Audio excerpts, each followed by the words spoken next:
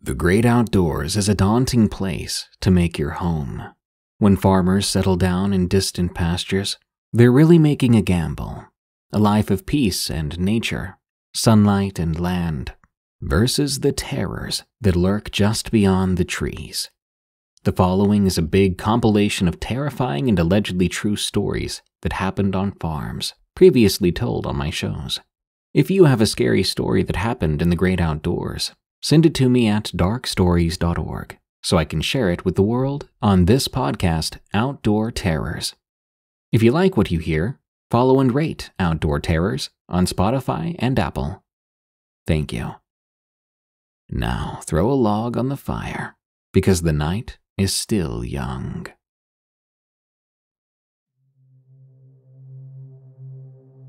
It came with the fog. From Double D. Thirteen years ago, I was going through the worst period of my life. All possible misfortunes just followed one after the other. It all started when my husband left me for another woman and kicked me out of our home. Then I was one of the first to get fired when my company, where I spent over 10 years, ran into financial problems. When I thought that was the end of it, one night I fell asleep behind the wheel, ran off the road, and destroyed my already miserable car, the repairs of which I paid literally the last money I had. I ended up alone in a small, ugly apartment that I was renting, crying and feeling sorry for myself. Most of the people I considered friends turned their backs on me and left me alone at the mercy of my depression that had me tightly in its claws. My wake up call was when I realized I would soon be homeless if I continued like this much longer. That's when I decided it was enough. I didn't need anyone, and I would get back on my feet. Since I'm a prisoner of a small, dying, but once very lively mining town, I was in no position to choose the job I liked. I had to accept what was offered at the time. So I agreed to a new job at a nearby dairy farm. The job description was this preparing and taking cows for milking and other related tasks. It's not something you fantasize about as a little girl, but when you're desperate and need money, unfulfilled childhood dreams are the least of your worries. Plus, the job wasn't bad at all. It just took a little bit of time to get used to the sounds, smells, and other charms a farm has to offer. One day, my boss gathered us all together, asking if any of us would be willing to work the night shift until he hired someone new for the job. Before he could even finish the question, I had my hand in the air. Changing to nights meant that I would get a better salary for way less work. Basically, all I would have to do is be physically present and make sure that everything was in order, that the cows were alive and undisturbed. If something really did happen, I could just call the boss. And if a pregnant cow went into labor, I could just call the vet. And that was that. Although the boss wasn't too thrilled with the idea since no one else came forward, he didn't have much choice. Honestly, the first few nights I wasn't comfortable being alone on that farm. But after I got over my fear, I started to really enjoy the place and the fresh night air. My boss planned my duties so that when I arrived, I would settle in a small, well, let's call it an office and every once in a while, I would take a walk around the place to see if everything was okay. During one of those walks, a genius idea hit me, which I very quickly put into action. I made a small fortress out of hay bales, and instead of being in the office, I was chilling in my new spot. Most of the time, I would read books with a small headlamp, and the best part was that I didn't have to walk anymore, because in case something happened, I would hear everything from my little fortress. One night, just as I was starting a new book, footsteps began to echo in the dead silence of the farm. Loud, specific footsteps that I knew immediately where they were coming from. In front of one of the barns was a large patch of dirt, and at the moment there was a bunch of mud there. The kind of mud that would torture you fairly well before letting you go through it. I could hear a splash, splash, there was no doubt someone was in front of the barn. I wasn't really scared. I expected to find someone from a nearby town trying to steal some oil from one of the many machines, and I would just tell them to go away before calling the police. It was only when I peeked out from my fortress when I noticed a thick fog had begun to cover every corner of the farm. I bravely started making my way towards the unknown intruder, but to my surprise, there was no one there. It wasn't possible for someone to run away that quickly. As I said, that thick mud does not let go easily. I should have either found someone there, or at least heard them desperately attempting to get out of the mud. Confused and slightly doubting my own ears, I went back to my position and listened carefully. All I heard was silence. I decided to call my brother because at the time he was in the phase of hardcore gaming and I knew he'd be awake still. I needed to hear a familiar voice. I needed a logical explanation to calm me down a bit. Of course, he told me it was probably nothing, that I was just tired, and that my brain was playing tricks on me. He said if someone was really there by now, I would have heard something else. Fully relieved by my brother's words, I went back to my book. I don't know exactly how much time passed, but judging by the pages I read, I would say at least an hour or two, when the silence was disturbed once more. This time, not by footsteps echoing through the farm, but rather a totally unknown, eerie, and somewhat irritating sound that I would best describe as gargling and slurping, somehow at the same time. I didn't dare to move, as the sound was coming closer and closer, then stopped right in front of my little fortress. I stayed there like a statue, my heart in my throat, and a disgusting bitter taste filling my mouth I had absolutely no idea what to do. Yeah, I guess you're right. Maybe we can hang out tomorrow. Well, then give me a call when you wake up. I love you. Those were the words that woke me up from my trance. Those were my words. That was my voice. Because that's exactly what I'd said to my brother on the phone earlier. When it finally hit me that the footsteps I heard were in fact real, that they belonged to this whatever the thing was, that all this time I'd been convincing myself I was alone on the farm, this thing was hidden somewhere nearby, and that it was now speaking to me in my voice, and the only thing standing between us was a single bale of hay. I jumped out of my fortress like a bullet and ran into the night, praying to God that I didn't get lost while trying to find my car in the thickest fog I've ever seen. It didn't take me too long to find the car. When I made it, I just sat down, locked myself in, and desperately tried to put the key in the ignition with trembling hands. I then felt and heard something brush against the car. I managed to start the car, and more than anything, I wanted to press in the gas, but because of the darned fog, I was forced to move at a crawling pace, and the entire time I could feel light pushes and hear tapping on the back window of the car. I'm not sure when it all stopped, because I was crying and sobbing so loud it was all I could hear at that point. When I felt I'd driven far enough, I called my boss and I tried to explain what happened. But I don't think I managed to say a single word that made sense. And he had no idea what happened or what I was even talking about. But by then I didn't care. I just wanted to go home and hide under a blanket. In the morning, when I heard my phone ring, I immediately knew it was my boss calling, that he would want to see me, that I would likely get fired. But first, I would be forced to listen to his speech about how I shouldn't have pushed myself for a job that I wasn't ready to do. But I was wrong. He wasn't mad at all and I soon found out that the horror story didn't end with me running away from the farm. After my crazy call, my boss came to the farm and tried to find out what had happened. However, due to the thick fog, the only thing he could do was go around the barns. And one of them, he found a dead cow. At first glance, nothing strange. It happens, unfortunately. Except this was one of the pregnant cows, and her belly had been ripped open, the abdominal cavity completely empty. No calf, not a single organ, not a drop of blood, a stain, a print, no sign of a struggle. Nothing. Just a dead animal, surrounded by dozens of other cows that were now calmly munching on hay and didn't seem the least bit upset.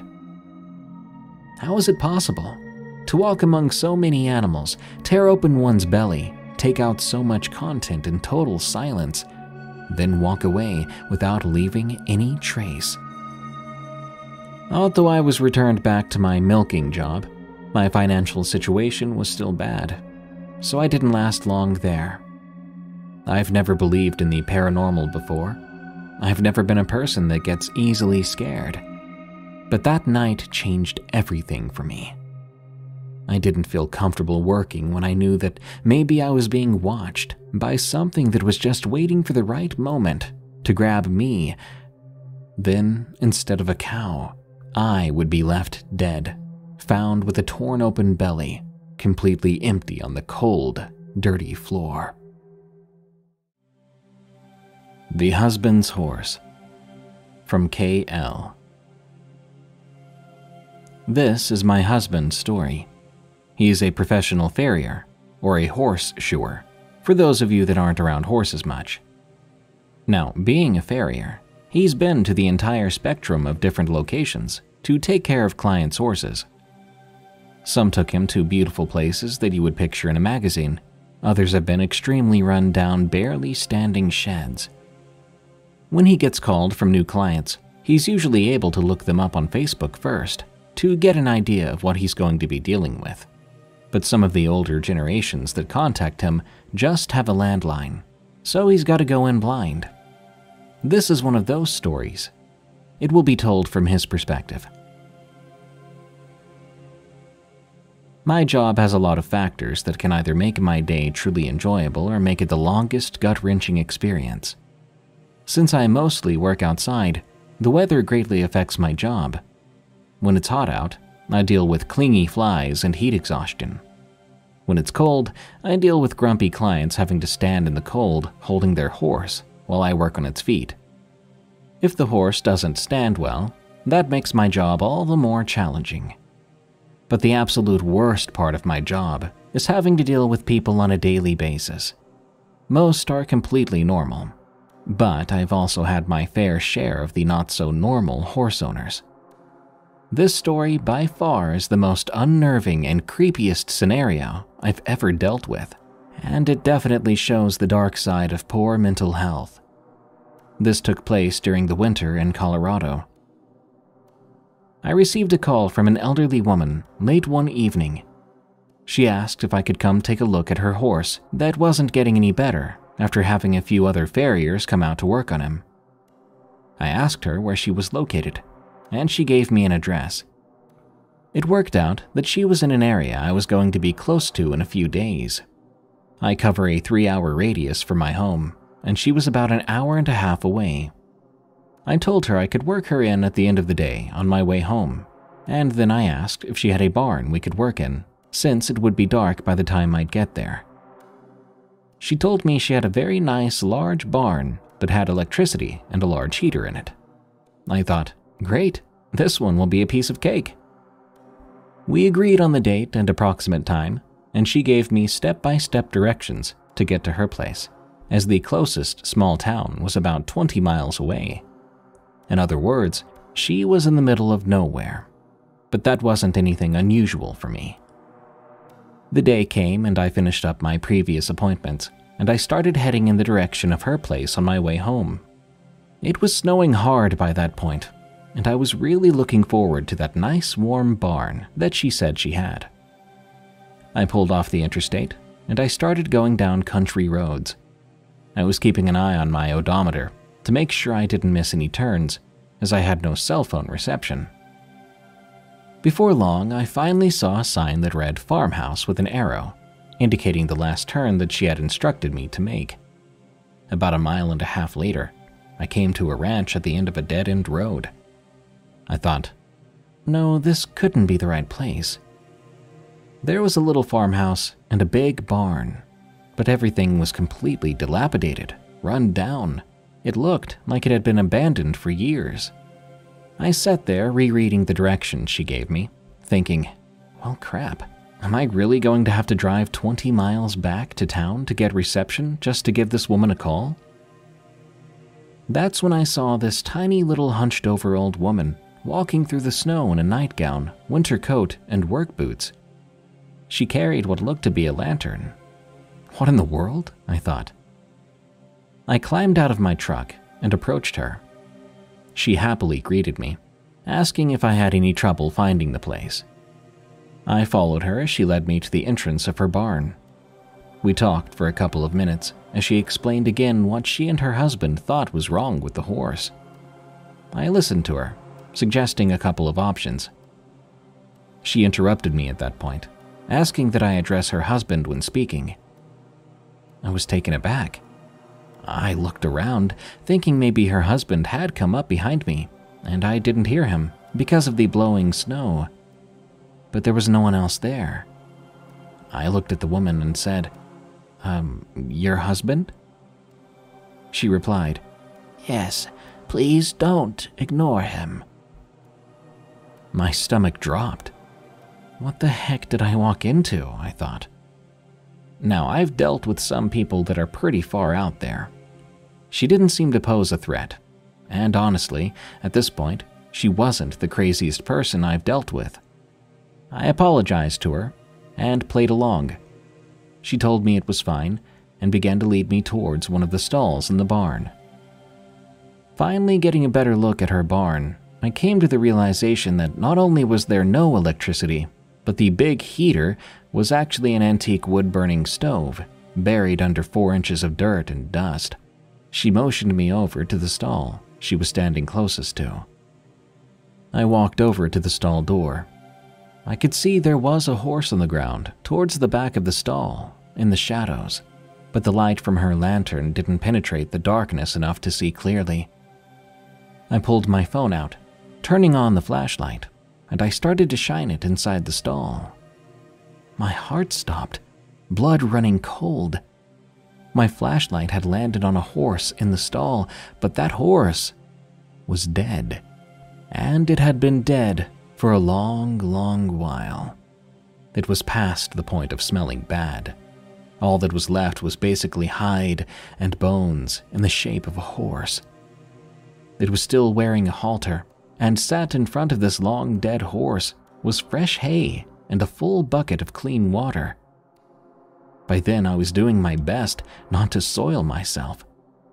Was this a setup? I thought. Was someone going to jump out from one of the other stalls and try to kill me? My mind raced with every horrifying answer that popped into my head. I looked back at the old lady. My breath caught in my throat as I looked around, searching for anyone else that could be there. She stood there, calmly holding her lantern, looking at me. Then she asked, What do you think we can do for him? I was stupefied. I looked at her, then back at the horse as she waited patiently for an answer. I about jumped out of my skin when I heard movement further back in the barn. I shone my light towards the noise, and I saw eye shine from two other horses. I walked closer to them, discovering two very old horses that were extremely emaciated, hooves so long they were curling up like elf shoes. This was extreme neglect. These horses were starving to death, knocking on death's door at that very moment, and this lady was giving a horse that had been expired for who knows how long clean water and fresh hay. I couldn't wrap my head around it. Every cell in my body was screaming for me to get the heck out of there. I turned back to the old lady, asking if she was talking about these horses. She grew irritated and snapped at me. No, I'm wanting to know what we can do to help my husband's horse right here. Swinging the lantern towards the dead one. My mind was blown. I had no idea what the heck was going on, but I felt like I needed to tread lightly with this woman. After all, we were out in the middle of nowhere during a large snowstorm, and I had zero cell reception. She seemed like a frail, little old lady, but who knew if there was a shotgun stashed somewhere close by or if anyone else was hiding there? In my experience, and having relatives that lived far off the beaten path, those were the people you didn't mess with. I stood silent, trying to hide the panic I was feeling. Finally, I blurted out a routine answer for a client of a horse that needed corrective work. so, uh, what I'm gonna need you to do is call a vet and uh, get me some x rays on this horse. I want to see what's going on inside his foot before we do any sort of corrective work. Once you get those x rays, I'll have the vet email me the images. Then I'll head back out here and get him fixed up. She looked to her left and asked, Does that sound good? I'm assuming she was asking her husband. She waited a couple of seconds, then said to me, smiling, Yes, yes, we think that is a good plan. Thank you. I will get a hold of our vet first thing in the morning. How much do I owe you for coming out? I was already starting to walk towards my truck to get the heck out of Dodge. I yelled back over my shoulder. Uh, no charge. I'll be in touch with you after I hear back from the vet. Then we'll schedule another visit. I started my rig and threw it into drive. I hauled tail out of there, trying to remember the way back to the interstate. I kept replaying the whole interaction in my head. Did all that really just happen? As soon as I had reception, I put in a call to the county sheriff and I started to explain the situation to him. He asked if it was Mrs. A on County Road X, like he wasn't even surprised at all. I was floored. Uh, yeah, yes, sir, that's her, I told him. Do you think she needs a welfare check? He explained I was the third farrier to call about her, but apparently I was the first to tell anyone about the two emaciated horses that she had in the back of her barn. Apparently, I had stayed much longer than the others who had been called out there. He told me point blank that he would not send anyone out to her place, as he already had multiple times in the past.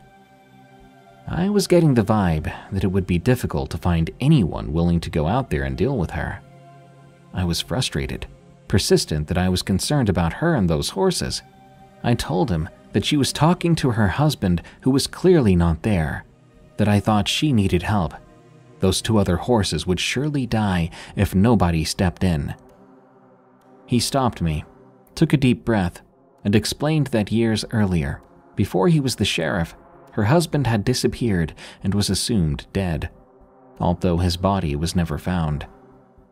It was speculated by neighbors and people in town that she had something to do with it. After his disappearance, she went off the deep end and never really got over it. This little old lady lived out there alone in the middle of nowhere, talking to her dead husband, taking care of his dead horse. I never did hear from her again. I have no idea if a vet ever did go out there to x ray her dead horse.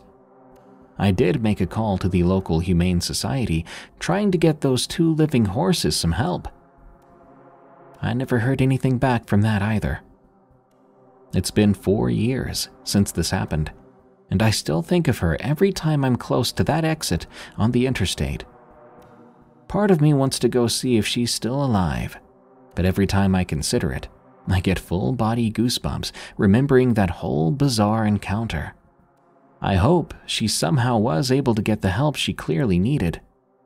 That entire scenario is truly heartbreaking.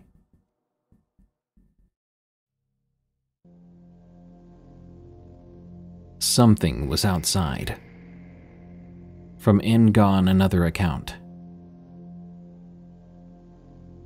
Just out of college, my friend, who we call Livewire due to an old joke, didn't have a lot of money.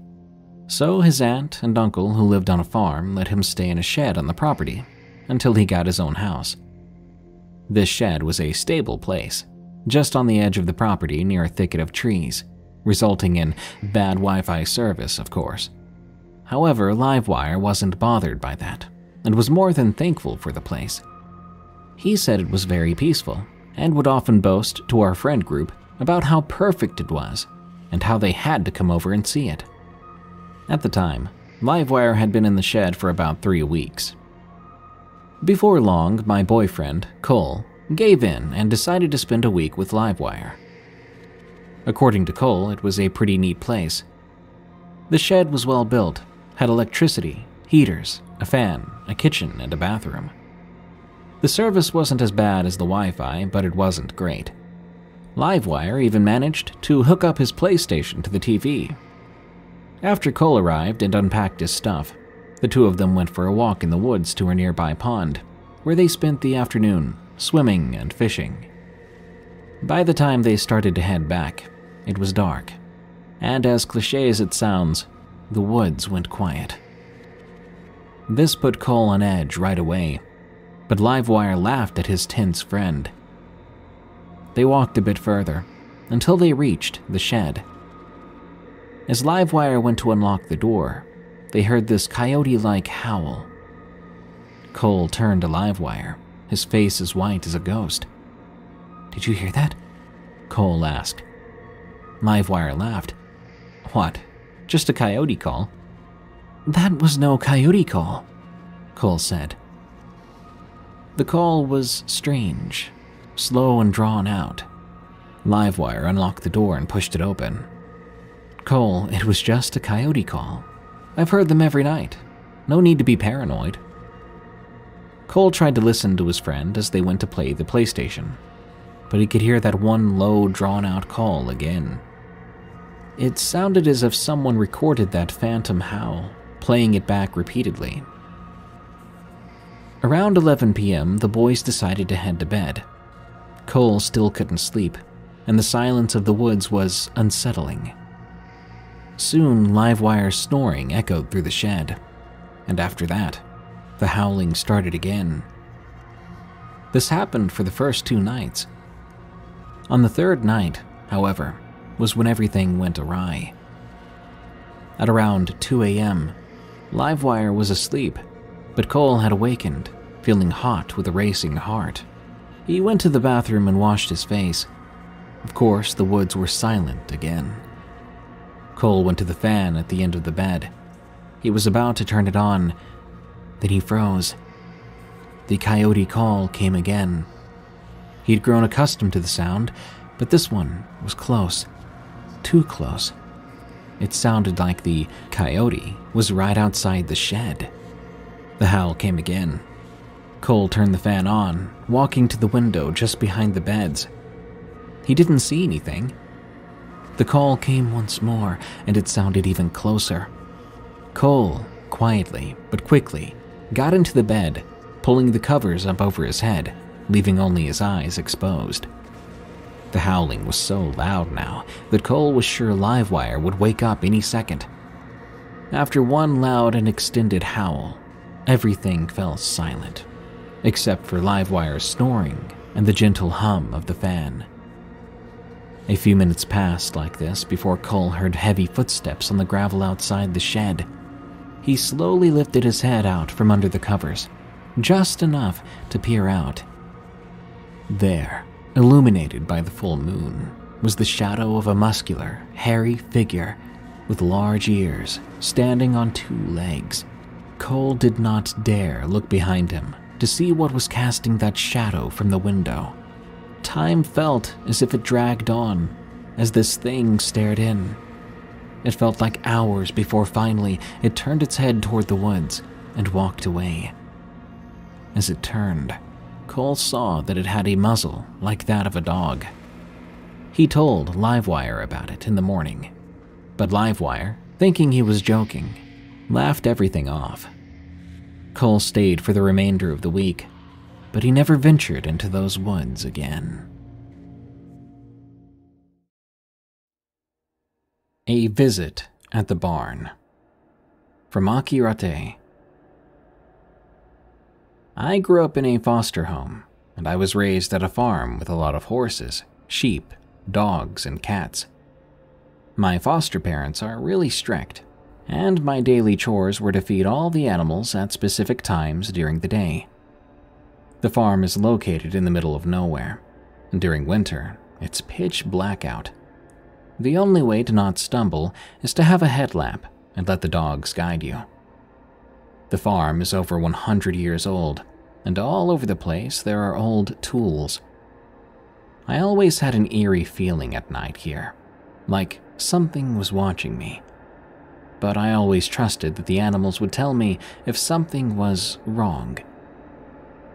One night, of course during winter, I put on my lamp and took the dogs with me, having the oldest dog guide me down the hill. Right in front of me, I could kind of see the two pastures that are used for the sheep sometimes, but they were empty that night. They're not very big, and there are no trees, only a shelter that is approximately three meters high. I had this eerie feeling again, and just a few seconds later, I saw the dog stop, staring out into the darkness. She was tense in her whole body, and I asked her out loud what was wrong. I then looked in the same direction she was, and I saw it. My headlamp lit the pasture, and in it stood this black shadow. As I said before, there are no trees, nothing near the pasture to give a shadow like that. It looked like it was either facing me or the other way. Since I couldn't see the details, I couldn't be sure. But I could see what looked to be arms and I could tell it was tall, as tall as the roof on the shelter. It didn't do anything, it just stood there, almost as frozen as I was. I couldn't see its face. It was just a black silhouette, really, with legs, long legs. The next second, the dog started to run and bark like crazy. She just left me there rounding the barn to the entrance of the pasture. I was terrified. I quickly ran after her, calling her name, but she didn't answer. But she usually does. I heard her continue barking when I ran, and when I got to the entrance, she fell silent, but still faced the exact spot where I'd seen that shadow. The pasture was empty, and she kind of looked surprised. It was the what was I barking at kind of expression on her. We continued the night, and I felt nothing more, and I haven't seen anything like it since. But I know something was there that night, since our dog saw something too. She was raised on that farm for 14 years and didn't bark nor run away if she didn't feel the need to defend us.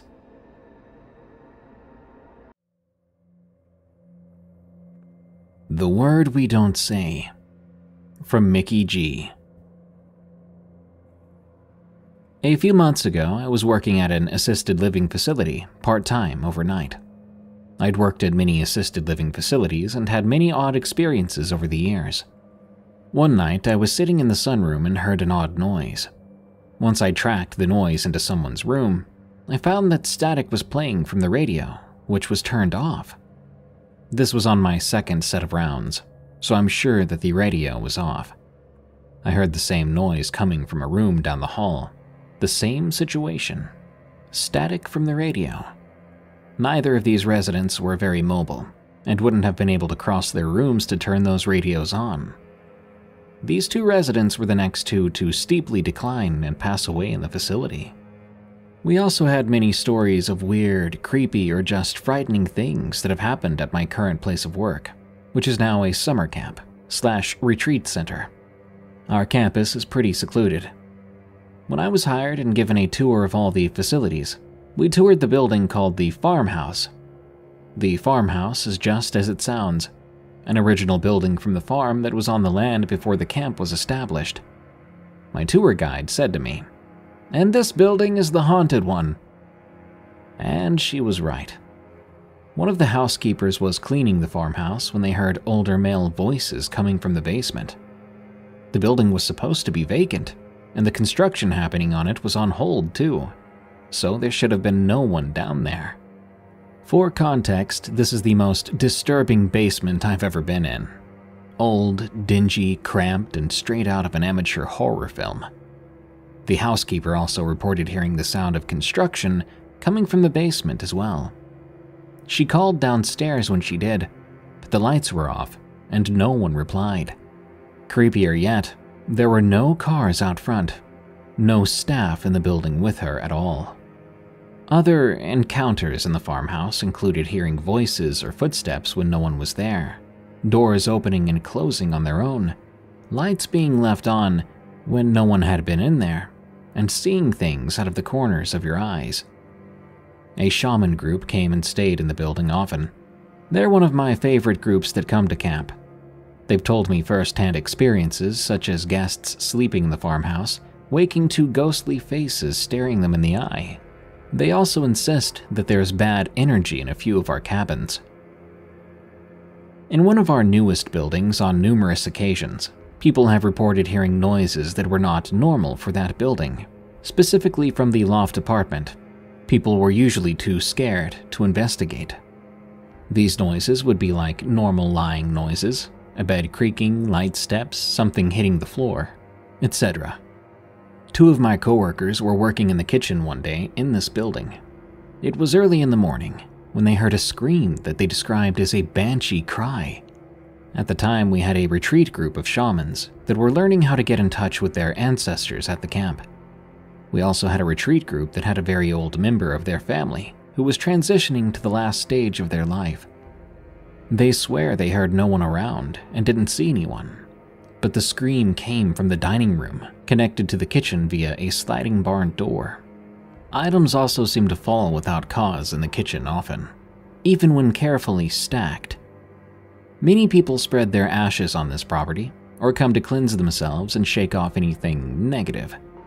There's so much hurt, pain, and trauma shared and let go at camp. So it's no surprise the atmosphere would reflect that in some way. People have also reported hearing noises from a formerly certified kitchen, such as clanging and banging. This was in the retreat center, added on to the old dairy barn. The kitchen is connected to the retreat center via a large dining room. Past that dining room is a large gathering space where our summer camp counselors sleep during the week. The counselors were the only ones to hear the noises. The aforementioned cabins are very basic. No air conditioning, old bunk beds, something you'd expect from a summer camp in a scary movie. One story I'd heard from a very down-to-earth summer staff really got to me. They were coming up a hill to the farmhouse when they heard a scream from behind them. Mind you, it didn't sound like a child screaming. It sounded masculine. The staff member went to the summer staff lounge and asked for an escort from another staff member, due to being so frightened. Another similar story to the cabin and farmhouse screamer happened this summer. Three staff were up late at night and heard what they described as coyotes fighting each other or a dog. They insisted a pack was tearing this animal apart due to the screams and howls they heard. When it sounded like the fight was over, they went looking for the hurt animal they could hear it crying in pain, and they thought it was dying. I don't know why they went looking, but those are the choices staff members make during the summer. They swore the noise was coming from right behind them in the trees. But when they made it to the spot where they thought the fight took place, there was nothing but silence, nothing indicating that a fight ever happened. No crying, no whining, no blood.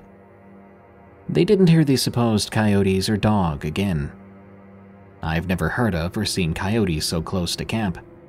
They thought it was most likely 10 to 15 feet into the woods. I've also never heard coyotes coming from that part of camp, and haven't heard them since. Some staff sleeping in the cabins have reported sporadic cases of farm animal noises coming from behind the cabins, close to where the coyotes were heard this summer. The cabins are a small walk from the old dairy farm, down the hill from the farmhouse and the old retreat center with the haunted kitchen is a campfire pit with benches surrounding it. One night a week, we have s'mores for a snack before campfire. We send the kids to the edge of the woods to find roasting sticks. On one occasion a few weeks ago, a counselor and I were standing back from the group, just talking. Campfire is often a time for counselors to seek support or guidance, while the campers are distracted searching for sticks. The s'mores were long gone by then, and everyone was seated around the fire doing skits and telling stories. As the counselor and I were talking, we heard a noise from the woods rustling and branches cracking. It sounded kind of like a small child. If you've heard a small person moving through the woods, that was kind of the noise. It was within 10 feet of us. The counselor rushed in, calling softly for the kid, trying to coax them out of the woods. But they found no child, nor any evidence of anyone walking through the forest. I went to ask leadership to make sure we had all the campers and staff accounted for, and we did. While I was doing that, I found the counselor about 15 feet back from where we were standing. In my absence, they'd heard the noise move further to a retreat building. They called out again. No answer. Needless to say, we don't stand in that spot anymore. Moving to the other side of camp, our campground is where I hear the most reports of screams and strange figures. By all reports, the campground was just a field when the camp bought the property. One experience I had a couple of years ago has kept me from going out to the campground at night, unless absolutely necessary. We have a few utility vehicles, and sometimes when a counselor or staff member needs a timeout, they will take a ride in these vehicles. It was right after dark when three of us took a ride out to the campground to clear our heads. We parked to talk for a minute. While we were parked, we heard masculine adult voices coming from a separate part of the campground. We felt obligated then to make sure no one was in that area, as much as we dreaded it. There were definitely some non camp counselor approved words said about that decision. We drove out, parked, but nothing. The noises stopped. No speaking, no rustling, and no one in sight. We rushed out of there, and I haven't put myself in that situation again. There have been many reports of screams heard across camp that originated from the campground. Never feminine, always masculine. This has been going on for years, and the reports are always similar, even from new staff that have never heard the stories and legends yet. Some of our campers were staying in one of the newest retreat buildings, not the haunted kitchen one, and they saw a dark masculine figure coming from the direction of the campground. Seems the more we talk about the spirits hanging about, the more they make themselves known to us. During dinner prep one night, the same coworkers that heard that banshee sound, and my husband and I, were talking about these scary stories surrounding camp.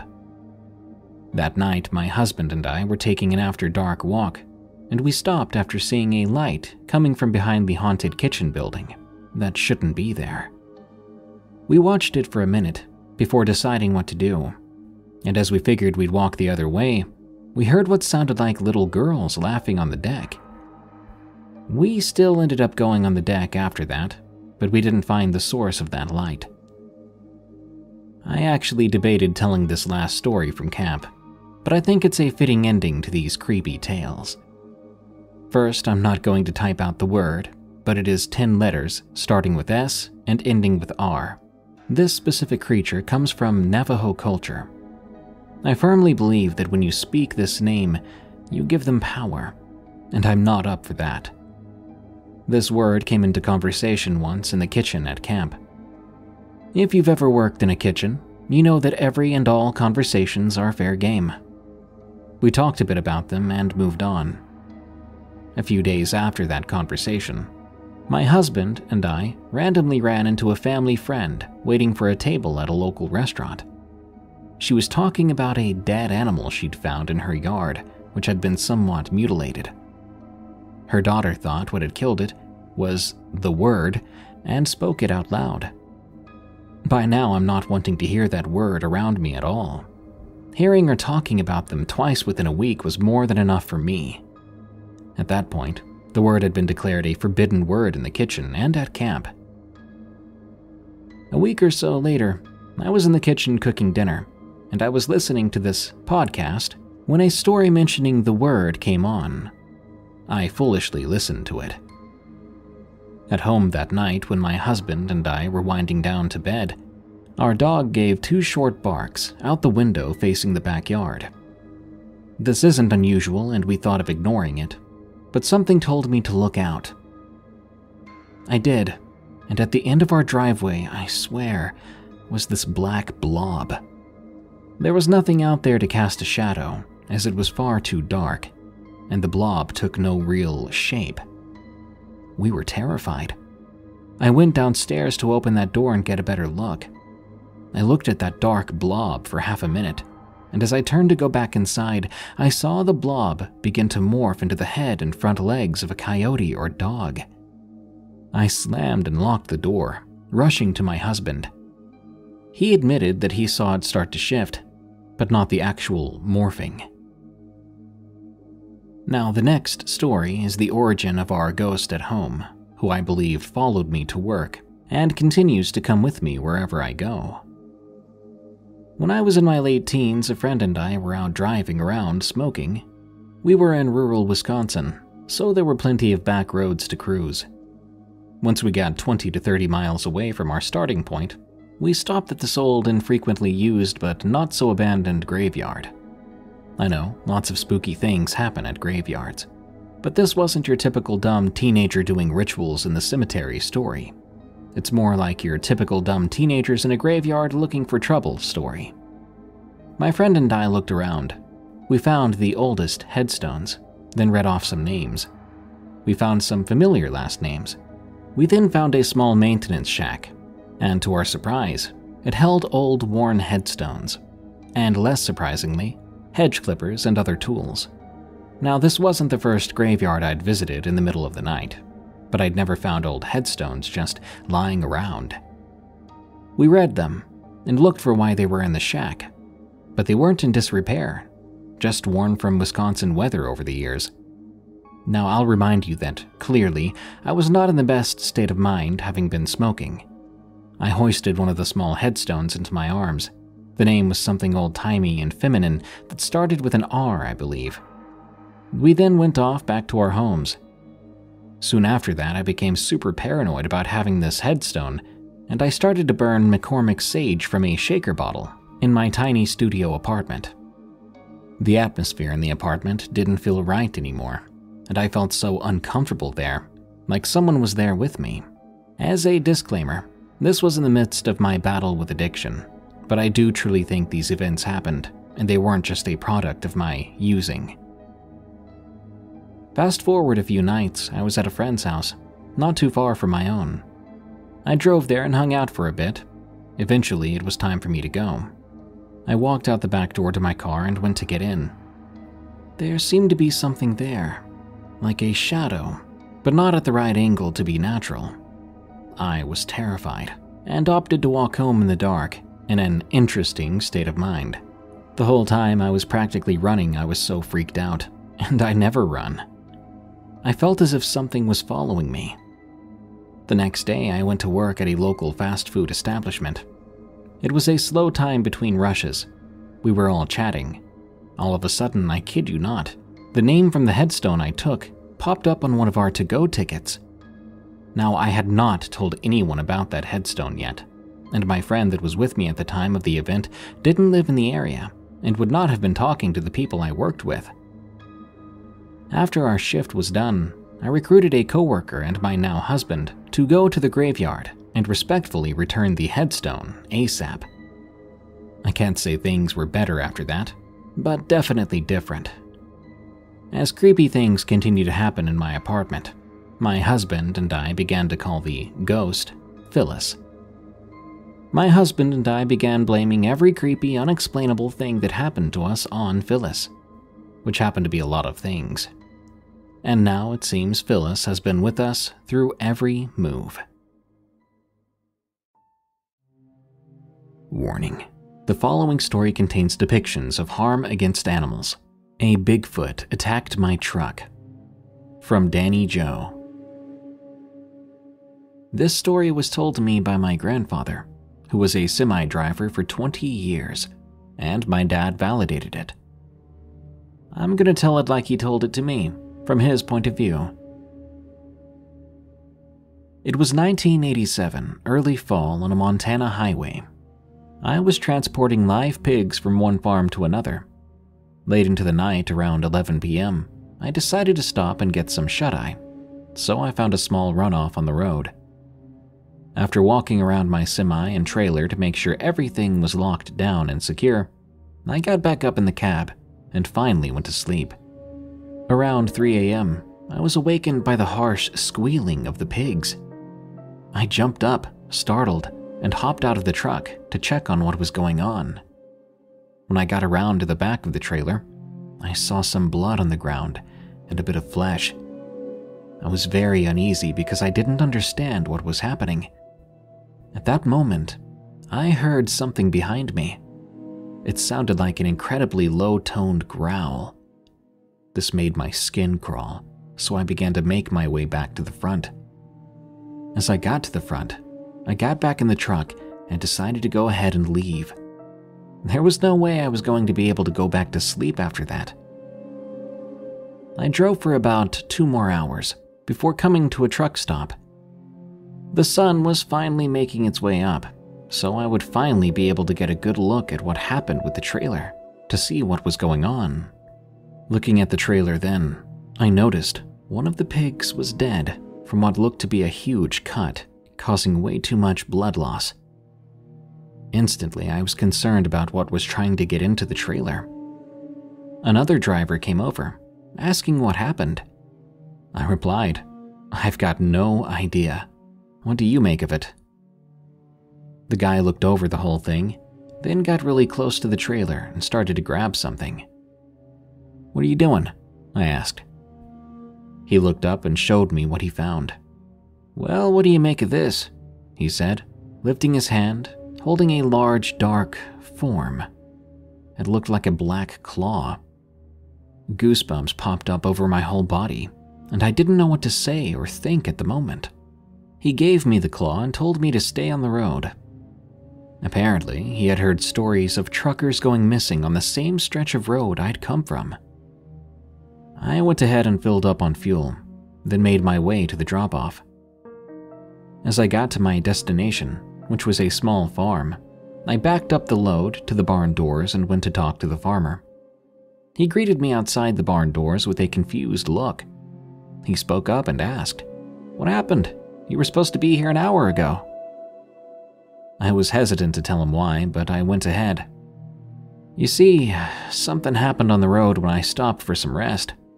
The back end of the trailer. I paused for a moment, and he spoke up.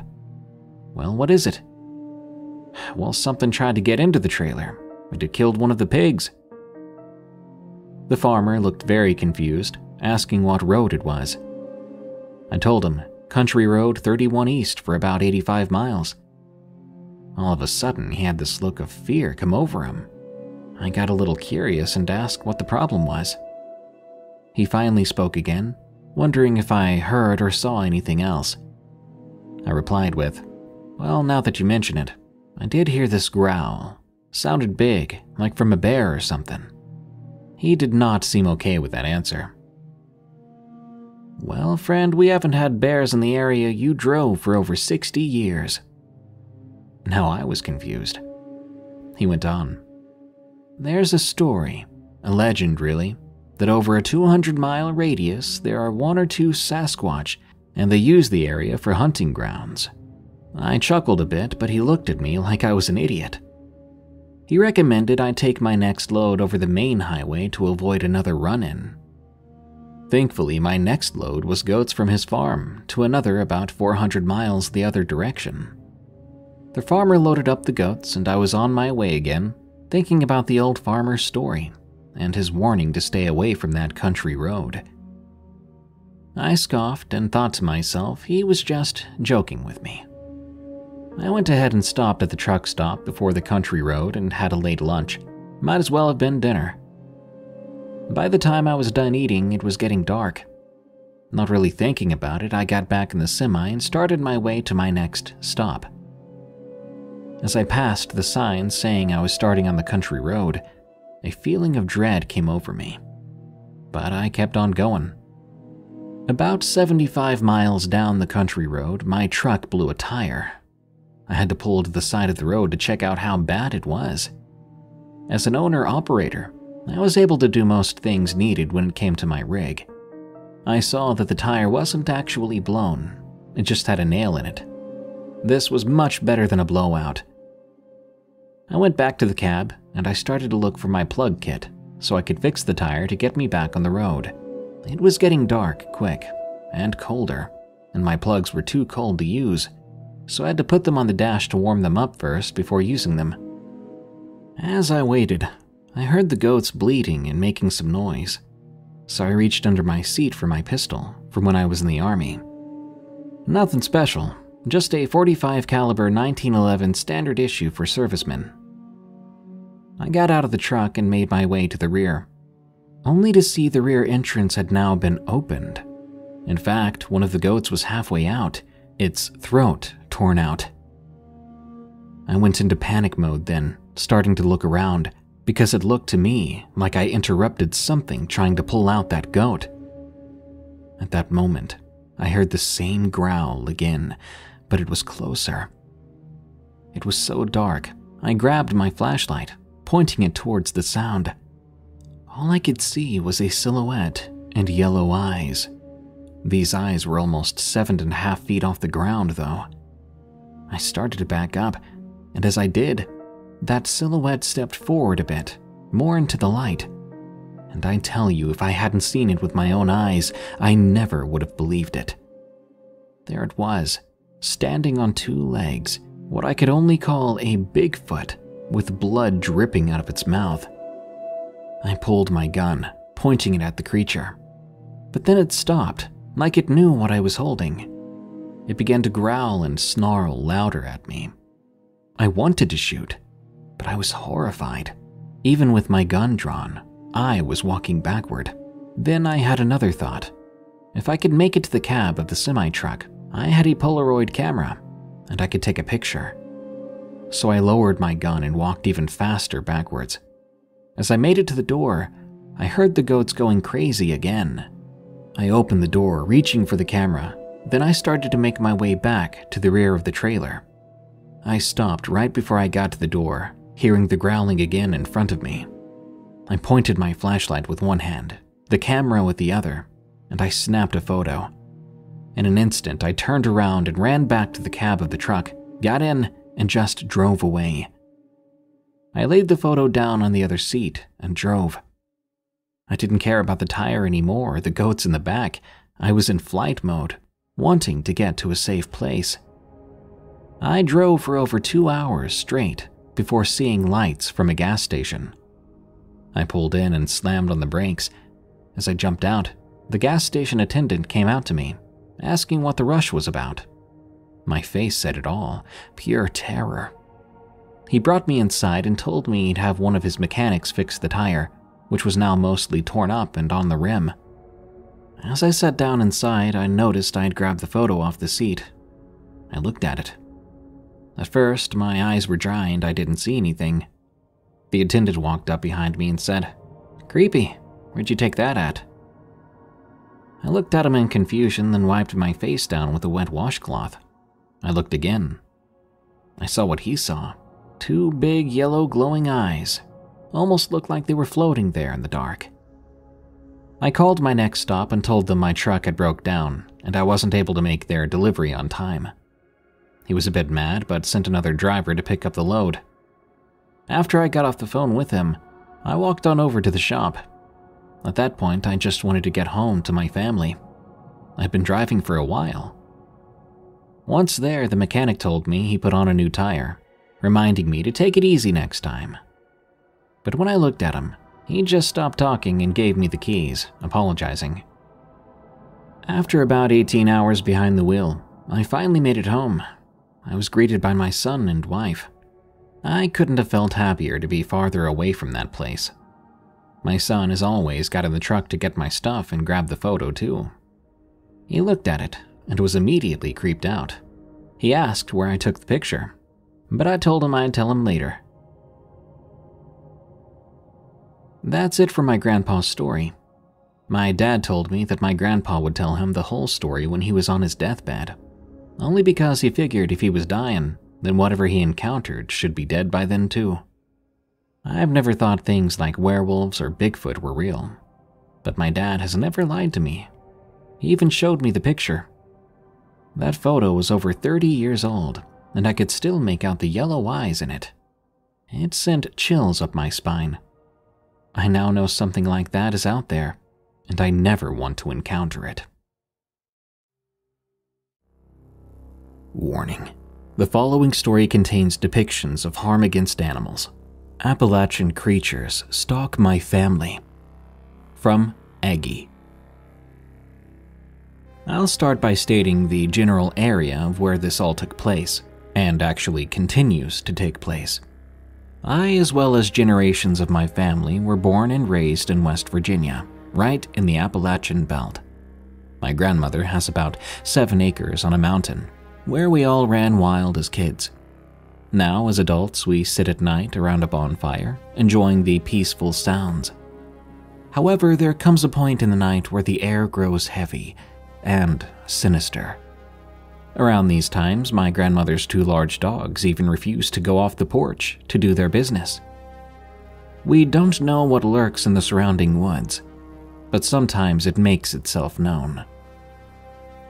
When my three aunts, mother, and three uncles were younger, they did what all of us did as kids roamed those woods. My grandmother's property has what we call a spring house, which is exactly how it sounds. It's a concrete block structure that has a peaceful and fresh spring that runs right through it. It was used before running water was put into the old farmhouse that sits atop the mountain, overlooking the entire property. At that point, the spring house had been worn down, and the woods began to overtake it, surrounding it so that it was buried deep. The weird thing about this spring house was that the only opening sat atop of it, so in order to even get into it, you would have to drop down from the top. As kids, you aren't really afraid of much except at night. It was apparently broad daylight when one of my aunts, we'll call her In, got the idea to do just that drop in. When she dropped inside, all seemed fine. It was pitch dark, but she could feel and hear the water around her. She then began to hear soft breathing. She turned to one of the corners of the spring house. There, she saw an all white humanoid creature staring at her. They were both stunned to see one another. This thing had sickly white skin, elongated limbs, and dark holes for facial features. All at once, fear pushed to the forefront, and she began to scream at my other aunt, B, to pull her back up. During the commotion, her glasses slid off her face and hit into the water below. She could feel the thing moving around now, and she screamed more. One of my uncles, Kay, yanked her out of the hole, where she began running towards the house. Her fear spurred the entire group, and they all followed after her. Eventually, she calmed down enough to tell them what she saw, and they never went back to the spring house again. I'm not sure if she told my grandmother, as my grandmother is quite religious, and even to this day, she brushes off any paranormal experience we have at her place. Now, the story doesn't end there. In fact, it's just getting started. Years later, when my aunts and uncles were all grown up with children of their own, the spring house lured some of my cousins and sisters to it. They had heard of the white creature down there, but of course, they didn't believe my aunts. Kids being kids, they went through the woods until the spring house came into view. They planned to drop into it too. My cousin dropped down first. My sister lingered over the hole and stared down at her not dropping in just yet. It took all of a few seconds before my cousin heard heavy breathing. Her fear immediately spiked, but she didn't say anything. Instead, she turned toward the sound. My aunt's long, eroded glasses sat in the water beside the same all white, elongated creature. This time, it did not hesitate. It began to stretch out its limbs to move. She scrambled up and out with the help of my sister, and they too booked it back to the house. They told my aunt and mother what happened. They didn't deny the creature's existence, but instead consoled them as best they could, warning them to stay away from the place. When I eventually came into this world, I was always roaming my grandmother's property too. I rarely liked going to school, and instead I wanted to roam the woods and collect anything and everything I could find. I was often alone out there.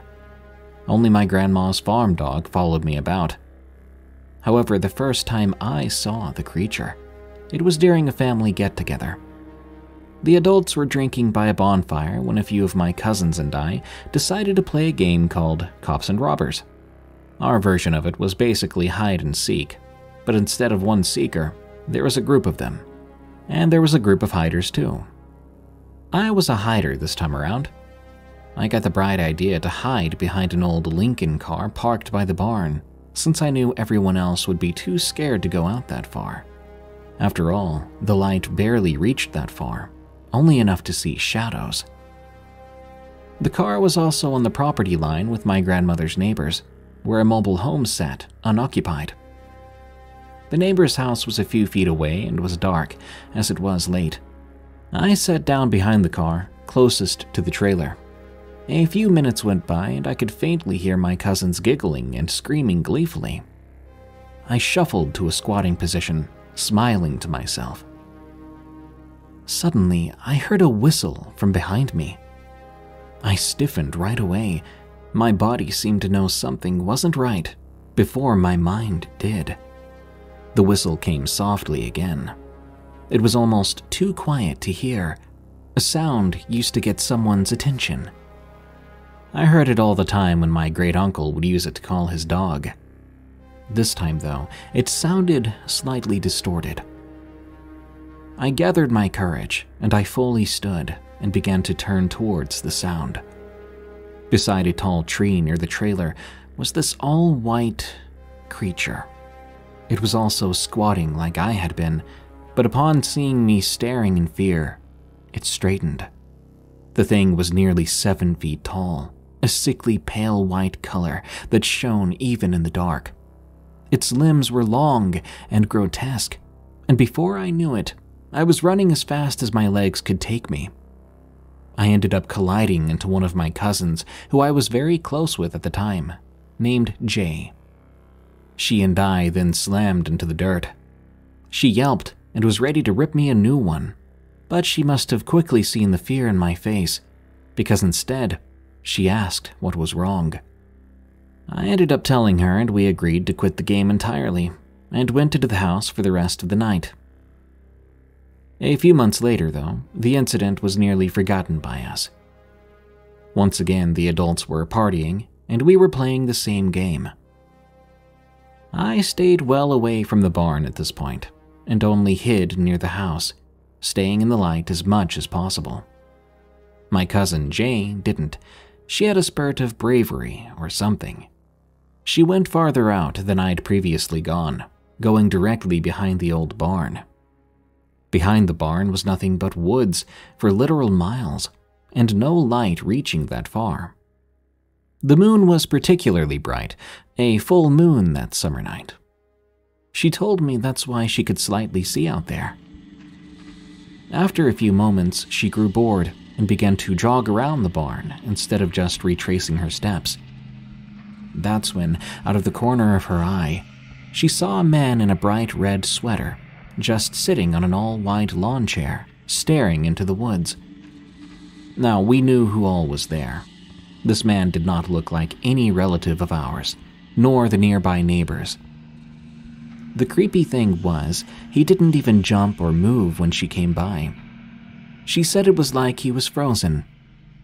His skin was sickly white, like the creature's. It almost glowed.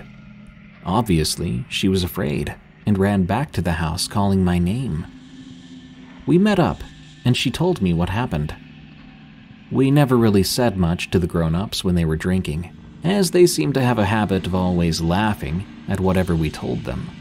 So we took it upon ourselves to investigate.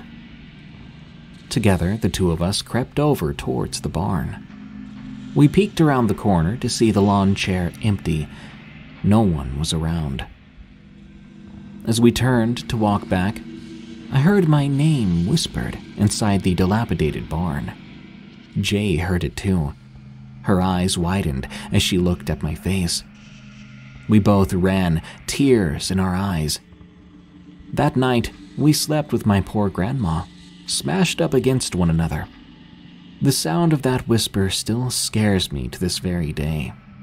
Just thinking about it sends shivers up my spine. Although the next night, we slept in the upstairs spare bedroom, as they call it, and to our horror, my grandma's dog kept looking into our deceased great grandmother's room, growling softly. We shut the door with him inside the room with us until morning, as we didn't dare to step in front of her room to get to the stairs. The following day, after telling my Aunt B, she admitted the upstairs portion of the house always creeped her out. When I inquired why, she told me when she was a little girl, she'd watched a cheesy, scary movie about werewolves. But in her young mind, it was very creepy. Afterwards, her and my grandmother slept in the third bedroom at the end of the hall. She was having trouble sleeping that night due to the movie replaying in her mind. She dozed off and on, but at one point, she began to hear heavy breathing. The room was suddenly hot and moist as well. Her eyes shot open, and she saw a werewolf like creature sitting at the bottom of her bed, eyes right on her. It stayed like this until morning. Now, obviously, this isn't the same creature we'd all been seeing, but I know skinwalkers can mimic voices and other things, which can scare you. And that night it had been werewolves for her, so maybe this entity or another was similar and wants to mimic your fears. Anyway, after she told me this, I stopped going upstairs for a long time. Whenever I stayed with my grandmother during the summer, I slept downstairs in the living room on her couch. I was always frightened there at night. I constantly left the TV playing to drown out any noises, as my grandma liked to sleep with her doors and windows wide open. On a few occasions, I was awakened by the shadow of a person stepping in front of the TV to stare. Then it would proceed into the kitchen. This always horrified me, but I would convince myself I was dreaming. However, it always happened at 3 a.m. on the dot, multiple nights a week. Sometimes I swear the kitchen light would switch on, and the faucet in there would turn on, water exploding loudly onto the ceramic. My grandma, who had her bed in the living room as well, due to having arthritic knees and not being able to climb the stairs nightly, never heard any of this. However, her dog, who often slept on my legs, would sit up, ears perked towards the kitchen. Now, this was happening after my great grandmother had passed, and she was an odd creature herself. When she was alive at 3 a.m. every night, she would go into the kitchen, turn the lights on, and just sit there for hours playing cards on the wooden dining room table. When I asked her why a few times, she always told me, I can talk to my husband. Her husband had died a long time ago, but as a young kid, I thought this was all very weird. My great grandmother and I never got along, so if it was her doing this at night, I still didn't feel too safe. I even had a dream about her after the kitchen light flicked on and I dozed off because I was used to it by this point. In the dream, the stairway light was on, and she began to descend the steps. I was shocked to see her, because even in the dream I knew she'd died. I walked over to the steps. The rest of the house was dark besides the one light. She looked like her usual self, in her normal all white attire. However, when I looked up at her and smiled, she frowned deeply. I sensed something was wrong then, like it wasn't her. She spoke in a deep, harsh tone, unlike her usual voice. Hello. I was scared now, every hair on my body standing up. I tried to wake myself up, knowing it was a dream. What are you doing here? I stammered, stepping back. Whatever the thing was that mimicked her smiled cruelly. I came to tell you something important. You're all going to hell. This is hell. All the demons are here. After the words were out, I was suddenly awake, gasping for air. I kept replaying her or its words all night, unable to sleep. My mind decided all meant my family and I, and I was distraught for days, wanting to go home to get away from that house. So I did. I didn't frequent it much in my teenage years either. I got a job at 15 to help out with the bills, and eventually I moved to a city about 20 minutes away when I turned 18. I don't visit there often, as my family and I are not on the best terms anymore. But one of my aunts has moved in recently to help out my grandmother as she ages. She's told me about how the dogs don't go out at night anymore, how sometimes she hears an odd screech and all the crickets go silent, how one night she heard something scream her name from the woods. She even told me about how the neighbor, who's lived there nearly as long as our family has, called my grandma to tell her he heard such an odd scream from the woods, too. He immediately got back on his tractor and drove it into the garage, locking the doors tight. This has never happened before, and to hear how frightened a man who has lived there his entire life was, I was a bit shaken up. When I did find time to sneak up there without a ton of family members being there, my aunt and I found a baby raccoon who had been killed in an odd way. Usually, coyotes kill and eat them, and there aren't any other predators in the area. But the thing about this was, it was whole. It looked like whoever killed it had twisted it, forcing its legs to face the wrong way. There were no other indicators of how it died. All of its legs were seemingly unbroken, even. A few days after this, my aunt called to tell me she found multiple twisted animals, all like that, all placed along the tree line. To this day, my family and I exchange these scary stories. We rarely, if ever, go near those woods at night. If I decide to take my dogs on a small hike, I stay fairly close to the tree line when we're in the woods, even during the day. We have so many stories about the odd happenings there like mysterious lights hovering near us, screams from the woods, odd lights in the sky, a lot of weird things. The house and land are so beautiful, but something old and haunting lurks around it, stalking generations of my family, and I'm not sure if it will ever leave us alone. Something in the hayfield from the Washington Farmer.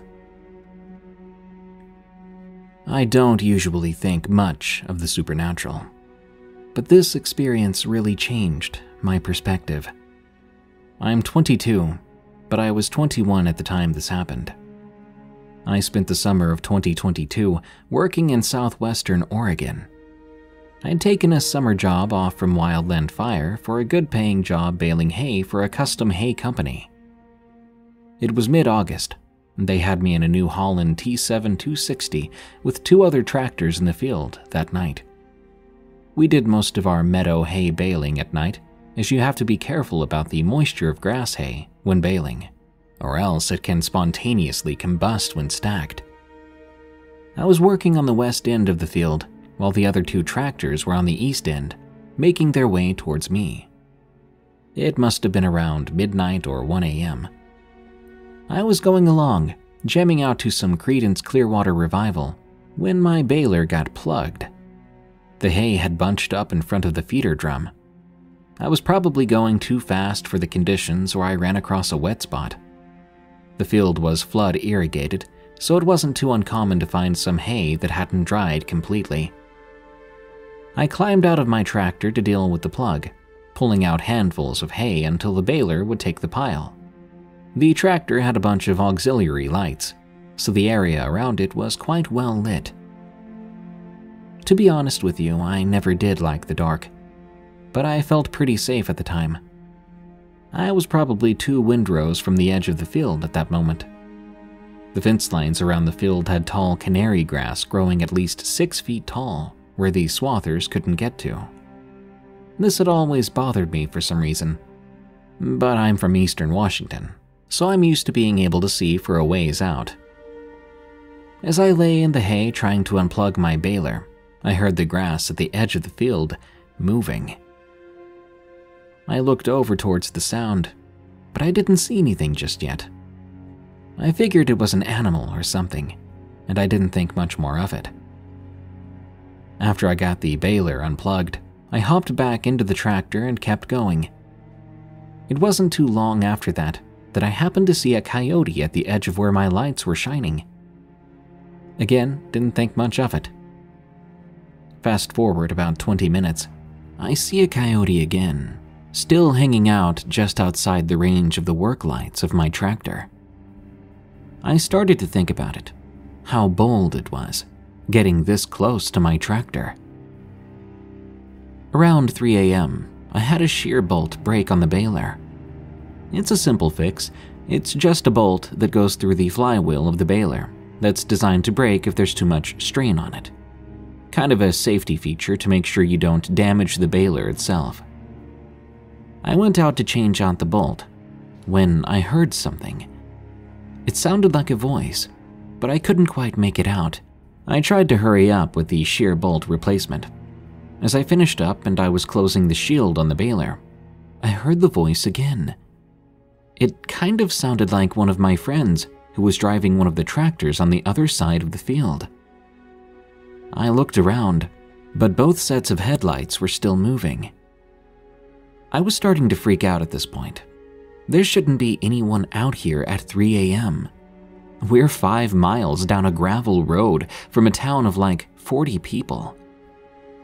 I started to rush towards the tractor and climb the steps. The voice was getting louder, calling my name. I climbed in and slammed the door shut behind me. As I'm putting the tractor in gear, I looked out the door. At the edge of where my lights were shining was what looked to be a coyote. This time, however, there's something wrong with it. It looked all mangy and the eyes weren't shining the right color. They almost looked crimson red. On its face was what resembled a smile. Then I swear I saw it stand up on its hind legs. It tried to take a clumsy step in my direction. Ooh, when I saw this, I dumped the clutch and kept on moving. Up until the sun came up, every time I looked in the mirror, I could see a coyote staying just beyond the lights of my tractor, just like it had before. As the sun was coming up over the mountain next to us, I saw that coyote begin to run towards the tall grass at the end of the field. I radioed the other guys in the other tractors, but they had no clue what I was talking about. Thank God I didn't have a plug up or another shear bolt break after that. I have no idea what I saw or what I heard that night, but that wasn't the last of it. Several nights later, we'd gotten rained out, so I was able to sleep at night instead of during the day. It was in the bunkhouse. I was on the second floor on my bunk bed. I just woke up around 4 a.m., and I could not go back to sleep. But when I'm up, I'm up. So I just lay in my bed, scrolling through TikTok. It was around then that I began to hear scratching on the window.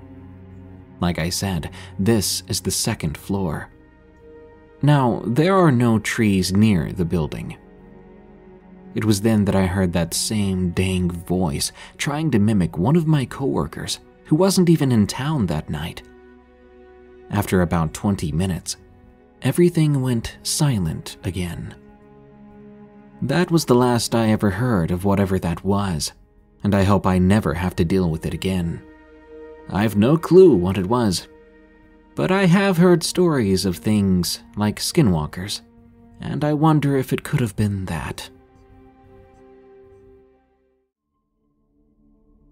The Dog Man from MJ 2004. This encounter happened to me four years ago when I was 16. I live in a small farm village with about four houses on the main property, and four more on the other side of the road. I remember there being four kids on the farm, and we would always hang out. It was a normal day when it happened, like all the other days.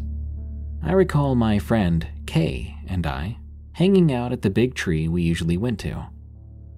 It was getting dark, and I told her that I needed to go home.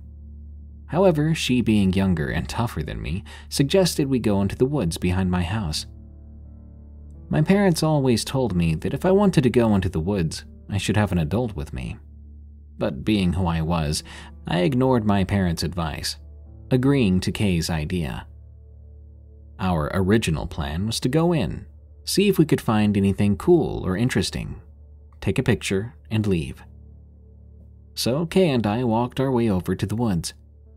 Kay made a few jokes on our way, and as soon as we arrived at the tree line, I remember her saying, Something feels wrong. At the time, I didn't notice, but while we walked to the woods, the birds and animals stopped making noise. It was odd, since the birds around here always chirped, with the occasional yell of a jackal. But at that moment, it was dead silent. I felt Kay's hand tremble in mine as she spoke. On second thought, let's go home. She started to walk away, but I got confused and annoyed at the same time. I remember grabbing her hand and pulling her with me, saying, We came all the way here. I'm not leaving until we find something cool. Little did I know I would regret those words later. We walked into the woods, and I turned my phone's light on since the shadows of the trees were blocking out the remaining sunlight. I remember feeling very uneasy, and I heard Kay say, Come on, girl, let's go home. Something isn't right. Before she could finish, we were cut off by a low growl. Both Kay and I instantly whipped our heads around to where the sound came from. We saw just a male impala looking at us as if to ask, Did you make that sound? Then it turned and ran off. I gulped, thinking maybe it was a wild dog, or that hyena my dad saw a few weeks back. Kay said, Let's just go. Then she gasped. I turned to see her eyes wide, her face pale. She was staring at something now behind me. My heart began to pound fast. I turned around too, slowly, and what I saw next made me regret ever agreeing to go there. It looked like a buff bodybuilder, although it wasn't.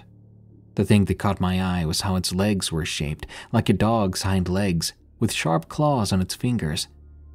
The thing's face was terrifying. Its jaw was shaped like a wolf's, and its fur was a dusty brown color. I found myself looking into its eyes, those eyes. I'll never forget them. They were a bright, bright yellow color, almost glowing and strangely human like. I felt its eyes stare deep into my soul. I was in a trance. I soon whipped my head toward where Kay was, or was supposed to be. She ran off without me. My heart stopped for a second as I heard this beast take a step forward. As I turned, it was right in front of me. Tears streamed down my face as the beast let out a silent snarl, lifting its large arm. I wanted to cry out for help, yell out to Kay, but my voice was caught in my throat. The beast growled, and I felt its long fingers in my hair. It wore a silent snarl on its face as its thumb dug into my forehead, its nail cutting into my skin. Blood ran down my face, and I thought to myself, I'm going to die today. Strangely, the beast let go of my head, turning around and walking into the tree line. It turned, looking at me as if it was smiling to scare me even more. It turned back around, leaning down on all fours like a dog, and left. As soon as it was out of my sight, my legs started to run on their own, and I found myself at Kay's house, crying and yelling at her to let me in. Kay's brother let me in, and I instantly fell into his arms, crying even more. After the whole incident, Kay and I never told anyone what happened or what we saw. But since then, I've never looked at those woods the same way again. I did some research on what I saw that day and came across people who had the same experiences as me. Some people describe the beasts as dogmen, lycans, or even werewolves. To this day, I shiver at the thought of it. Be careful out there. You never know what might be lurking in the woods. Predator Control Officer from Mato Man. I live in a rural area, in an otherwise densely populated county in Utah. My career has been nightmarish thus far, even though I've chosen safe career paths. I decided to leave finance to pursue security, then decided to pursue a low key job with the county as a predator control officer. I know what you're probably thinking, but it's not predators like offenders of a certain type, if you catch my drift, but what it means is predators like coyotes. There is a coyote bounty in Utah due to overpopulation and the subsequent effect on the rural community, but this also includes mountain lions too, which occasionally make their way into neighborhoods. There's also bears, who mostly just like to eat garbage. The application was easy. I applied and they asked if I was experienced in hunting and the wilderness. They asked if I was clerically qualified as I would also be in charge of paying for coyote bounties and keeping track of all those records, on top of the hands on work I would be responsible for. They said that the last employee left suddenly and did not go into any more detail. For a job that paid as little as this, I wasn't surprised and I didn't ask questions. Though the pay was low, the job was enjoyable. I spent much of my time in the great outdoors they first showed me the ropes in the office, but given my background, I learned quickly and moved to the outdoors portion of my duties. For a while, there were no major incidents, just some calls to dispatch some coyotes that had been harassing livestock, taking chickens in the dead of night. In one instance, a coyote made its way into someone's home through a dog door. It killed their dog in the living room, then left. That's pure insanity if you ask me. Never heard of a coyote brave enough to enter someone's home. My tenth or so instance in the field is when weird things began to happen to me. There was this pack of coyotes. They'd been killing goats and sheep at a local apple farm multiple times a week. This apple farm contained thousands of acres of apple and peach orchard and ran a successful business selling apple only products and was well loved by the community. People driving through town would stop just to get some apple cider ice cream from this little retail barn the farm runs. Anyway, the goats were important, as things like goat's milk are a common commodity, and the wool from the sheep allowed them to hand make children's toys that kids loved, including my own. This farm orchard is located at the base of a large mountain range, totaling approximately 10,000 feet in elevation, and a large canyon right down the middle where freezing gusts of wind like to shoot down right into town. I knew the coyotes were most active about one to two hours or so before the sun came up. I drove my truck through the apple orchard and I got stuck in the snow. There was yet another blizzard that year, totaling about 70 feet of snowfall since October. Despite this heavy snow, it was fairly warm 32 degrees. A rare day off without large gusts of wind from the canyon, which would play to my advantage. I got out of my truck and took a big breath of crisp winter air. Large snowflakes were already piling onto my hair and glasses. My feet crunched on the powdery snow. This was dry snow, the kind you can't quite make snowmen out of. I grabbed my AR 15 from the back of the truck. I had it painted white to match my white camis, which I wore to blend in with the snow.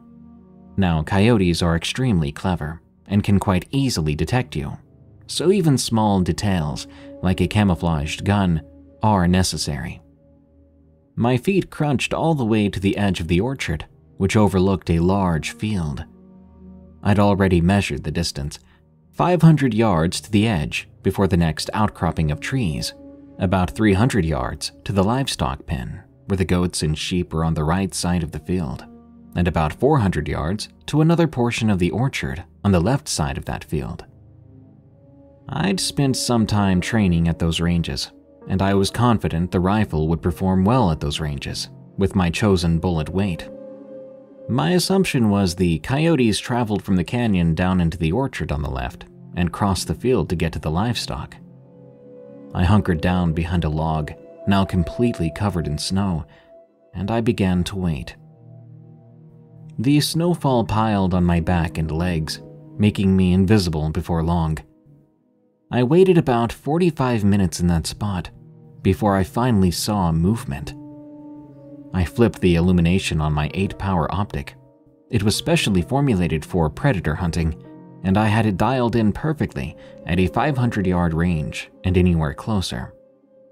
I aimed down the optic and saw I wasn't looking at coyotes, but a herd of deer, all antlerless, grazing Obviously, they had just swiped some rotting apples left over from the fall. Suddenly, I saw one of them perk up, ears swiveling to and fro. Then it snorted. All at once, they all ran back into the orchard where they came from. I immediately thought, okay, here come the coyotes. But nothing came sauntering into the field. I sat quietly. That's when I smelled it the smell of sewage and body odor, or maybe a skunk. Either way, it was an unbearable stench. The fact I could smell anything with my frozen nose in that dry air was remarkable. I heard the goats begin to vocalize, obviously distressed. Then I saw it. I had to look more than once and try to blink the imagination out of my eyes. Through my optic, I saw a large man leaving the livestock pen, carrying a dead goat over his shoulder. It was a full moon, and the snow wasn't affecting my vision. I saw that man, muscular, hairy, and nude, with matted hair where the goat's blood had been pouring out all over his back.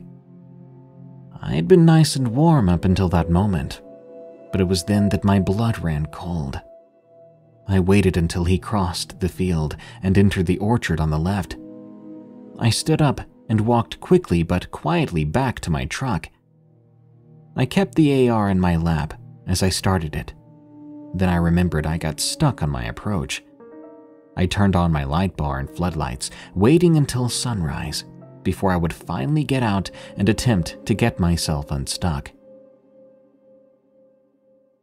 A couple of hours later, after the sun came up and I was finally unstuck, I made my way to visit the farmer to let him know that I was unsuccessful in finding the coyotes, and I left it at that.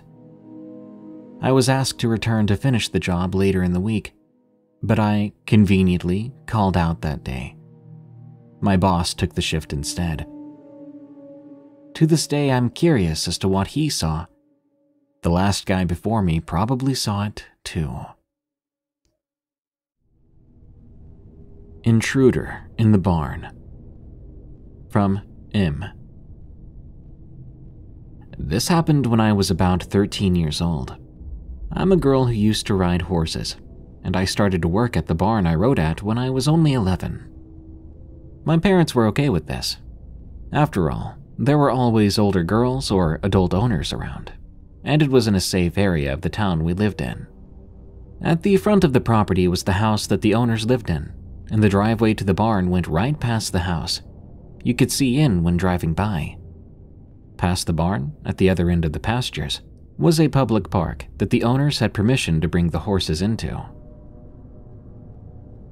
This story took place one night when I was working. My friend, who also rode at that barn, had agreed to stay with me since the older girl I was scheduled with had gone home sick. It was dark out already and in the middle of winter. The barn wasn't heated either, so it was freezing in there. It was about 8:30 p.m. on a Sunday, which meant there were no lessons that day. So the barn was empty. It was just me and my friend. We were finishing up feeding the horses and sweeping the aisles when we heard the doors to the indoor arena around the corner creak shut. We didn't think much of it since we had seen the owner's son and his friend in the barn earlier in the evening. Maybe they'd come back, we thought. After that, we began to hear footsteps and shuffling down around the corner. And when I was giving the last horse its hay, I heard the arena door creak open again. We swept the loose hay off the floor and headed around the corner to the main aisle, where the doors to the indoor arena were. I started to become a little wary then, because we didn't see the owner's son just yet, nor his friend. We decided to go see if by chance one of the doors leading outside in the arena was left open by accident. Perhaps the wind was blowing it open and shut. The arena was pitch black, and I shone the flashlight from my phone around. Lo and behold, the doors that led outside were shut. There wasn't any way that the wind or any other natural force could have just opened and shut those doors, not to mention they were quite heavy. We peered into the pitch black arena as best we could with my phone's flashlight. We tried to see if the boys were just trying to scare us. Then we heard footsteps again in the aisle of the barn. This time, they were accompanied by clattering and banging on the walls. The hairs on my neck started to rise, and I could see my friend was visibly scared too. I checked my phone for any texts from my parents, as they should have been almost there to pick us up. Some of the horses were beginning to get agitated, pacing in their stalls and snorting angrily. I looked at my friend, and we knew what the other was thinking. I turned off my flashlight, and, hesitantly, we tiptoed back into the barn, peering around the corner into the main aisle. My heart caught in my throat when I saw the back of a shadow turn around the corner at the back of the barn. I grabbed my friend's arm and dragged her as I ran towards the entrance to the barn. Once we reached it, I flung the door open and slammed it shut once we were safely outside. Our boots crunched on the freshly fallen snow, and the cold air stung our faces. But I wasn't going to wait one more minute inside that barn. I'm not sure what I saw, but I knew in my gut it wasn't good. The darkness outside enveloped us. We huddled together against the wall of the barn, trying to hide while we waited. I was about to suggest running towards the owner's house, but relief flooded my body when I finally saw the headlights of my parents' car coming up the driveway. You know, it was probably just the guy scaring us, I said to my friend. Yeah, I know. They'll make fun of us for this. My friend responded. We started laughing about it as we clambered into my parents' car. The tension left our bodies with the warmth of the car and the comfort of my parents' presence. I would have believed we were right and forgotten about the whole incident if it wasn't for when we drove past the owner's house. We saw through the window her, her husband, her son, and his friend, sitting at the kitchen table eating dinner. My heart skipped a beat, and my head whipped over to look at my friend. The look on her face told me that she had seen it too. We sat there in fear for the rest of the car ride home. We tried to rationalize it for the rest of the night, but the only two conclusions I have come to are 1. A spirit or ghost was in that barn, the older girls have told us that an old farmer haunts the barn, but I always thought they were messing with us because we were younger. They had all claimed to have experienced the same things we had, seemingly always at night after dark, like it happened for us. The footsteps, doors opening and shutting for no reason, banging, agitated horses, and some even claimed to hear thundering horse hooves in the indoor arena when no real horses were in there. And two, someone else was in the barn with us, sneaking around. If another rider or someone who boarded a horse there had shown up, we would have known they were there. The owners and their son and his friend were inside the house eating dinner, though. It wouldn't be the first time a random person had wandered up from the park at the end of the property and snuck into the barn The thought of a random man hiding in the barn and snooping around while my friend and I were also there alone made my stomach turn. Looking back now that I'm in my 20s, my parents would have never been okay with their 13 year old daughter and her friend all alone in the barn late at night. You just never know who or what may be lurking around. The following are two stories submitted by Anthony1997. Warning The following story contains depictions of violence against animals. A skinwalker in the pig pen. This encounter happened half a year ago. It has caused me to move away from the home I grew up in, the woods I've always played in, hunted in, etc. A place that was for the most part always happy was torn to bits. My mama is full blooded Cherokee and moved off the reserve to marry my papa. So I'm no stranger to folk tales and stories of skinwalkers and so on. Now, I'm from what most people call the sticks. It's an hour's drive to get into town and three hours to the nearest big city. As such, we raised our own chickens, pigs, cows, etc., for milk, eggs, and meat. One week, the pigs were beginning to act off. They weren't rolling around in the mud. They were all huddled in the corner of their pen and did not want to move, not even when we brought them food. Then one morning, I got up to go tend to the chores collect eggs, milk the cows, and feed the pigs. But when I made it to the pig pen, I found two pigs lying dead, chunks of flesh ripped from them. I sighed told my dad about it, and we removed the dead pigs from the pen and buried them. Supernatural things aren't uncommon where I live, but this seemed like a pack of coyotes just got into the pig pen, so I left it at that, and I set up the next night with my shotgun, watching the pig pen, ready to shoot anything that got too near, and hopefully scare off the rest. But nothing happened that night. In fact, nothing would happen for the next month. It was all normal, other than the fact that coyotes were howling more than usual. During that time, I bought an RV. I moved it into the backyard until I could find a spot to stay at for good. One night, I heard the pigs squealing a lot, and the coyotes were going mad. They sounded really close. By the time I got up, threw on some clothes, and grabbed my shotgun, the coyote howls and pig squeals had morphed into a single sound, and it was doing this over and over. I walked out into the pig pen and looked them over. Nothing seemed out of place yet, until I caught a glimpse of a pig out of the pen. I turned and chuckled at it, saying, Come on, bud, let's get you in there before the coyotes get you. I took a step toward it, and then it let out a bone chilling screech. I stopped, dead in my tracks. That's not the sound pigs make. I readied my shotgun, and I realized it was looking at me.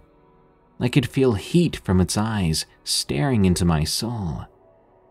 I aimed and shot, but it didn't flinch. Instead, it stood up and laughed. I could see legs that looked more human, with hooves for feet and hands.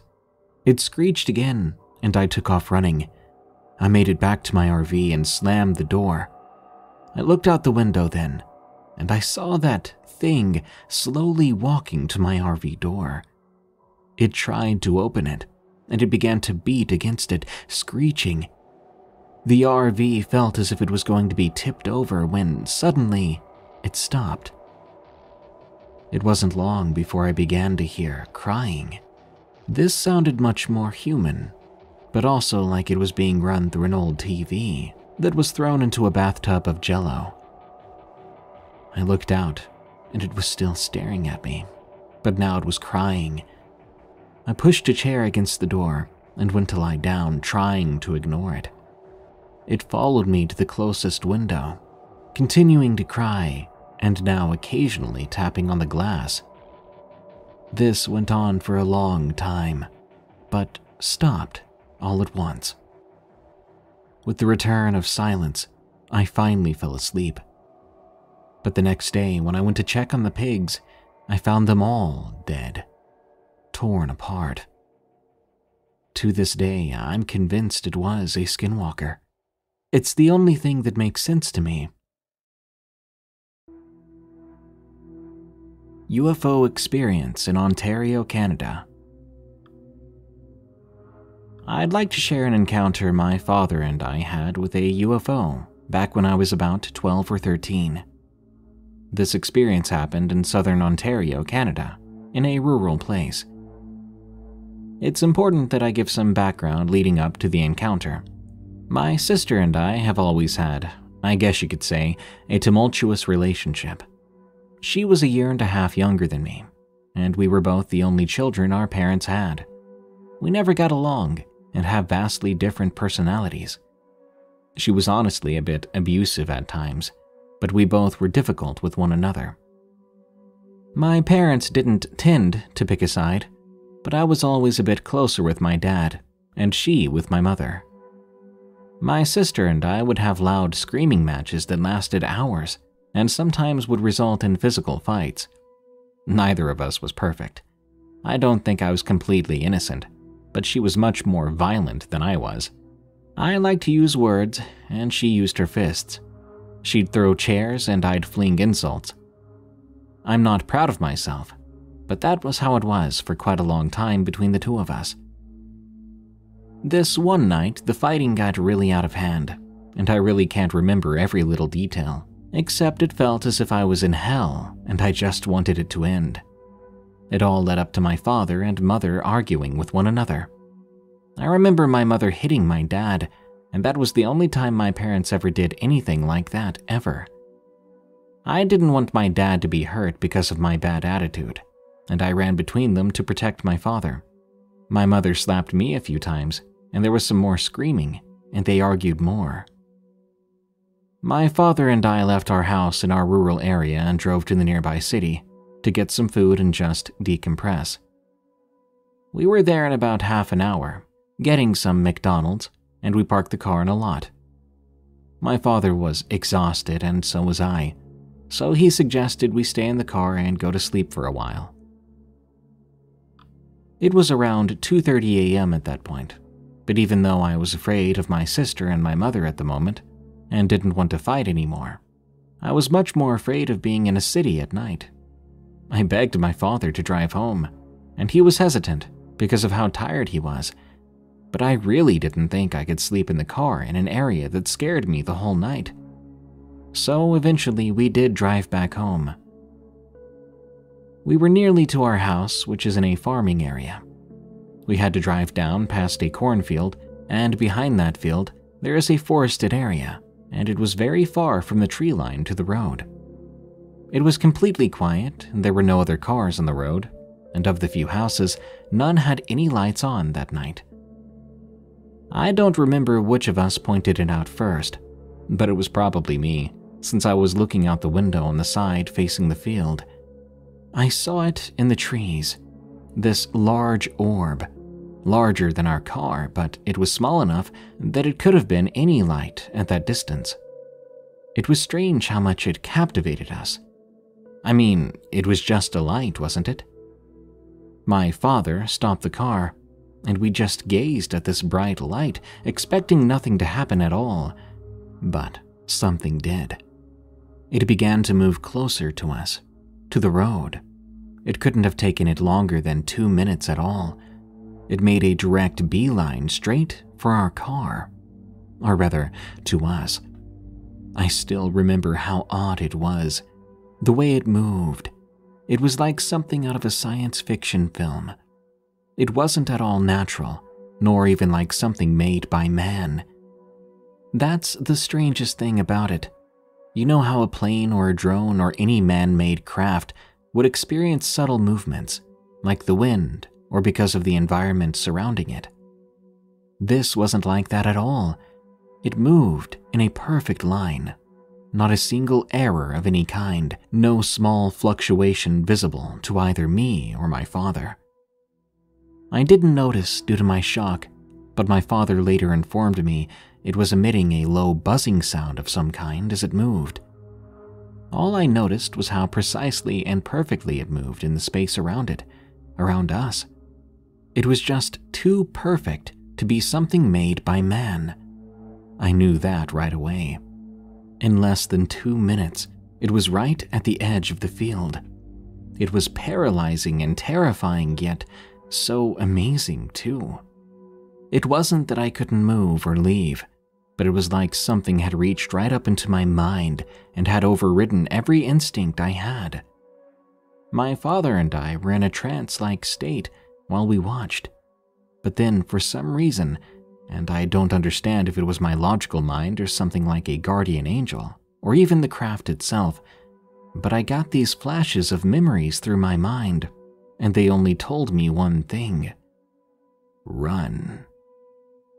I saw these memories of TV shows I'd watched when I was young. Particularly, it was a memory of a scene from a show reenacting a couple's encounter with a UFO in a scenario almost exactly like the one we found ourselves in. I realized if we didn't get out of there, something awful would occur, and we would be, in all likelihood, abducted. I did not want that to happen, and apparently something else out there didn't either because this didn't feel like my own mind or spirit telling me that. It was more like something else was trying to prevent the object from abducting us. I then screamed at my father, repeating the voice's command of run. I shouted it as loud as I could, and thank God, it broke him from the trance like state. He hit the gas, flooring it, and we drove away. I looked back to see if that object was chasing us. By that time, it had made it to the road, and I was convinced it would follow us back home, but it didn't. Instead, it just floated away across the other side and disappeared. We made it home, and we were both just shocked and terrified. It seemed like a dream. So, for years following, I asked my father if it was all real, if that really happened. It was just too unbelievable. It moved so perfectly and so much faster than any normal vehicle ever could, and it glowed so brightly too. Not just that, but it appeared to possess intelligence, as it only moved when my father and I began observing it. So many questions went through my mind. Was it a UFO? Was it some government technology that they were testing here? The UFO theory makes more sense to me it seemed to be capable of moving without being affected by the space around it. I have so many questions, and I don't understand it at all. I've always had the sinking feeling that one day I'll see it again. The encounter actually improved my life for the better, though. My sister and I stopped fighting for good, and our relationship improved dramatically after the event. It has had some negative effects on me too, though. See, after I saw something so amazing and wonderful, everything else seems a bit boring in comparison. I mean, it was seemingly out of this world. Something like that is just so amazing to witness that it shakes up your entire worldview. I have no idea if it was aliens or something else, but it was really something to see. I want to see something else as amazing like that one day. Sometimes I look out at the night sky wondering if it'll show up again.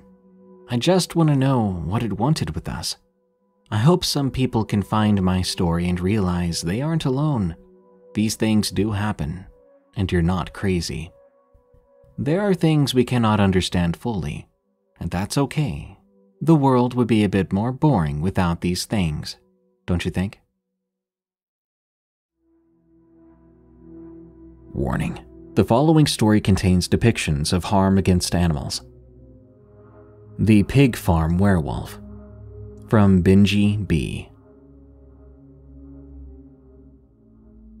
The story I'm about to tell you happened when I was around 11 or 12 years old, so the year would have been 1999 or possibly 2000. I live in central Sweden. My parents had been divorced for many years, and the day of my encounter, my younger sister and I were visiting our dad at his farm. He raises slaughter pigs there for one of the country's biggest meat producers. I've always loved animals, and I enjoyed helping out at the farm, feeding the animals and cuddling with the piglets. My dad had built the pig housing just a couple of years before. Now, when you entered through the main entrance, you would find yourself at the beginning of a long corridor, with four doors on the right side and two doors on the left, with one door at the end of the corridor leading out to the back side of the building. The first door on the right led to an office and staff room, and the second door led to a storage room. The following two doors on the right and the last door on the left led to the three, what we called pig stables, called stable number 1, 2, and 3, each with 48 separate pens where the pigs were housed. The first door on the left went to the barn where we stored food and straw for the animals. Now, the way this farm worked was that we received pregnant sows a week or two before they were expected to give birth. And when the piglets were old enough, these sows were sent to the other farms to rest for a few months before they were impregnated again. The piglets stayed with us until they were old enough to be sent off to slaughter. Now back to the story. The day of my encounter was a very cold winter day, probably around December or January. The ground was covered in a thick layer of snow, and the sky was clear. A perfect winter day. My sister and I had arrived at our dad's place around lunchtime the same day. That afternoon, we were in the stables, helping out with the chores. I remember that in stable number one, it held slaughter pigs that were maybe a couple of months old. In stable number two, we had pregnant sows expecting to give birth at any day, and stable number 3 was empty. At the time, it had just been cleaned and prepared for a new delivery of pregnant sows to arrive within a few days. I remember my sister being so bored that day. The only thing she liked to do was cuddle and play with the newborn piglets, of which we had none at the time. My dad was in the empty stable, number 3, working on a broken gate to one of the pens which had been damaged when the slaughter pigs that were housed there earlier were moved. I had just fed the pigs in stable 2 when my dad told me that he had found one of the slaughter pigs injured. Now, it was quite common for them to get injured when they're in the teenage stage of life, trying to establish dominance and being very eager and playful. But it was unusual for them to get any serious injuries. Usually it was just smaller scratches and bite marks. When he told me that this pig probably had a broken front leg, my heart dropped because I knew that there was nothing we could do and the pig would have to be put down to end its misery. I hated that. It was not often it happened, but when it did, I always teared up. I helped my dad to find the injured pig, and we carried it out through the door to the backside of the building. Out on the backside, there was a big round manure tank, approximately 15 meters in diameter and several meters deep, partly buried in the ground with just about a meter of the top above ground level. We carried the pig to the other side of the tank, and my dad brought a butchery bolt gun, but I refused to stay out there while my dad did what he had to do. I went back inside and I continued to feed the pigs, listening to music trying to get my mind off of what happened to that poor pig. After a while, my dad came in to tell me he needed to go to his workshop to get some tools to fix the gate, and he asked if I wanted to stay here or come with him. His workshop was where he stored and maintained his agricultural machines and equipment. It was a 10 minute drive from the farm, and he said he would be back in half an hour. So I told him I would stay I helped him carry some tools to his car, then watched him and my sister drive away. It was mid afternoon by then, but it was already dark outside. Now I was alone on the farm, but I didn't mind that.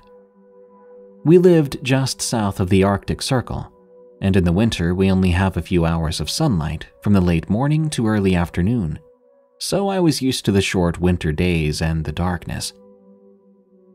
At the moment, the sky was still clear, but it was now covered with bright stars and the moon, which looked big and bright and more beautiful than usual. I went back inside to the staff room, to eat one of the sandwiches my dad had brought for us. After that, I went back to start cleaning out the pens in stable 1 and 2. These stables had slatted floors that could be opened to scrape down any dung and straw, which was then automatically transported out to the open manure tank on the backside. Because of the freezing temperature, I first had to go out on the back to start a circulation pump to keep the liquid manure from freezing in the pipes. I went out the back, opened the hatch to the control panel, and started the pump. I then closed the hatch and I looked across the manure tank at the pig lying there in the snow. A dim light shone through the windows from the lights inside and from the moon lighting up the area.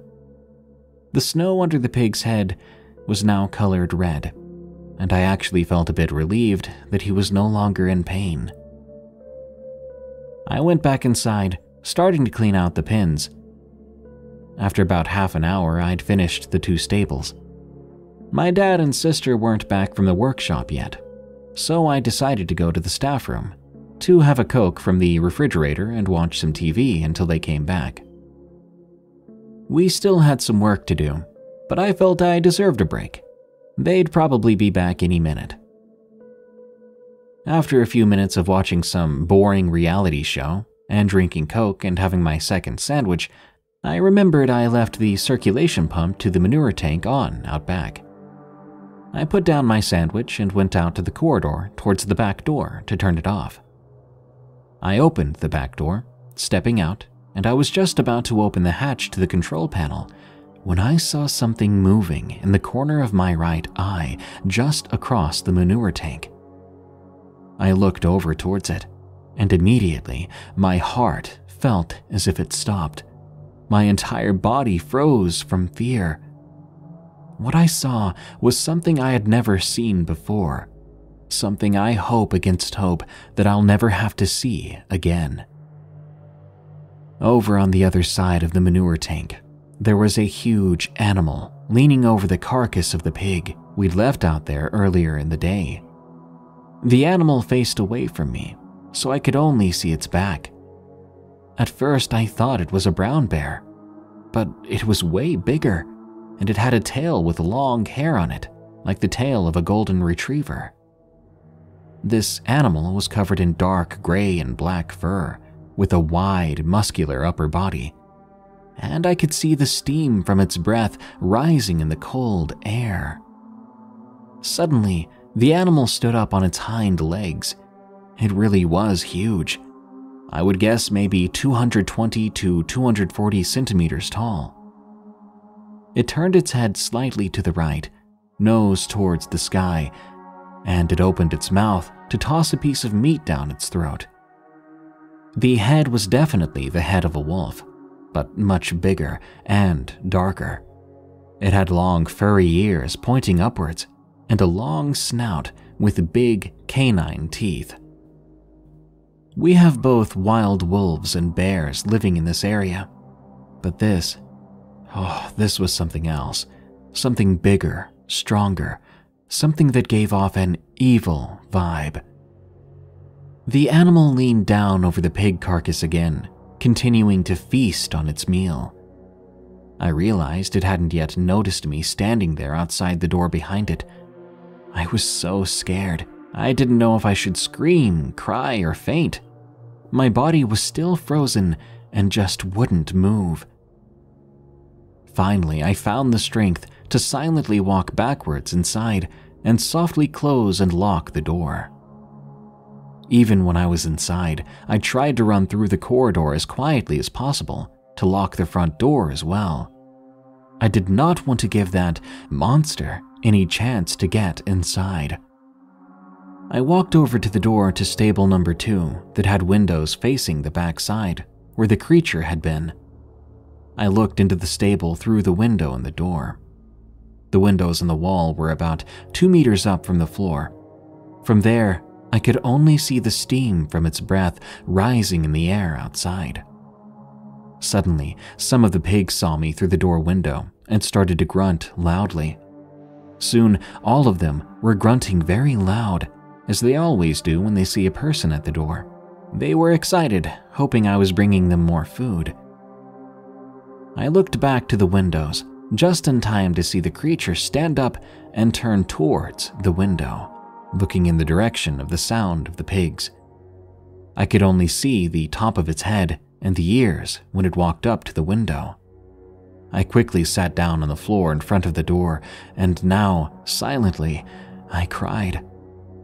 I started to crawl on the floor back to the staff room to get to the phone and call my dad. Remember, this was around the year 2000, when a 12 year old wouldn't have a mobile phone. I reached the door and realized that there are two big windows in the staff room, windows that didn't have any curtains or blinds. I didn't dare go inside, risking that the creature would turn up on the front side of the building and see me through the window. I sat down in the corner between the doors to the staff room and the front door.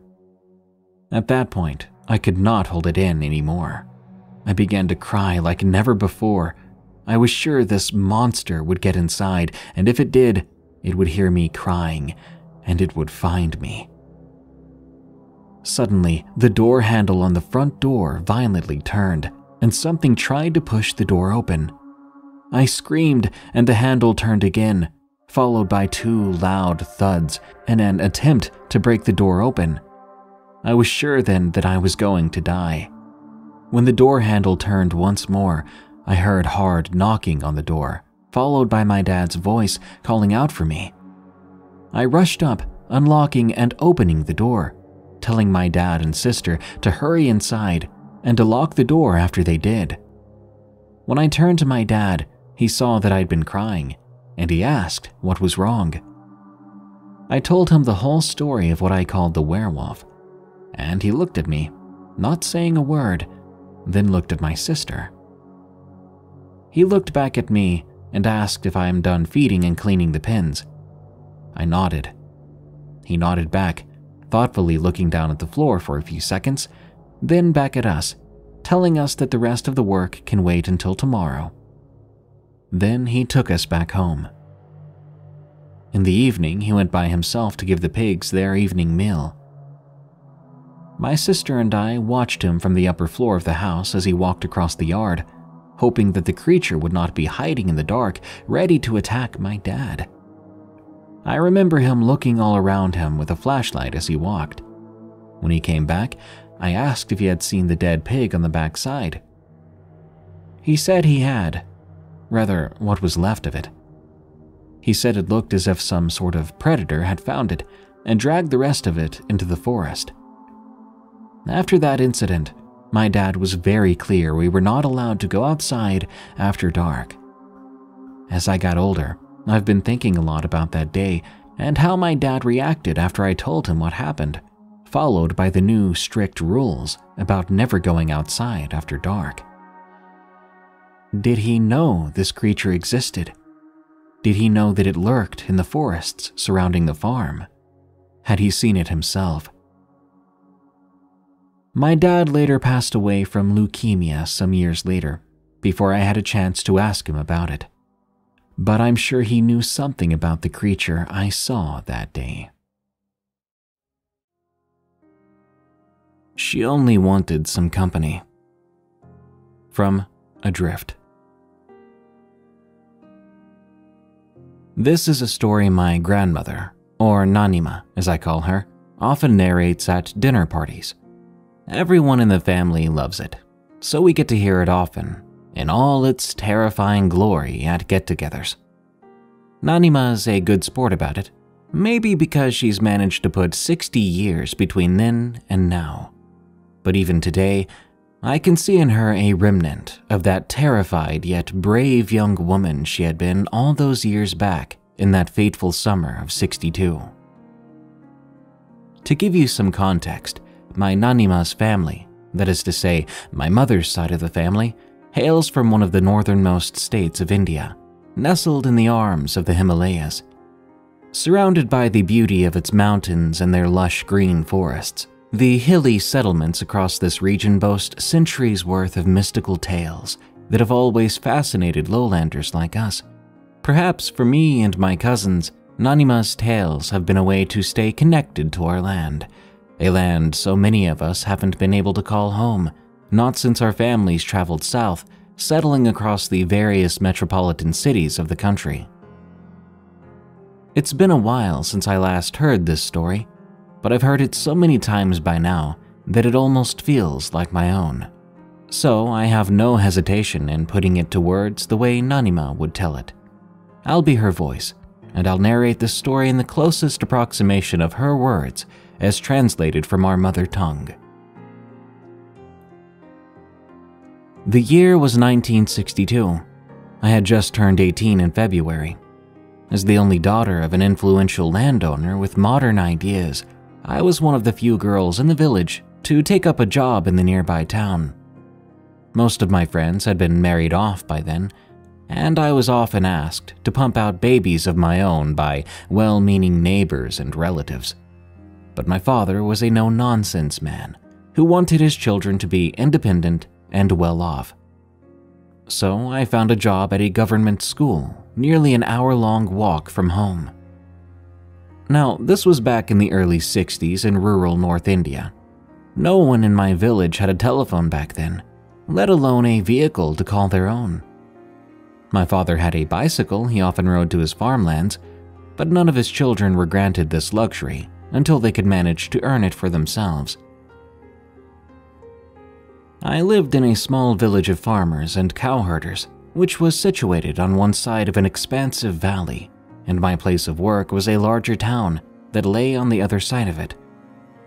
The journey from one end to the other took anywhere between 45 minutes to one hour on foot and I gladly walked this winding mountain path twice every day. I woke up as early as 4 to do my bit around the farm before beginning to dress up for work. I'd be on my way by 6 sharp, but I would never leave the house without packing pinches of uncooked rice in two pieces of cloth torn from a roll of fabric set aside for this very purpose. I would religiously check my bag twice before leaving to make sure I'd placed these bundles inside. I could forget my employee ID for the day, but I could never afford to leave behind these small packs of offerings. The road to town was tough yet hardly a challenge for someone who had grown up in these parts. It wound around the mountain, cut through a valley of flowers, and tapered downwards to where the town sat next to a massive lake. This route I undertook was one out of two traversable paths connecting my village to the town and the only reason I chose this one over the other was the absolute necessity of saving time, no matter the reservations about certain elements along this route that were more than just a mere hindrance. You see, the path of my choice was stunning, beyond gorgeous, and it was also comparatively short, an hour's walk between its two ends as opposed to the nearly three hour long trek along the alternate passage. But there was this specific stretch almost in the middle of the route that was capable of ending one's journey forever, and there was only one no way to traverse it, a method that had been in use for decades, perhaps even centuries, it seemed. At the 30 minute mark, a small glacier fed stream almost cut the route into two halves, barely 50 paces in width and passable via a small footbridge built of squeaking wood and frayed ropes obviously in desperate need of maintenance. The stream itself was nothing special, although it was a part of a larger river. People barely called it that given how insignificant it seemed in that brief stretch along a curve in the road. Its waters were fresh but rarely spirited enough to do more than just gently lap at its banks. But there was hardly anything insignificant about this place. At this juncture, I would pluck one of the two bundles from my purse I'd stand for a minute or two at the mouth of this bridge, praying for safety in my journey to all the gods I knew of, and I would bend down and place the bundle gently next to my feet before carefully making my way across. The rule at this point was to never look back, not even a glance. From this point onwards, anyone crossing the bridge had to continue looking forward until they reached their intended destination no matter where or how far away from the bridge that was. One look back, just one fleeting glance, and it was believed in these parts that you would never be able to reach the end of your journey. The tale had been a thing in our region for at least two generations before me. Of that I was certain. There were variations, of course, as is the case with stories seldom put to paper. Some believe it was a restless spirit craving companionship, while others called it a demon keen to make playthings of those foolish enough to cross its path. There were also stories of mothers who had lost their children to hunger and to those mountains, leaving their tortured spirits wandering across these valleys for eternity. More mouths meant bolder stories, and in these mountains I called home, even the skies could not be a limit for the people's imagination. No one really knew who or what haunted that bridge, prowling its diminished length for God knows what. But it was certain that whoever or whatever it was, it had to be appeased for safe passage. The footbridge was barely a few meters long, but in order to cross it safely, one had to lay down an offering of cooked or uncooked rice before setting foot on it. At its head, where the bridge met land and where I began my trek across every morning for five days a week, the ground was scattered with tiny bundles wrapped in everything, from newspaper clippings to torn pieces of clothing, evidence of all those who had taken and continued to take this route. Most of these bundles would be gone by evening, right in time for my walk back across. And although I'm aware this is no proof of some entity haunting the area, what with the possibility of hungry opportunists lurking nearby being high, I doubt anyone belonging to this region would have had the guts to touch these offerings in light of what had been said of the place for generations. Besides, there was also the fact that the place made me feel physically ill every time I so much as approached it, five mornings and evenings a week. To this day, I shoot down any and every explanation by my family members aimed at rationalizing my experiences of those days. I see where they come from, but I've always and will always stand by the genuineness of my experiences. I couldn't have induced or faked the fear trickling down my spine like ice cold water, could I? I had never been spooked by all those ghost stories my older brothers often told me as a kid so there must have been some element of truth in this tale to set me on edge like that. Shaken by the local legends and by my own real experiences around this area, I had never once forgotten my daily two packs of offerings or messed up the tiny ritualistic procedure at the bridge. I simply couldn't afford to do so. What with my own thundering heart around this area always reminding me of what was truly at stake. Those wraps of uncooked rice in two pouches would be left without fail every day. It had become muscle memory over the years. The day of the incident, it had rained that morning. It was an important day at school, too, some kind of audit involving the local authorities. I was running late. As a result, I was stressed beyond belief when I rummaged inside my bag for the morning's offering. In my haste, I ended up dropping both bundles on the ground at once. I froze on the spot for a few minutes. There was this great rushing in my ears that nearly whitened out my vision. Now, this may seem like an overreaction. I could have just easily picked up the extra pack and gone on my way.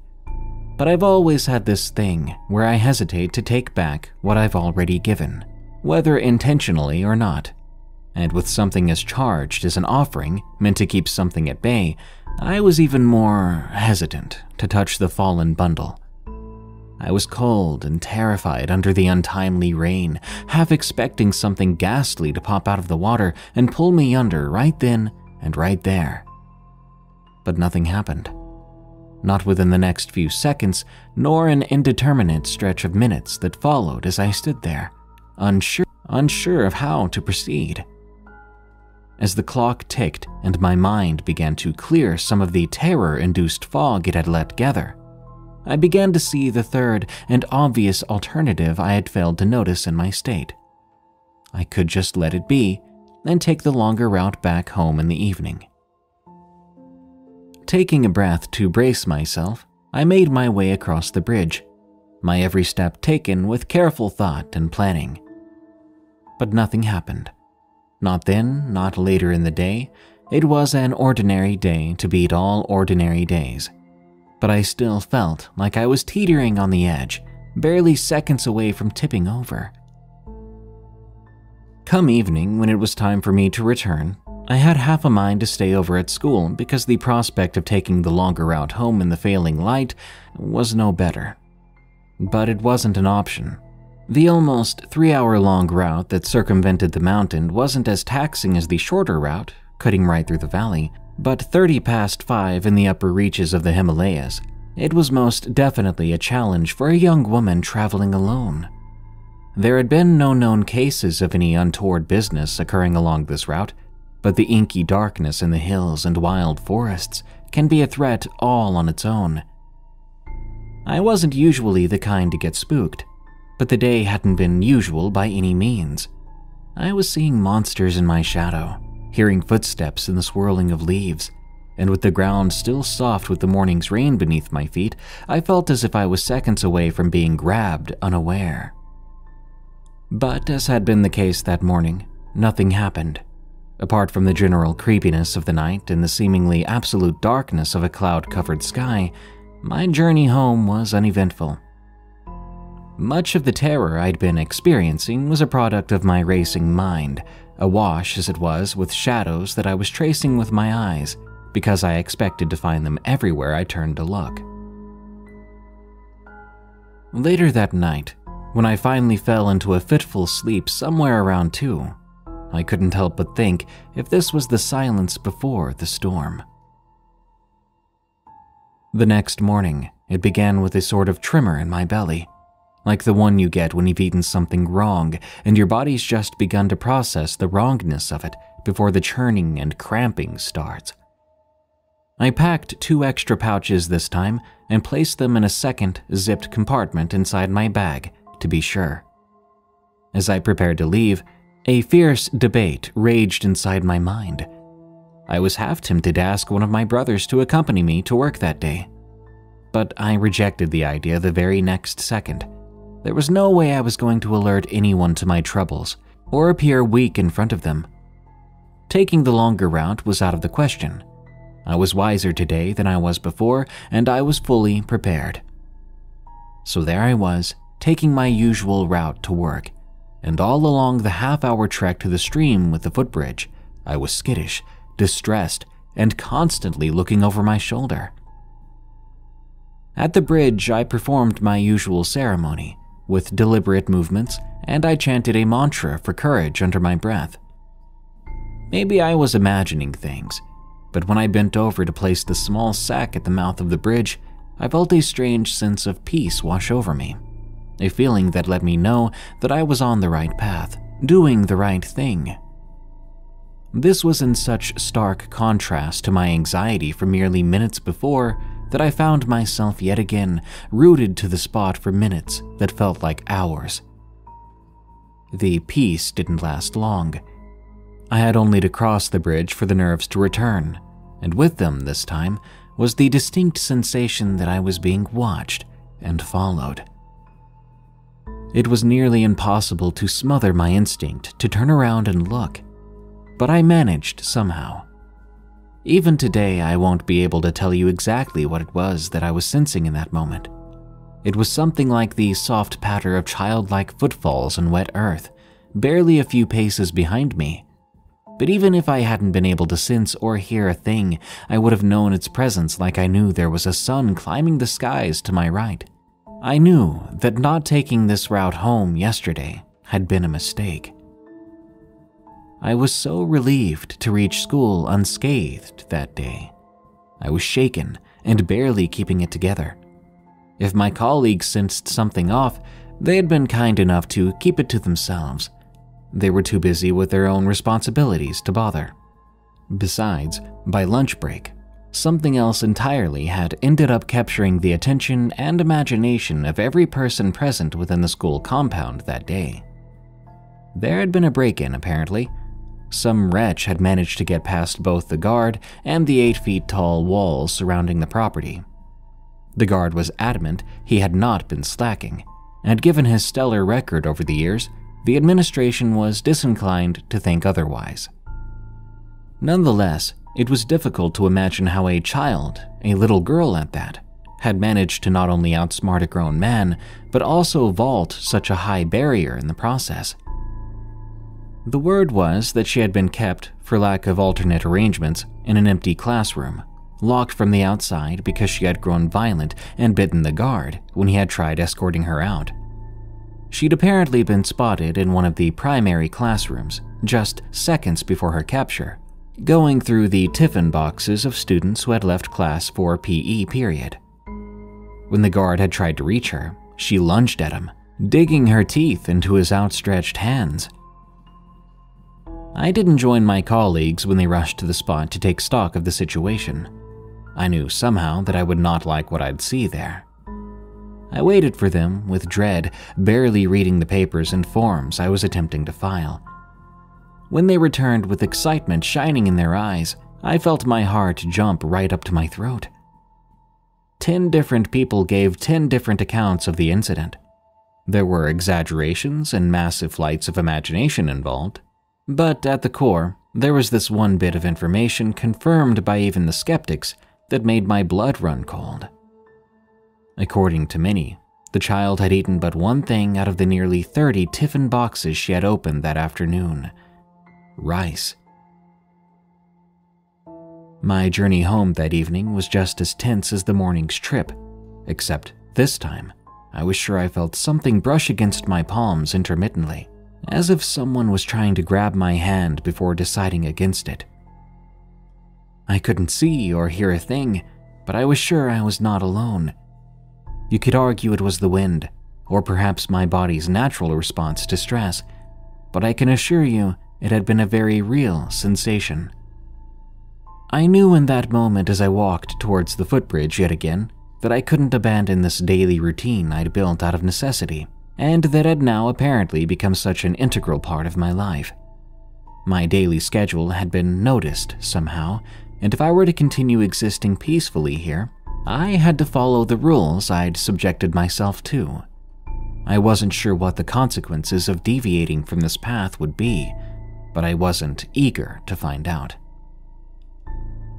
Starting from that day to the following two years I worked at the school, I never once strayed from the path.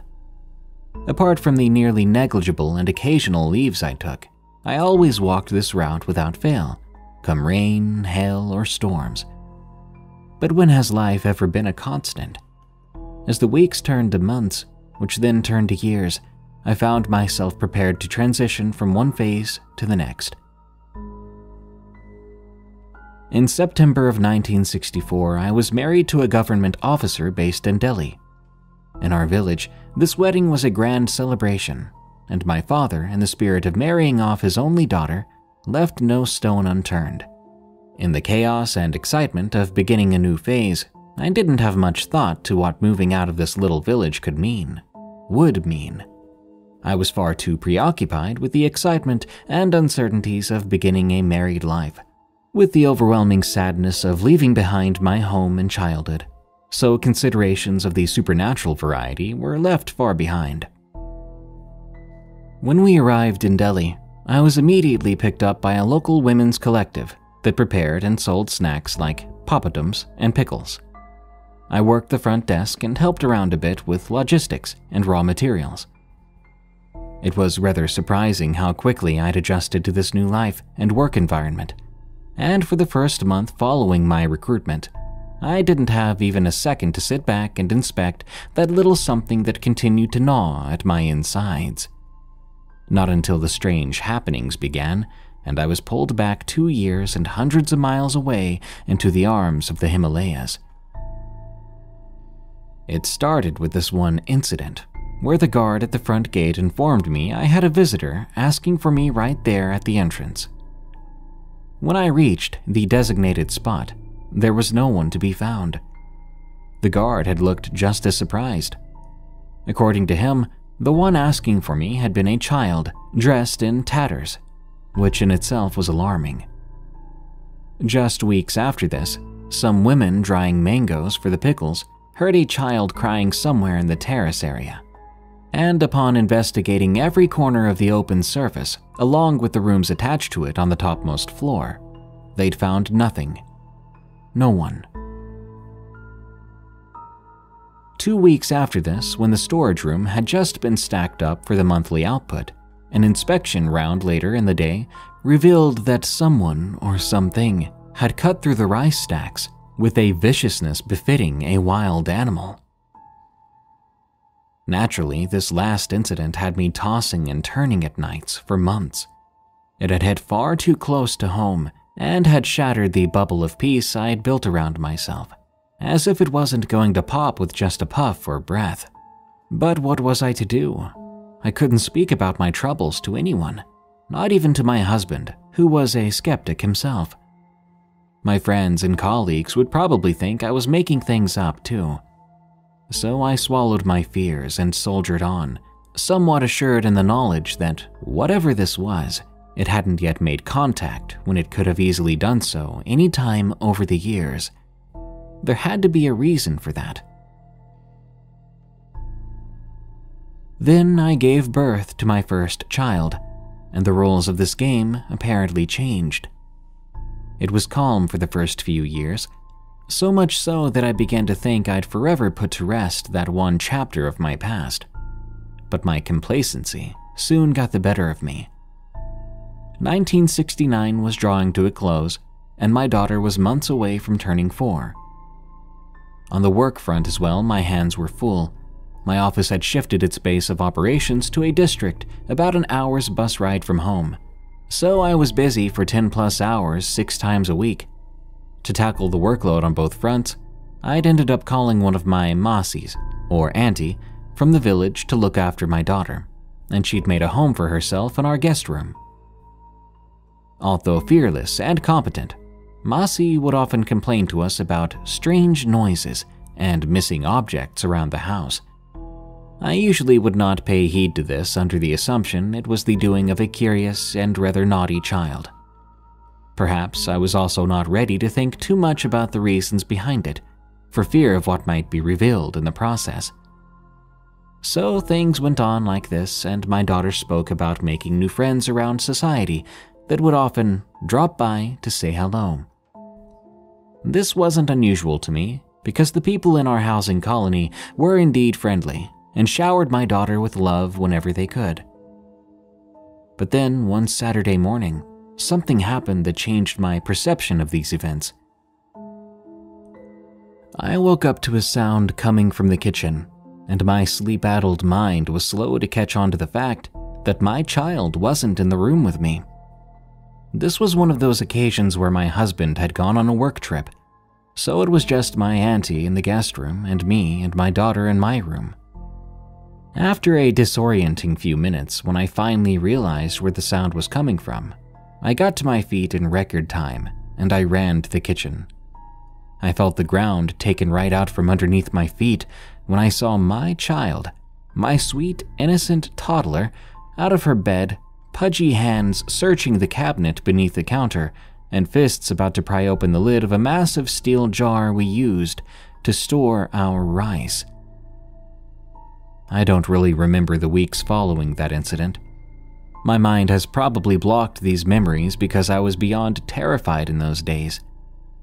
I do remember visits to temples and a cleansing puja performed by a family pundit at our place. I remember being scared of my own breathing at times, and I also remember anger. Oh, yes, violent, bubbling anger at being troubled like this and the urgent, almost maddening desire to do something, anything. A cousin's wedding back home provided the perfect opportunity for this intervention. I had finished making the plan before I'd even packed my suitcase for the week long trip, and by the time I was cocooned in the warm sights of my old home, I'd managed to gather the courage to do what was needed to be done for the sake of my child. On one of those rare breaks between ceremonies, I expressed my desire to visit my old workplace to my mother. She promptly informed me about a new route that was under construction after the footbridge on the old one had crumbled earlier that year. I was beyond surprised to hear this, but I also thought it made perfect sense. In my mind, I was connecting the years spent in Delhi, the initial occurrences after my shift, the peaceful years that followed, and the recent pickup of activities at home right at the beginning of this year. I couldn't put my theory to words, but I still knew it all to be true. Determined, I arranged a massive bag of rice and propped it up on the back of a bicycle borrowed from one of the workers who had been brought in for the dining arrangements. Finding my way back to the bridge was as easy as breathing, and despite the years between then and now, I still remembered every tree, every errant bush along the path like the back of my hand. I didn't make a show of dropping that sack of rice next to what remained of the bridge. It was barely there now, just bits erected on the sides that had been bent and splintered with age and the elements. I placed the sack as respectfully as I could, and then, for the first time, I sat on the damp earth, feet just inches away from the cold waters of the stream that was still as unremarkable as it had been half a decade ago. I didn't walk away, and I didn't stop myself from looking back. I followed none of the rules. I just sat there, looking straight ahead, anticipating those footfalls that never came and as I sat, my heart thudding painfully against my throat, I prayed and I begged. I made requests and promises, and I tried looking at this whole scenario from a different perspective. I remembered how painful my first few months had been in Delhi, away from the home where I had grown up. I thought of my family and imagined how difficult it would be for me to leave them behind, to watch them leave and never return.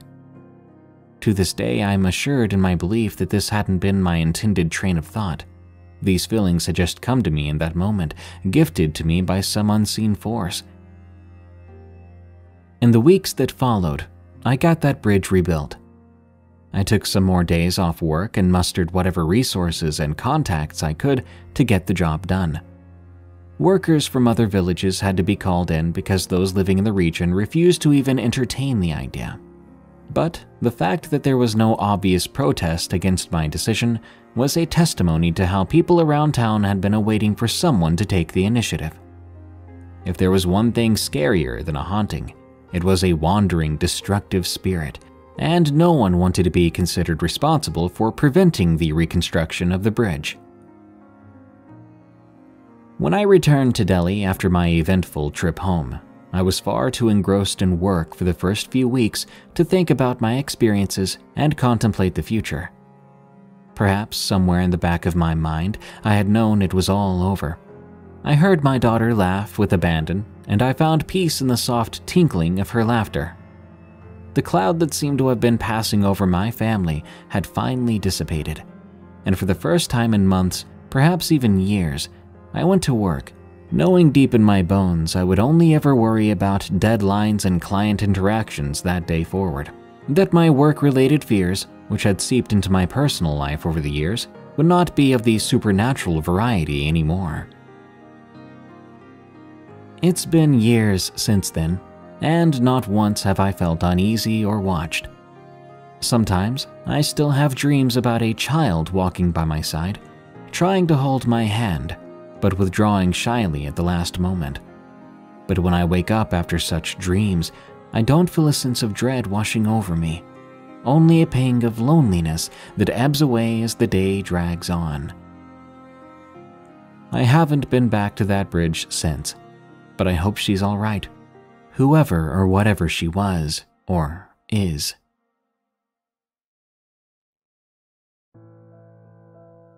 It ate our cows, from Aberdeen. I live on a small farm next to Glacier National Park. It's nothing expansive, just a little old place my grandparents built that my family continues to live on. We raise chickens here, some pigs too, and we used to have cows. That brings me to my strange story. There's a reason we don't have cows anymore. Something killed them. Back at the start of 2008, we had three cows named Jess, Sheila, and Marnie. We had planned to use them for milk, but they ended up mostly being big old pets that kept the grass short and clear of weeds. As spring started up that year, something strange began to happen. Back then, every night, I had to go outside right after dinner to make sure the cows were locked up in the barn. There are coyotes out here, and they've taken a chicken or two, and we didn't want to give them a chance at nipping at the cow's legs and causing permanent damage. I headed outside that night, beginning to pull Marnie inside the barn, then Jess. As I went out to retrieve Sheila, I heard this bizarre rumbling moan from the tree line, which set maybe 50 yards from the barn. I couldn't tell how deep in the woods the moan had come, but it didn't sound right. It wasn't like the scream or moan of a person or any animal I'd ever heard. It sounded so alien to me. It gave me goosebumps, and immediately I wanted to go back inside. But I knew my parents would be mad if I went inside without fetching Sheila first. I sighed, gritted my teeth, and walked towards the old girl. She was standing at the edge of the fence, maybe 10 yards from the tree line, which was on the other side of that fence. The fact I had to walk closer to that forest to go get her really spooked me. The closer I walked to it, the more creeped out I got. I jogged over, just trying to get this over with. When I got to Sheila, I clicked the rope leash to her collar and tugged on her to get her to follow me. But she wouldn't budge. What's wrong with you? I said, and I tugged again. Still wouldn't budge, but she did let out a grunt. I'd never heard her do that before. I walked over and looked around her to make sure she hadn't hurt herself. When I checked her front legs, I nearly screamed. There was something wrapped around her leg. It shimmered in the moonlight as if it was covered in some thick slime, and it pulsated every other second. It was curled all the way up her leg, nearly to her ribs. I remember thinking, what in the world is that? My first thought was some kind of worm, snake, or leech had latched itself onto Sheila. First things first, I grabbed a stick to poke at it. I was not about to touch that thing with my bare finger. The moment I poked it, something crazy happened. In the blink of an eye, the thing slithered off of Sheila's leg and rapidly retracted in the direction of the forest. And I mean it when I say retracted. The thing was so long that this was only one end of it, and the other end seemed to still be in the nearby woods. I watched it pull away, pushing the grass to the side as it did, until this end of it disappeared into the tree line. Do snakes and worms and leeches slither backwards when running away? Surely not. This was something else, and I had no clue what that something else even was. I quickly pulled on Sheila, who now followed my lead with a bit of a limp. As we got closer to the light on the barn, I took a look at her leg. The fur and skin along her leg was all shredded up exactly where that creature had been latched onto her. I tied her to a post in the light and ran inside, fetching my mom and dad. My little brother came along too, morbidly curious as to what was wrong with the cow. I pointed at Sheila's leg and explained. She was standing at the edge of the fence out there by the woods. I tried to bring her to the barn, but this long, worm looking thing was wrapped on her leg. My dad was bewildered. My story sounded crazy, but the wound was there to prove it. A worm, huh? That big? They could do that to a cow? Not sure about that. I think maybe the poor girl got caught in some wire or bramble. Got twisted on her leg. Dad, it was a living thing. I poked it with a stick and it yanked itself clean off. He raised up and scratched his head. Well, I trust you saw something on that poor thing. Never seen anything like it, to be honest. We bandaged up her leg and left her cozy in the barn, making sure to lock it up nice. Come morning before school, I ran outside to let the cows out, as was also my responsibility. I was worried about Sheila all night, and I wanted to see if she was doing any better. The moment I opened the front door and looked out at the barn, my heart sank. The barn doors were wide open. That couldn't be right. My dad was with me when we locked it up the night before. We couldn't have both been that absent minded. I ran over to the barn doors and checked the locks. Sure enough, the chain was just dangling from the handle of the barn door on one side and the padlock was on the ground, now open. I picked up the padlock. The moment I touched it, I was met with a slimy substance. Ew, I said. The padlock was busted. I couldn't get it to click back down. If I had to guess, it looked like someone had managed to literally yank the padlock open. But why was it so slimy? It wasn't long before I noticed the grass laid back in a wide trail leading up to the same edge of fence Sheila had been standing at the night before. No way, I said under my breath. I began to follow the trail before catching myself mid step. First, I needed to check on Sheila. I turned on the lights inside the barn. Jess and Marnie were fine, but Sheila was gone. A trail of hay led up to the door as if she'd been dragged away, but there was no blood on the ground. Did a person do this? I followed the trail in the grass then, all the way up to the edge of the fence. I gasped when I saw it. The wooden fence had been broken in one spot, making room enough for something as big as Sheila to fit through. But near one of the posts was a leg. A cow's leg with a smooth curling wound around it from top to bottom. I looked past the fence. The grass was laid back all the way to the woods. I ran to get my dad. I showed him what I'd found, and I heard him curse under his breath when he saw Sheila's leg near the fence. I was crying quietly then, knowing that we probably would not find Sheila alive. Dad sent me off to school in a hurry that day, telling me not to worry about it. As my mom, brother, and I drove away to school, I saw him head into the woods with a rifle and a flashlight. That day at school was slow and worrisome.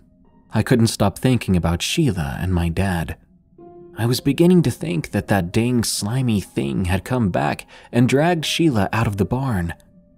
I mean, what else could explain that slimy lock? I just wanted to get home. That afternoon back at home, I found my dad at the kitchen table drinking a coffee. It was never a good sign to see my dad drinking an afternoon coffee. He always kept his coffee to the early morning to keep him awake. If he was drinking it late, it meant he wanted to be wide awake for some time, and it was already 4 p.m. Did you find her? I asked. Yep. I'll tell you, but don't tell your brother. Mom already knows. I nodded. She's dead, hon. Found her about half a mile into those woods. She got dragged pretty far by something before it ate up nearly half of her.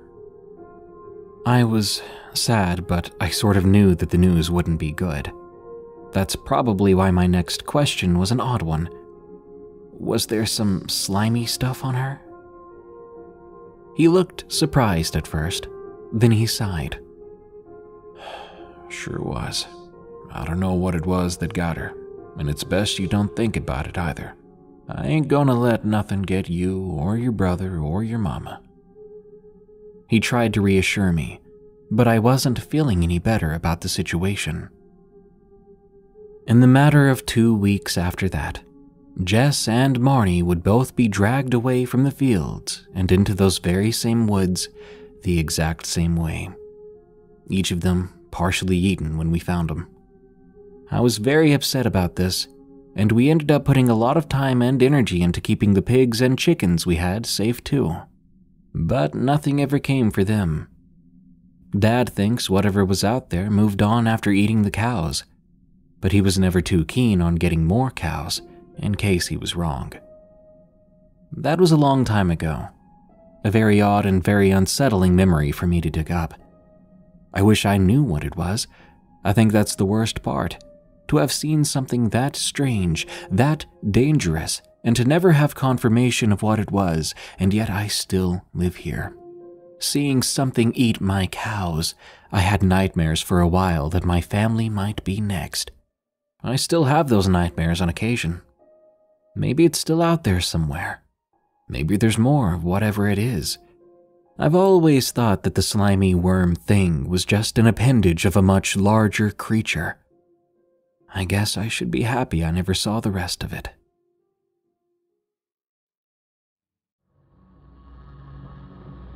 Transylvania Pricolici from Opris Vlad.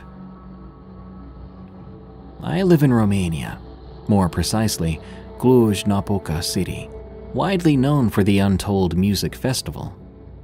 As you may know, this region, Transylvania, is popular for vampire myths and legends. Today, however, I want to present a different kind of native creature that may roam freely in the dark. As a child, I spent a lot of time with my grandparents. They were living in a village not far from my city. In the daytime, I was helping them at the farm, but the most exciting time for me was the nighttime story time. Because, after dark, my cousins and I would gather around Grandma. She had plenty of stories to share. Most of them were scary, though. Maybe she wanted to scare us to keep us from going outside at night. Who knows? Maybe out there, there are really some scary night creatures. Now, one story that remained in my mind and still sends chills down my spine is about a Pricolici. Some say that a Pricolici is a mix of a vampire and a werewolf, with a better resemblance of the latter. My grandma described him as a bipedal wolf with glowing eyes and the capability to talk. Allow me to share with you her allegedly true story. This happened in my grandma's youth. She was at the village school together with her best friend, Sava. They both had been punished for not doing their homework, so they had to kneel down on corn seeds and stay after school hours until their homework was done. Kneeling down in corn seeds is a very painful experience, but that was a long time ago. Honestly, I'm surprised there was even a school in the village at the time. Anyway, it was late November, so the sun was setting fast. After the two of them finished their work, they both decided to go home together to Sava's house and spend the night there. Sava's house was located at the border of the village. You had to pass through a small forest to get there. That night it was nearly a full moon, and the wind was blowing gently with the smell of rotten meat. At a certain point, my grandma felt as if someone was watching them. Suddenly, they both heard this evil laugh from the trees above them. They panicked and clung to each other. From a tree branch, a humanoid black shape emerged from the dark. It had yellow glowing eyes, and its head resembled a rabid wolf.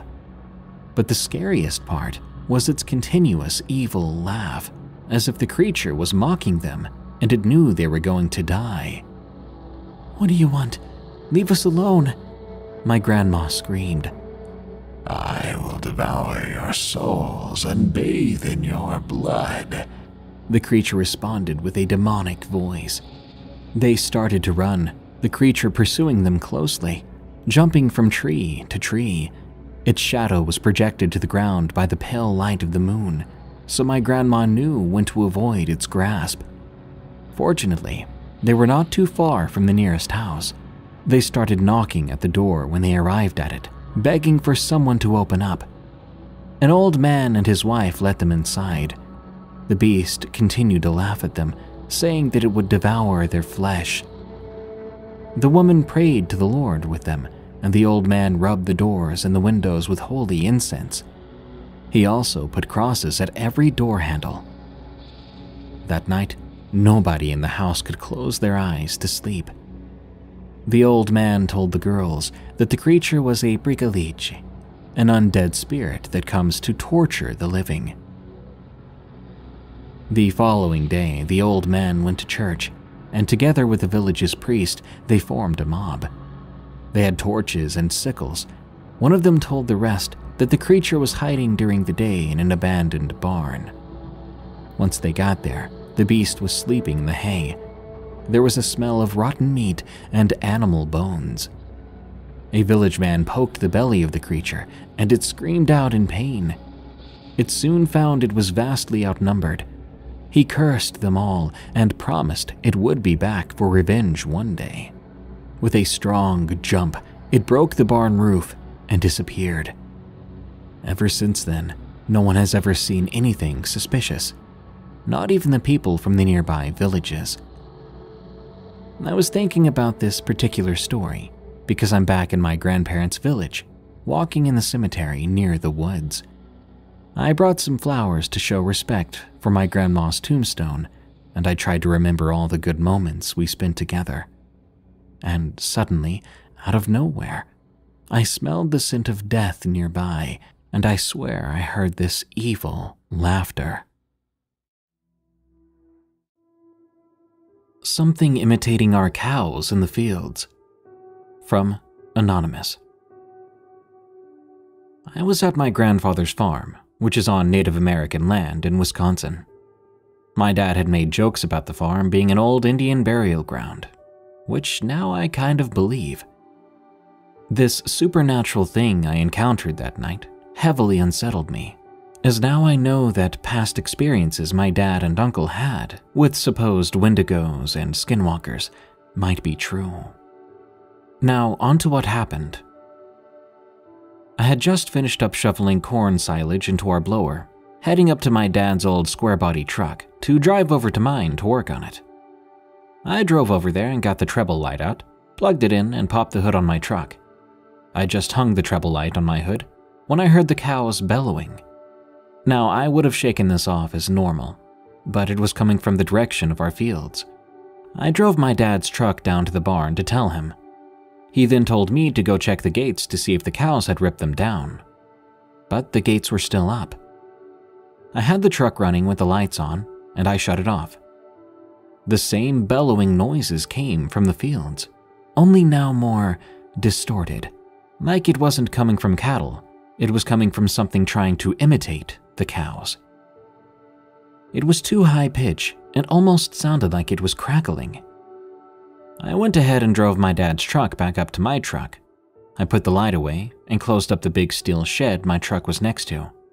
All the while, the sounds of those quote unquote cows got more distorted, like some sort of unnatural animal both breathing and screaming very loudly. The bellows were happening in quick succession. This wasn't normal. Our cows never sounded like that. I was walking back to my dad's truck when I heard possibly the most unsettling sounds in about five seconds. From two different directions came two loud screams, not ear piercing, but still plenty loud. Then, from the same direction that the cow sounds had come from, I heard coyotes howling. I bolted to the truck and hit the gas, not wanting to find out what could mimic cows and coyotes. I told my dad about it, and he asked what it was. I just told him I would tell him in the truck. Then he did what I didn't want him to do. He began to say, Oh, Skinwalker, a Skinwalker. I yelled at him not to say its name. Eventually, we went back to the shed. Our farm yard isn't too big. From the shed where my truck is to the barn can't be more than 25 yards. But eventually, we went back up there with my grandpa's truck. Once there, my dad swapped the receiver hitch so we could hook it up to a kick bale wagon that my grandpa was going to bring back to our neighbors in the morning. I didn't want to be there much longer, so this didn't make anything at all better. Now, what makes everything about this story worse is that we have these stereotypical tall cornfields. It's good for business this year. They're probably 12 feet high in some places, but I hate the fact that something could be hiding in there so easily. I'm sorry if the writing was sloppy, but I'm really shaken up by this, and I'm probably not in the right headspace.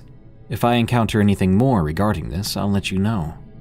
Now, if you're still wondering about what my dad and uncle might have seen, I can tell you here. The story goes that it was the early 2000s. My dad and his older brother were out cutting firewood around late fall or early winter. It would get dark around that time, around 4:30 p.m. My uncle alerted my dad to something chasing deer across the field and on a hill.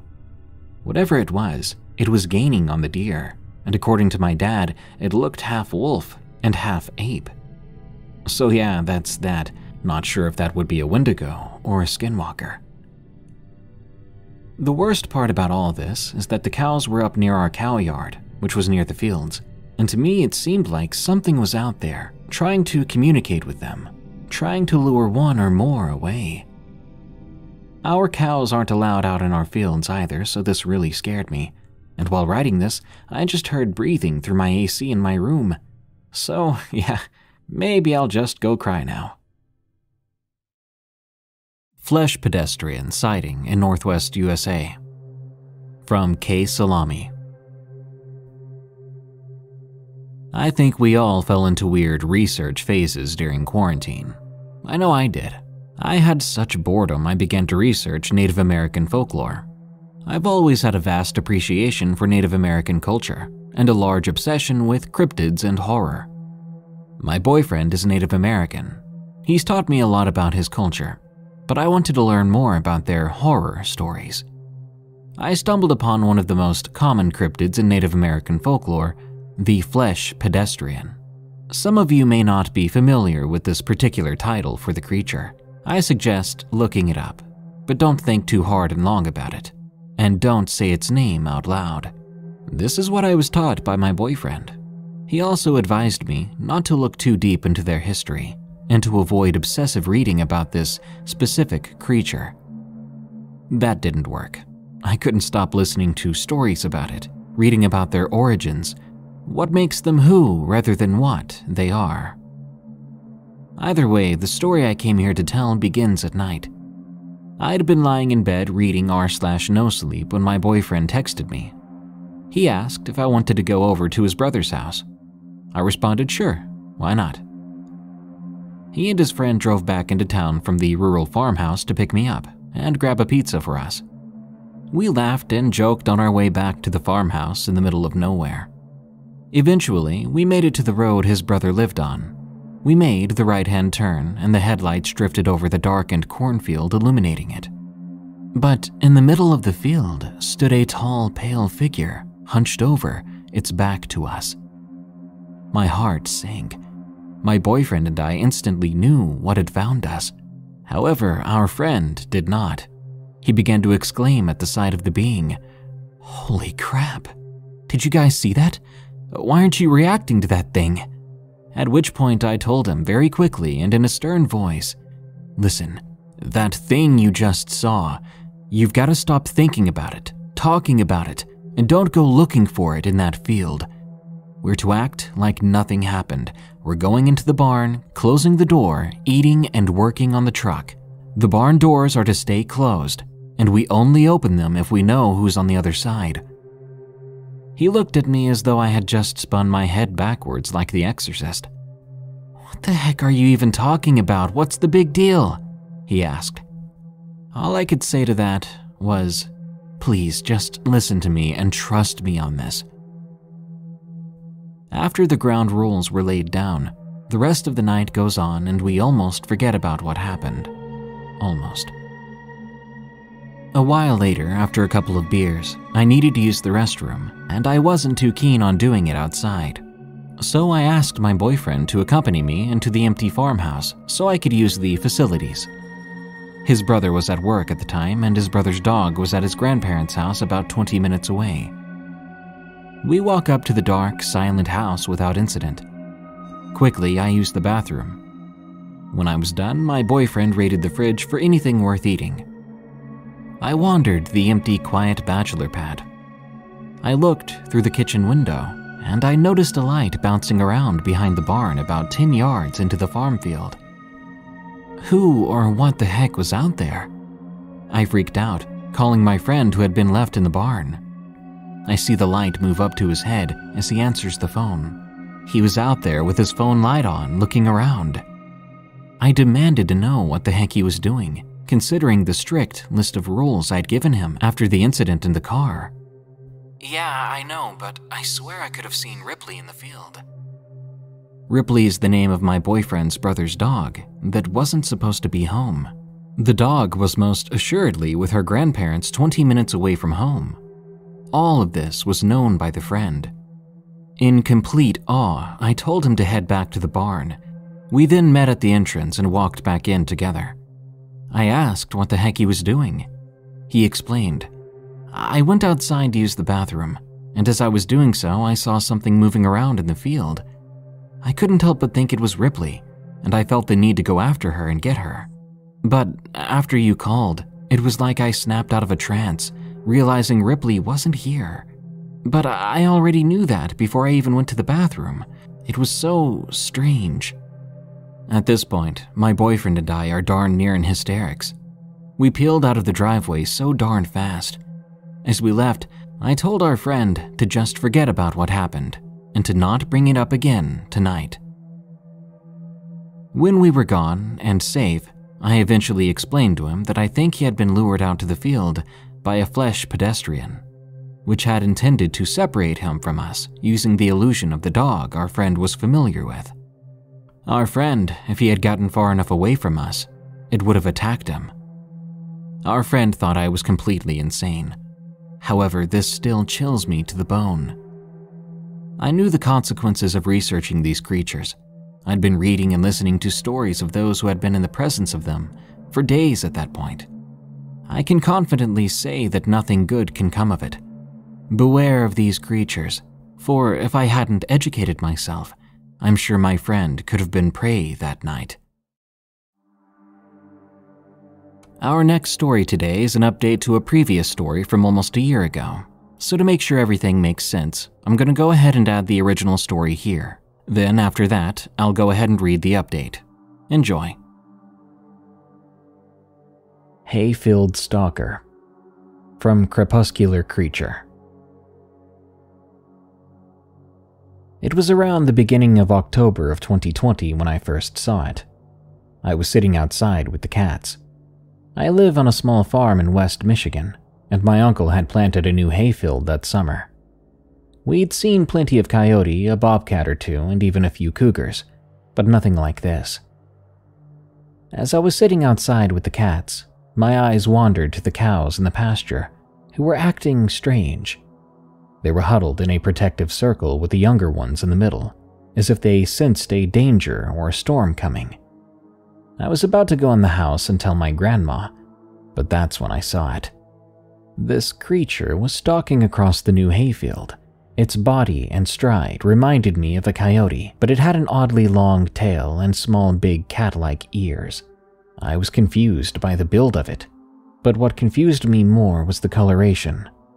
This creature was pure black. I instantly thought it was melanistic, which is basically the opposite of albinism. The animal stalked to one end of the hayfield before turning and walking back to the other, disappearing in the tall grass before reappearing a short time later and doing the same thing over and over again. It just continued to pace as I watched it, adding to the confusion of it all. Now, I did find an odd paw print in the driveway, which leads to the new hayfield near the beginning of spring. It looked like a cougar paw print, but the shape was off and the claws were visible and looked similar to a canine's. This paw print showed qualities of a feline and canine, which was very confusing since a crossbreed between the two was impossible. When the creature didn't reappear after heading into the tall grass at the side of the field for the final time, I went inside and told my grandma, who didn't think much of it unless it was posing a threat to us or our animals. I saw the creature pacing back and forth every few nights. It happened so often the cows got used to it and no longer huddled together. I think my grandma saw it one night because I wasn't allowed to go outside at night anymore, which bummed me out.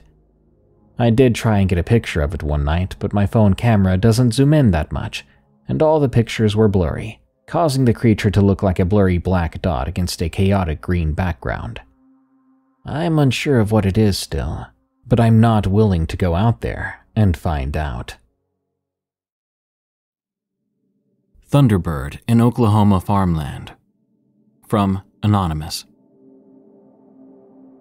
I'm a resident of southern Oklahoma and I live far out in the countryside where farmland is most of all there is around. I have lived here from when I was 10, when my parents moved from the big city life of New York out to the Great Plains for a drastic change of scenery. Since the move, they've been happier and generally more agreeable in all aspects of life. Sometimes the hustle of the city isn't for everyone. For those who don't know, Oklahoma is a very hot and dry place for most of the year. It can get brutally cold in the winter, and the rains are few and far between. On the rare occasion that a storm does roll in, they're quite something to behold. The landscape being mostly flat and far reaching lends to being able to see massive storms slithering in across the sky. Claps of thunder rumble the pebbles on the gravel road, and bolts of lightning that are like fireworks on a blank canvas. Ever since I can remember, this has been my favorite kind of weather until one day that I will never forget. My younger brother Sam and I were taking a weekend hike in southeastern Oklahoma, where the region is most forested, around the Ouachita Mountains area if you're familiar with that location. We're both big fans of the outdoors, taking advantage of the beauty that nature has to offer. The Americas have such a vast amount of differing ecosystems within them, and we enjoy exploring them all at our leisure. At the time, I was 29. My brother was 21 years old, and while the age gap between us was large, we still managed to get along just fine. We weren't without our arguments on our previous trips, but these tend to level out as we both aged. The outdoors have always bonded our family, and we all seem to relax more once we actually get out on the trails. It's almost like taking a solo trip, but just having another body with you in case something goes wrong.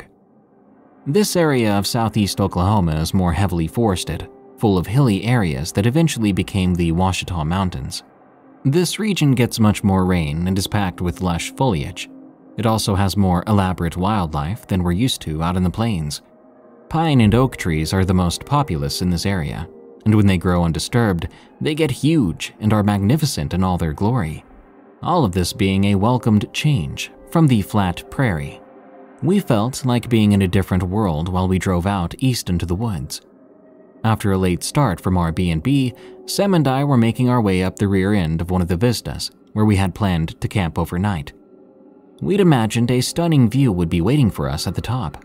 However, we were beginning to lose daylight, and we could feel the winds beginning to change. The breeze was always a welcome relief, but it grew stronger and stronger as we neared the top of the hill. As the wind blew, I could begin to smell the air changing to that recognizable scent and that texture you feel before a storm is about to happen. This, paired with the clouds that became darker and more threatening, was a sure sign that we were running out of time. Looks like rain, I said to Sam, who was walking ahead of me. You've got to be kidding me, he turned and said with a sigh. I shrugged my shoulders at him in an effort to sympathize with his frustration. We're almost at the top of the ridge, and we still have to set up our tent before it pours. He spoke again, resting his back against one of the oak trees. I know, I spoke again. The weather looked completely clear for the day. Maybe this will pass us by, but we should at least pick up our pace if we want to get a good view. Our hiking relationship has always worked quite well. Sam's always been in charge of navigation and timekeeping, and I was more the practical type. I always did my research on the region for what kinds of things were edible, what the conditions were like, and generally reading the signs that nature was giving in the moment. After my encouragement, Sam nodded, and we pressed on to climb the ridge. With every passing moment, the clouds became darker and the air became heavier. I knew we didn't have much time before we got soaked, so I started taking even bigger strides, walking with my weight held forward in an effort to quicken our pace. We would normally take a break by this point, but we wasted no time in trying to reach the top, while our backpacks grew heavier with each step we took. Finally, after what seemed like days of speed walking, we began to see more sky opening up on the horizon as we came up on the vista. The view was literally breathtaking as we both gasped for air that the atmosphere tried to squeeze from us. The clouds above were enormous and full of water, which threatened to drop on us at any moment. We were able to see the tops of other hills and the lowest points in the valleys, just like something from a storybook. Filled with exhilaration and excitement, I neared closer to the edge, trying to look farther down the mountainside. Suddenly, a strong gust of wind blew me over. I fell to the ground in an effort to stay away from the edge of the cliff. As I felt powerless and scared, my brother laughed at me. My expression was one of shock while I sat on the ground. As if it were a climax to our hard trek, a thick bolt of lightning shot out from the clouds, followed by a roll of thunder that rattled in our chests. We looked at each other, knowing what had to come next. Without a word, we went to work on setting up our tent and pulling out our equipment from the backpacks. The wind was whipping through the trees now, and we could hear the birds making their last songs as the storm rolled in. With the tent taking shape and pulling out various parts from my backpack, I gave another look outward from the cliffside to the skies, which were presenting a gorgeous picture of nature's power embodied by the storm. The sun was beginning to set, and the storm dragging across the sky turned the world into a beautiful stone gray mixed with deep red and burgundy tones, like chalk on a brick wall. Out from the clouds, my eyes focused on a shape that emerged on the wind of the storm.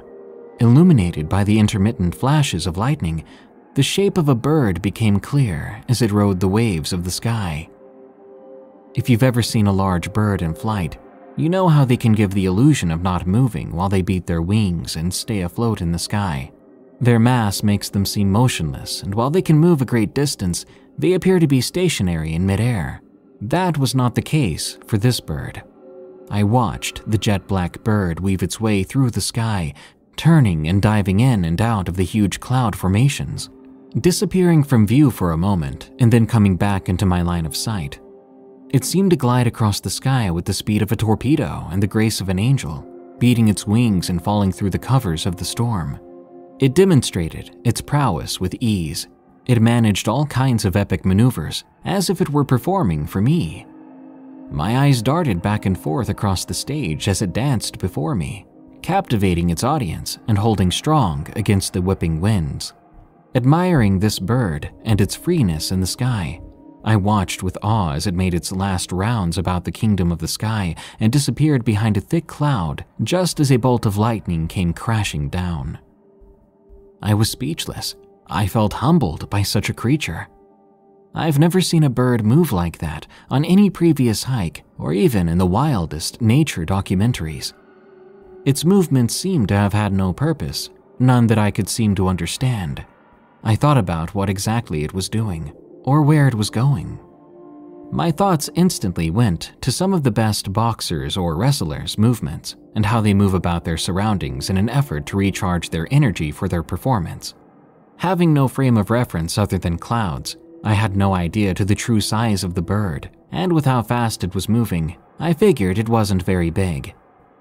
Hey, you gonna help finish or what? Sam said, drawing me out of my trance. I'd stopped setting up and being totally transfixed by the bird, I'd paused in mid zipper opening of the tent's front entrance. We finished the last steps and staked the tent into the ground as the wind was blowing quite fiercely now. The thunder calmly rumbled as it neared our camp.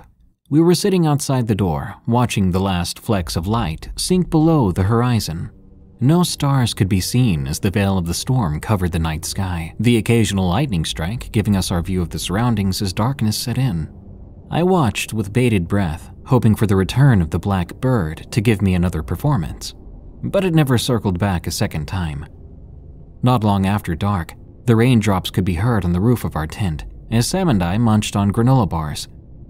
The heavy atmosphere lifting and the air getting easier to stomach with each breath we soon relaxed while the storm gave way to our security of the night. There's something naturally human about the rain putting us to sleep. Either the white noise or the rumbling of thunder. The sleep you get camping in a rainstorm is the best sleep you can get anywhere, in my opinion. The light from our battery powered lamps and the lightning strikes overhead allowed us to see with limited range within the tent. Quieting down, we listened to the rain while we wrapped up in our sleeping bags and began to drift off to sleep. At some point during the night, raindrops still pattering above, I felt this feeling crawl up from my stomach, that nagging sensation from my psyche that something is watching me. My eyes opened wide from a dead sleep, and I quickly took note of my surroundings. The tent lamps had powered off. Sam was sound asleep a few feet away from me. The lightning struck all around us furiously, but was met with no thunder crashes to match them. This tense feeling littered the air as she could hear the sizzle of electricity slicing through the night. The shadows of the trees surrounding us were like sleeping giants, moving and bending in the wake of the wind like they were taking deep breaths. It felt as if the majestic scenery from earlier had turned into something more sinister with the arrival of the storm. I'm not afraid of the dark. I never have been. I am afraid of getting caught unaware and being the last to know about something dangerous. In an effort to prove this to myself, I sat up in the tent and took the sleeping bag off my body. Trying to find the source of this familiar feeling, I moved closer to the opening of the tent, which was now zipped up tight. We'd positioned the tent with the opening facing the edge of the cliff, so that we'd be met with a stunning view in the morning. As I unzipped the tent's door, I was met with an equally bewildering sight. The cold night air hit my face. Raindrops cascaded down the door of the tent as I peered out into the stormy night. Fierce wind blew falling rain into my eyes, obscuring my view somewhat. Lightning scattered across the sky. The sky was black, apart from the cloudy forms that were illuminated by the lightning bolts. These fleeting moments of light revealed to me an enormous shape darting across the sky. At first, I thought it was a weather balloon or someone's tent blowing around in the sky, but as I watched on while the storm illuminated the shape, it became clear to me this was no inanimate object adrift in the sky. My heart became a pit in my stomach as I soon made out the object. The way it moved was planned, predatory, and primal. The sound of beating, massive wings echoed upon the wind. I began to make out the shape better, and I noticed it was moving closer and closer to the ridge we camped on. Then I realized its features were all too familiar. Feathers as dark as the night, even though they shimmered in the rain. Massive curled talons were tucked underneath its torpedo like body, a head like that of a sickly crow, its hooked beak like that of a vulture. It moved with calculated efforts, harnessing the power of the storm, riding the wind like a surfer on a tidal wave. Making one final swoop into the sky, the creature released a screeching bellow, triggering a massive thunderclap and echoing through the night. I found myself in a horrible state of paralysis. This encounter shook me to the very fibers of my being. Behind me, Sam awoke with a gasp. He sat straight up in the tent, he soon scrambled over to the opening as well and caught sight of the avian giant. Not a word was shared between us as we looked out into the night. The Thunderbird was even closer now, circling our tent like a falcon stalks a mouse. It began to dive down to the ridge then, while it tucked its wings close to its body. It felt as if time slowed down.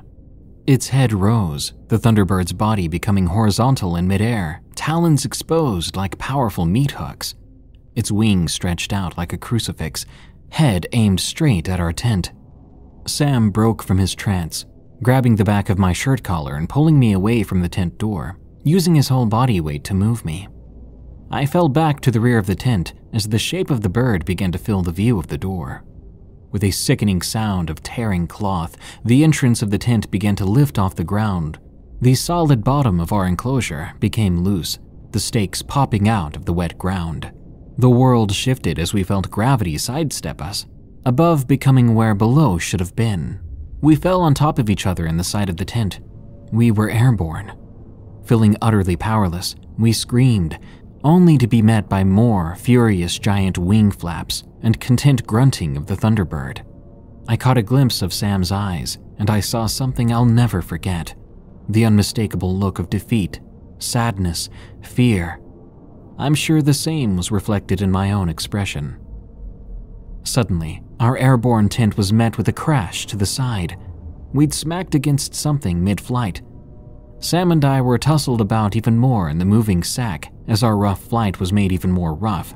Another horrible screech was heard from the Thunderbird at a deafening volume. Then, from afar, a similar screech rang out through the air. Another of the creatures.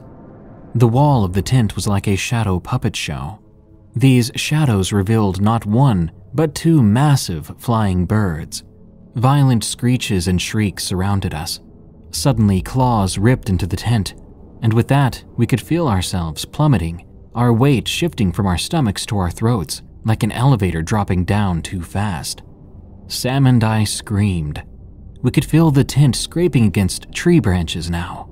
With one final strike, our tent collided with the low hanging branch of a tree, and our party came to a grinding halt. The sounds of thunder became distant. The birds above continued on through the air.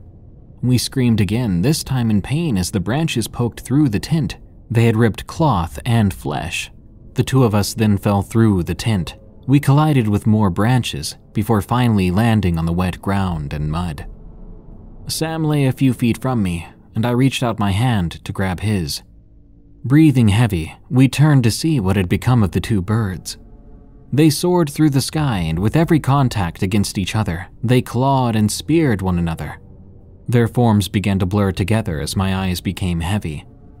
The thunderbird's calls rattled in my head along with the raging rolls of thunder, but both became more faint as they flew farther into the night and as I drifted away. When I woke up, I was in a hospital. Bright lights burned my eyes. I felt a searing pain course through my ribs as I took each breath, a strong throbbing in my head. I looked down, seeing tubes and hoses going into me. There was a remote near my hand, so I pushed the biggest button on it. Nurses soon came to my room. After a lengthy conversation with them, they explained that Sam and I were found at the base of a tree covered in mud. Someone driving on the main road farther down the mountain found pieces of our tent strewn about the trees. They eventually came upon us. They then called the police and paramedics.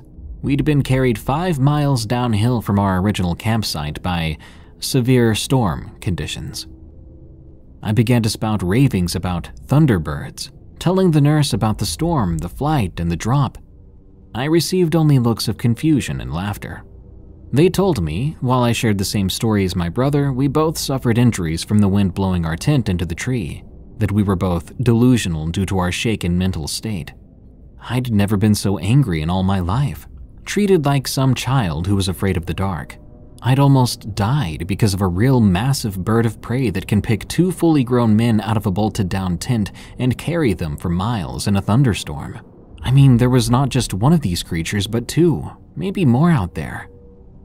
Thankfully, I only suffered a large gash to the head and some bruised ribs. Sam had a dislocated shoulder and sprained ankle. We were beaten, but alive. This did stop us from camping together for nearly six years, until after the birth of my first child.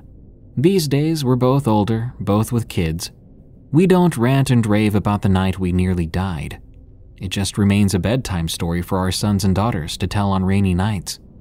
We take family camping trips together, but no place so remote and wild as we did in our youth. A warning to those going camping in the Americas. Mother Nature is beautiful, stunning, and breathtakingly gorgeous. She's also deadly, mysterious, and secretive. There are things we still don't know about our own planet and the creatures that live here, so it's always best to treat your surroundings with respect. I won't discourage the exploration and enjoyment of the wilderness, but I will caution you. Take every precaution and preparation you can when going into new territory, and always take a second person with you. Had it not been for Sam that night, I don't know that I would have been here to recount the story. Be wary of camping in the Ouachita Mountains of Oklahoma, especially when a storm is beginning to brew. I still don't know from Running 8.3. This took place in the middle of farm country in New York. Most people hear New York and immediately think NYC. Not even close. There's a huge state above New York City, full of woods, farms, and tiny towns. It's actually very beautiful, just very expensive to live here. And with no jobs in those small towns, you can only guess the poverty levels. Anyway, I'm getting off track. I'm a lover of all things spooky, but I am a skeptic, or I was. I'm still on the fence. The night in question was a very warm, humid night. The sky was slightly cloud covered, and the fire I'd made was flickering nicely. This was the first time I'd had any time to myself in a few months, as I'm a mom of three awesome kids who are now all grown. I lived in town and had neighbors on either side of me and out back of me. But there were some small trees and brush separating the back and fences on either side of us. I was sitting by myself drinking a few beers and definitely had a buzz going on, but I was aware of my surroundings still. I heard a weird noise coming from the side of one of the neighbors' yards, and I figured it was my neighbor just checking in on me. I sat there waiting to hear his voice it was around 1 a.m., and it wasn't unusual for him to be awake. I waited for a moment and heard nothing, so I figured it was just the beer talking. I decided that was probably enough, and I should let the fire die out and go inside. The moment I stood up, I heard a low growl.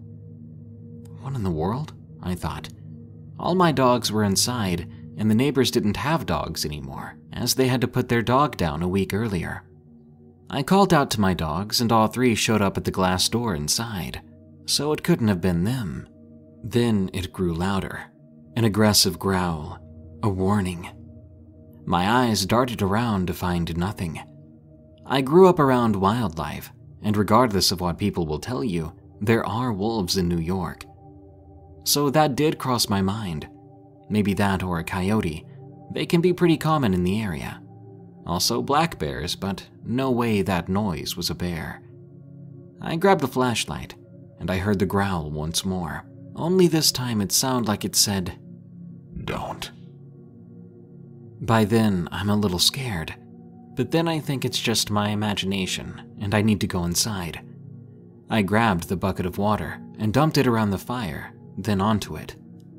That's when I spotted it a large figure standing at the fence, a very large figure. I almost threw up from fear and from the smell. There was an aroma coming from it, like rotten garbage. I was terrified, but acted like I hadn't seen it. Whatever it was had to have been at least seven feet tall, and it looked to have fur covering its body. Its growl was so menacing. I walked towards my house, and I could hear it following me. I got inside, locking the doors and grabbing a knife.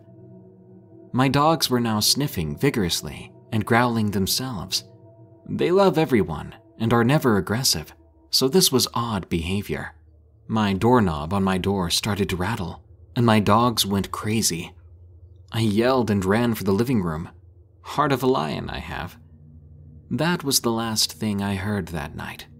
So the dogs must have scared whoever or whatever it was away. Still, I stayed up the rest of the night.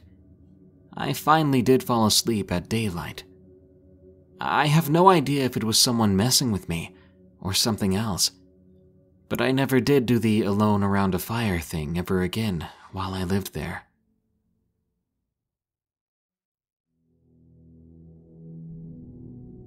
Warning The following story contains depictions of violence against animals. Dogman or Werewolf in Ohio. From Anonymous.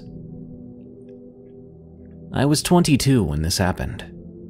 For the past five or six years, I've only had two friends who have stuck with me through everything.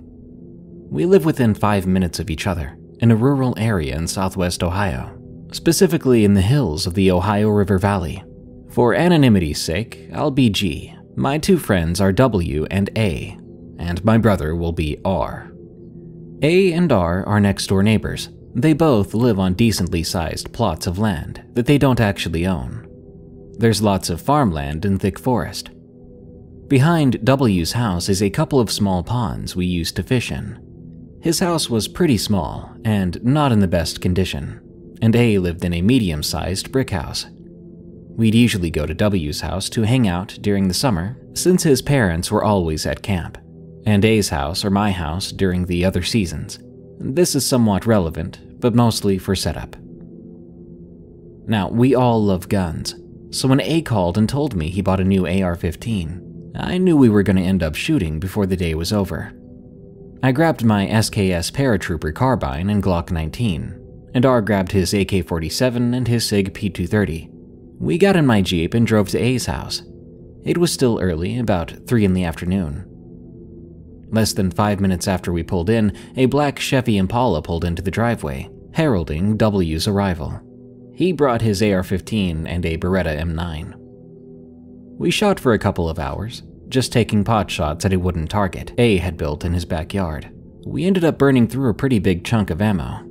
At that point, I decided I wanted to get something to drink. So I got into my Jeep and drove about 10 minutes away to the closest gas station. After getting to the station and getting a few cans of the Nectar of the Gods, by which I of course mean Monster, I headed back to A's house. When I came back, I saw W, A, and R standing by the door at the side of the house. A had a look of unease on his face. I exited the Jeep and walked over, asking what was going on. Uh, we heard some weird sounds in the woods a few minutes ago. W told me. I asked him what exactly he was talking about and what he meant by weird sounds. A began to explain.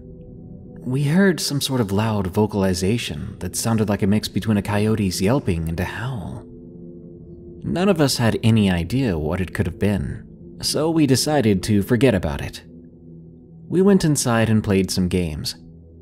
After a few hours, I was bored and began browsing 4chan on my phone, and I lost track of time. But it was getting pretty late. W had walked outside to smoke a cigarette. A was in the bathroom, and R's girlfriend came and picked him up. Then A's dogs began to bark all of a sudden. This startled me. That's when I heard W come back inside the house rather quickly. I asked what was going on and if something was wrong.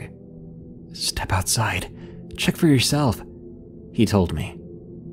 I stepped outside, curious about what the dogs were barking at, and the second I opened the door, the smell hit me.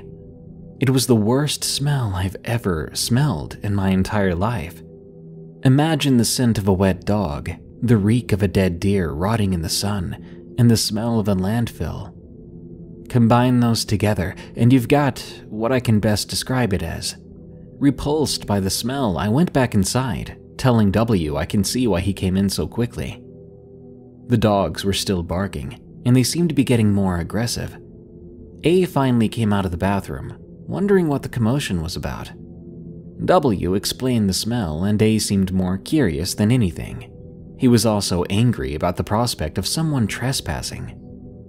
He grabbed his guns and walked outside to look around. He told us to stay inside until he got back. Not thinking much of it, I began to browse more of 4chan.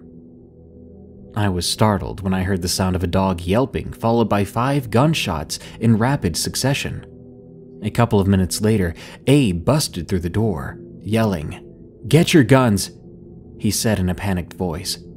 Some dude in a ghillie suit just killed one of the dogs. We grabbed our guns and followed him outside, staying close the entire time.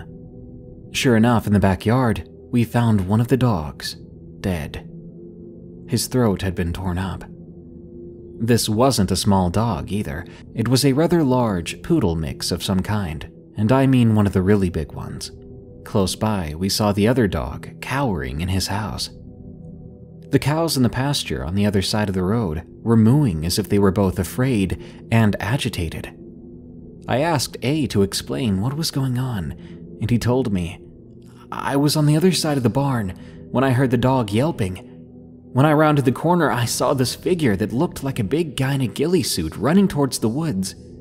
I shot at him, hoping to hit his leg and incapacitate him or something, but I know I didn't hit him. The same smell I described earlier was still hanging in the air, but it was faint.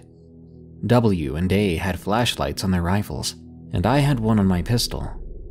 I slung my SKS over my back and drew my pistol, and we fanned out, looking around the area. I wasn't expecting to find anything. I could see W heading to the other edge of the property, and A was moving towards the cow pasture. I headed back towards the barn, and as I started to step in, I lit a cigarette. I felt raindrops starting to hit me, so I stepped under the barn to smoke. I stood there for less than a minute when I heard another gunshot. This one came from the direction W had gone in. I began to walk that way, and I saw A heading that way too. While we were making our way over, W fired off three more shots. What the heck are you shooting at? A asked. I saw that dude, but W's voice was shaky and hushed. It didn't look like a guy. W took a heavy gulp and continued to explain. It looked like a big dog or a wolf. I could clearly see its muzzle and ears. I just saw it standing behind some bushes, but it had to have been standing on two legs. He stopped and pulled out a cigarette his hand shaking but still managing to light the thing. I sized it up using a nearby tree, and it had to have been over six feet, at least. What are you even talking about? A asked. I chimed in. You know there aren't any wolves nearby, and coyotes don't get that big. You think a coyote would have the guts to come up and rip my dog's throat out? We've got to be dealing with some pelt wearing hermit strung out on something. The tree that W was talking about was about 350 feet away, so we all walked over to check it out. The rain started to pick up, and the wind was getting strong as well. The clap of thunder put us all on edge. Sure enough, once we reached the tree, a large maple, the branch he used to determine the size was close to 8 feet off the ground by our estimate.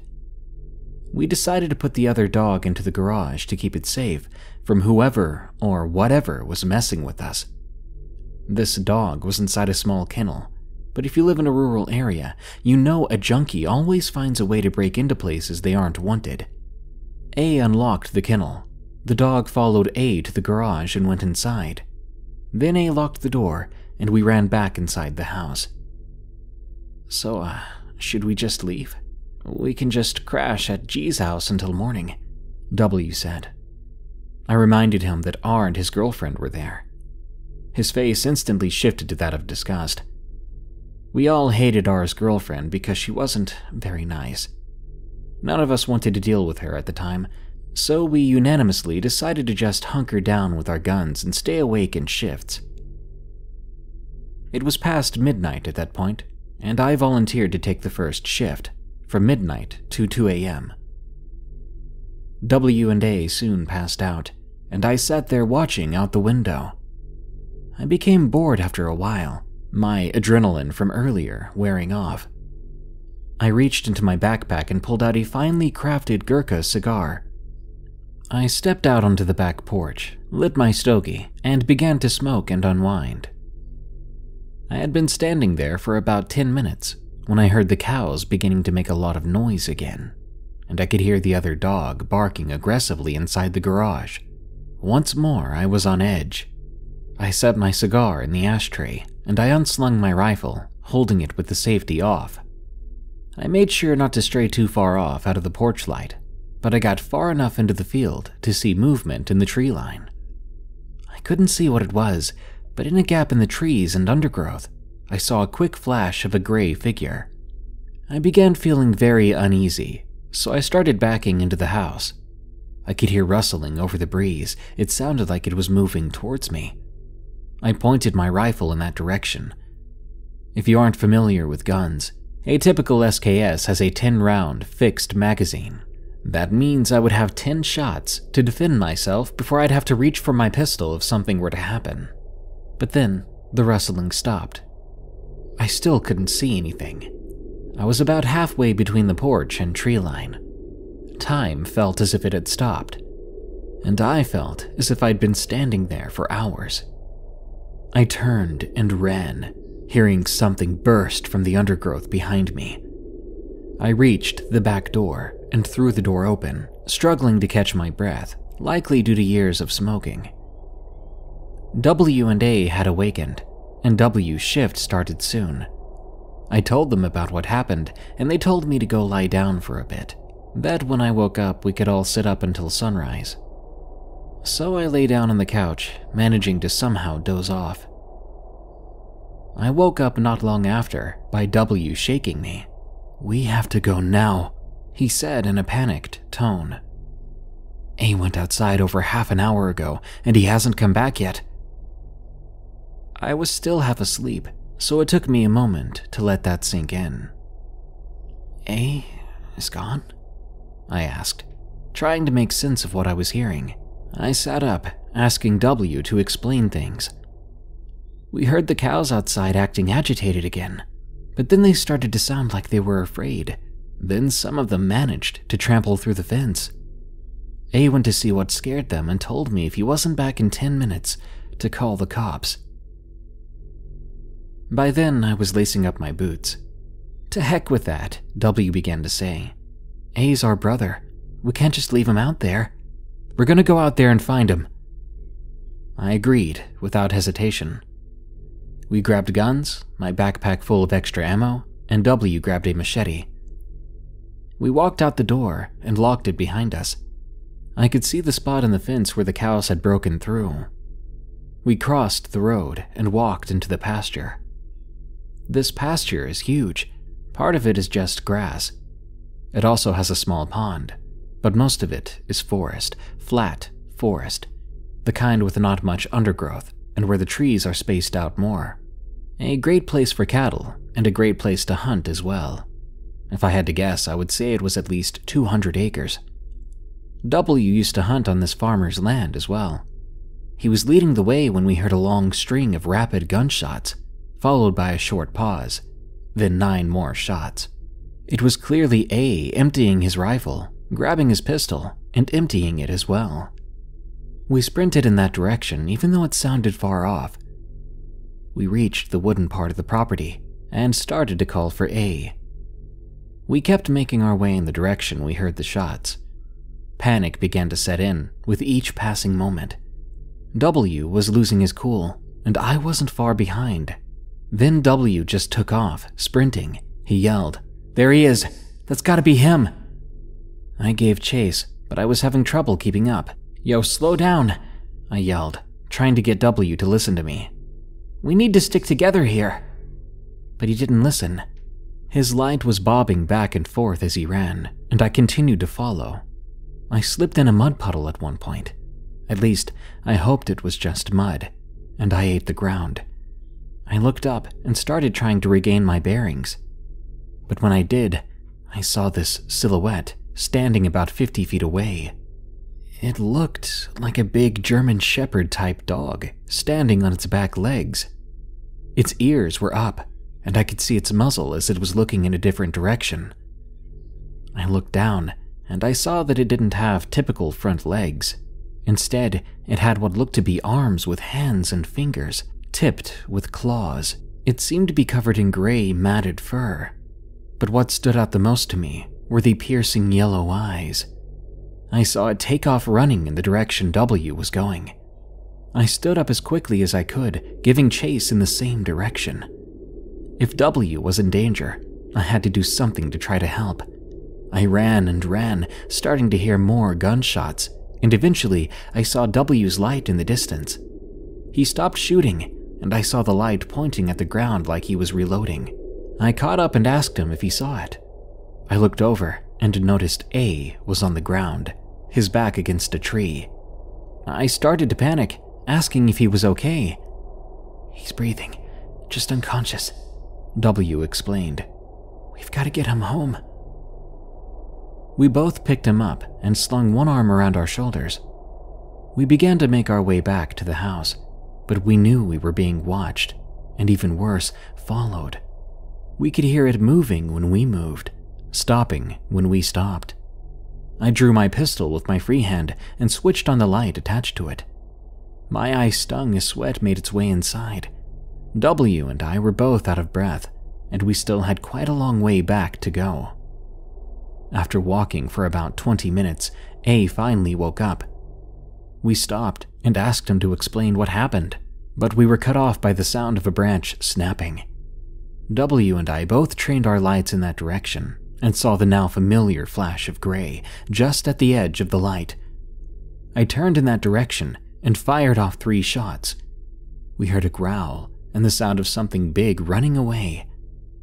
We took that opportunity and booked it. If I had kept track of time and direction as well as I thought, we should be breaking through the trees in about 10 minutes. Then we should be able to see the light from the house. We ran through the pasture and made it to the fence. We crossed the street. I asked A to unlock the door to the house, and he frantically searched his pockets for the key, but couldn't find it. He began to panic. W calmed him down and suggested he try a window. A, being the smallest of us, agreed. We went to the back of the house and managed to remove the AC from a window, which A then climbed through. He let us in, and the rest of the night was uneventful. I'm sorry for the anticlimactic ending to the actual story but I do have more to say. The next day, we talked to the owner of the pasture where this happened. He found three of his cows dead and partially eaten. He also found a blood trail in the wooded area that led towards the house, then the opposite direction to the edge of his property. He also found A's keys on the ground where he had been knocked out and where we'd found him. The farmer explained that blood trail led to the land owned by an old hermit who lived in a trailer in the woods. He apparently never leaves and has relatives bringing him food. It's rumored that he messed with the occult in his younger days. We told the farmer what we experienced, but he didn't believe us, thinking we instead encountered a pack of rabid coyotes or feral dogs. None of us agree with that. So, what could it have been? Was it a wolf like cryptid? Was it a werewolf? A still lives in the same house, but he hasn't seen or heard anything like it since.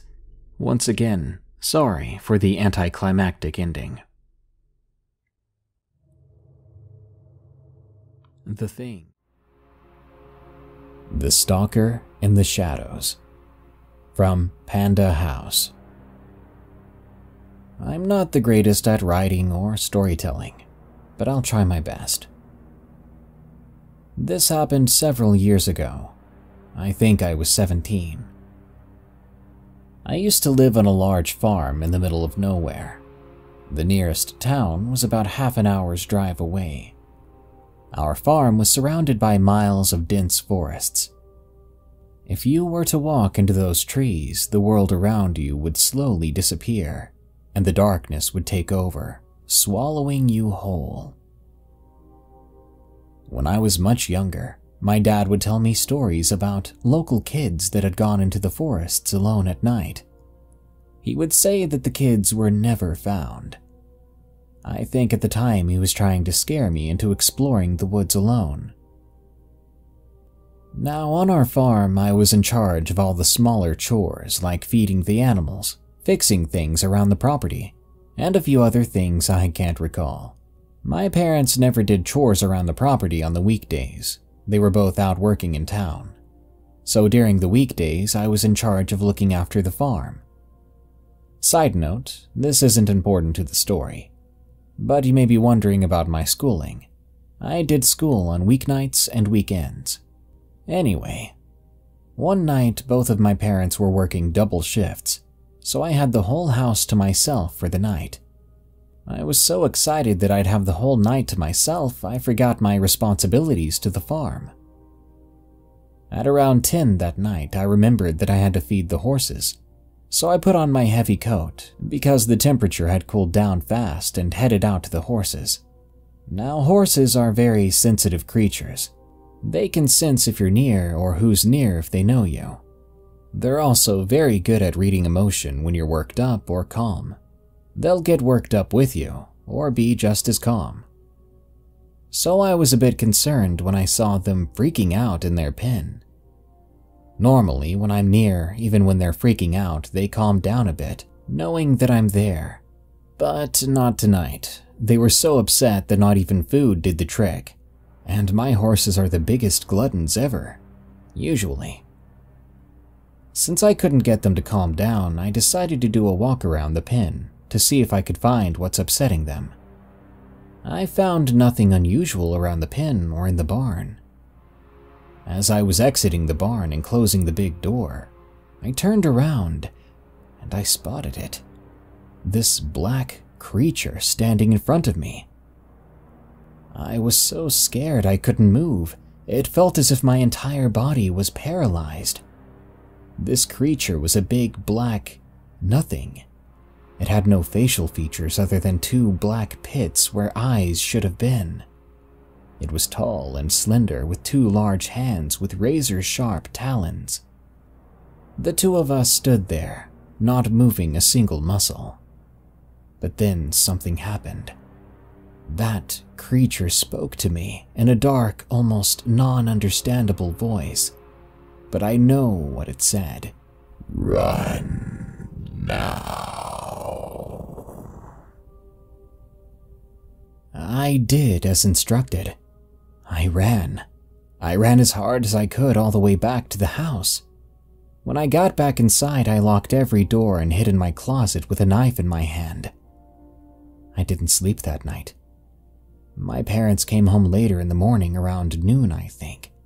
It doesn't matter because when they walked in, I gave them the biggest hug I'd ever given them. I've only ever seen that thing again one more time. I was walking up the stairs to my house and I saw it at the end of the driveway when I turned back to lock my car. After a few more years at the farm, I moved far away for college, and I swore that I would never step foot on that property or town again.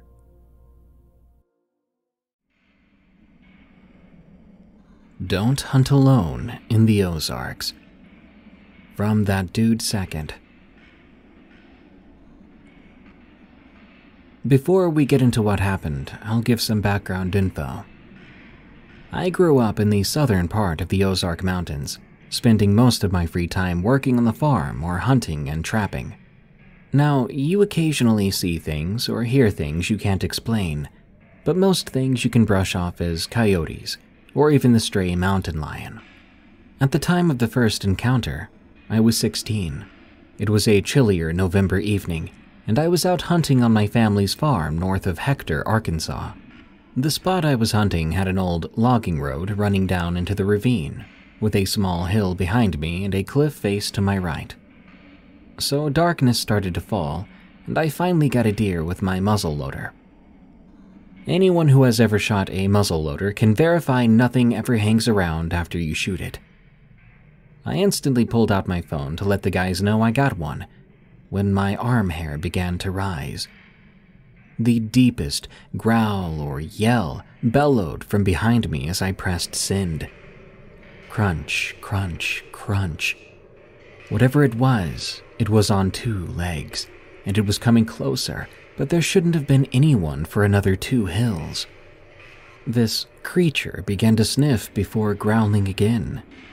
Hastily, I reloaded the muzzleloader and shouted, This is my farm. Leave or I'll shoot. It growled this time at the base of my tree. Darkness had enveloped the entire block of woods now. I was trapped with a flip phone and a muzzle loader against something that I couldn't see. I could only hope the other guys were on the way. Then I felt the ladder bending slightly, as if it was testing its weight. I pointed my flip phone light down, and I saw two red eyes clearly. However, the lights from my family's side by side lit up the hill, and the creature ran down into the ravine as Levi and the others pulled up. After a few months, some weird things happened in the area before it finally went quiet. Less than a week later, one of the locals went missing along with his dog in the same area. To my knowledge, he still has not been located. For the next two years, I never hunted that area again.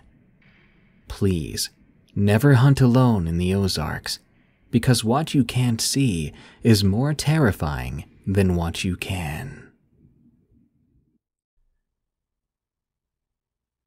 Warning The following story contains depictions of violence against pets. Also, please note, this story was originally posted under the True Mysterious Creatures category. To me, it is a great story, but it will sound unbelievable to many. I implore you to enjoy the story and choose what to believe for yourself. The Body Snatcher from Kiko. When I was eight, I lived on a farm. It was large, bordered on two sides by an expanse of silver forest, a beautiful sight under the pale white moon glow, but nonetheless tainted by a pervasive eeriness. One side of it ran along an ancient beaten country road, Traffic was scarce on that road, and the nearest town was 30 minutes from the farmhouse.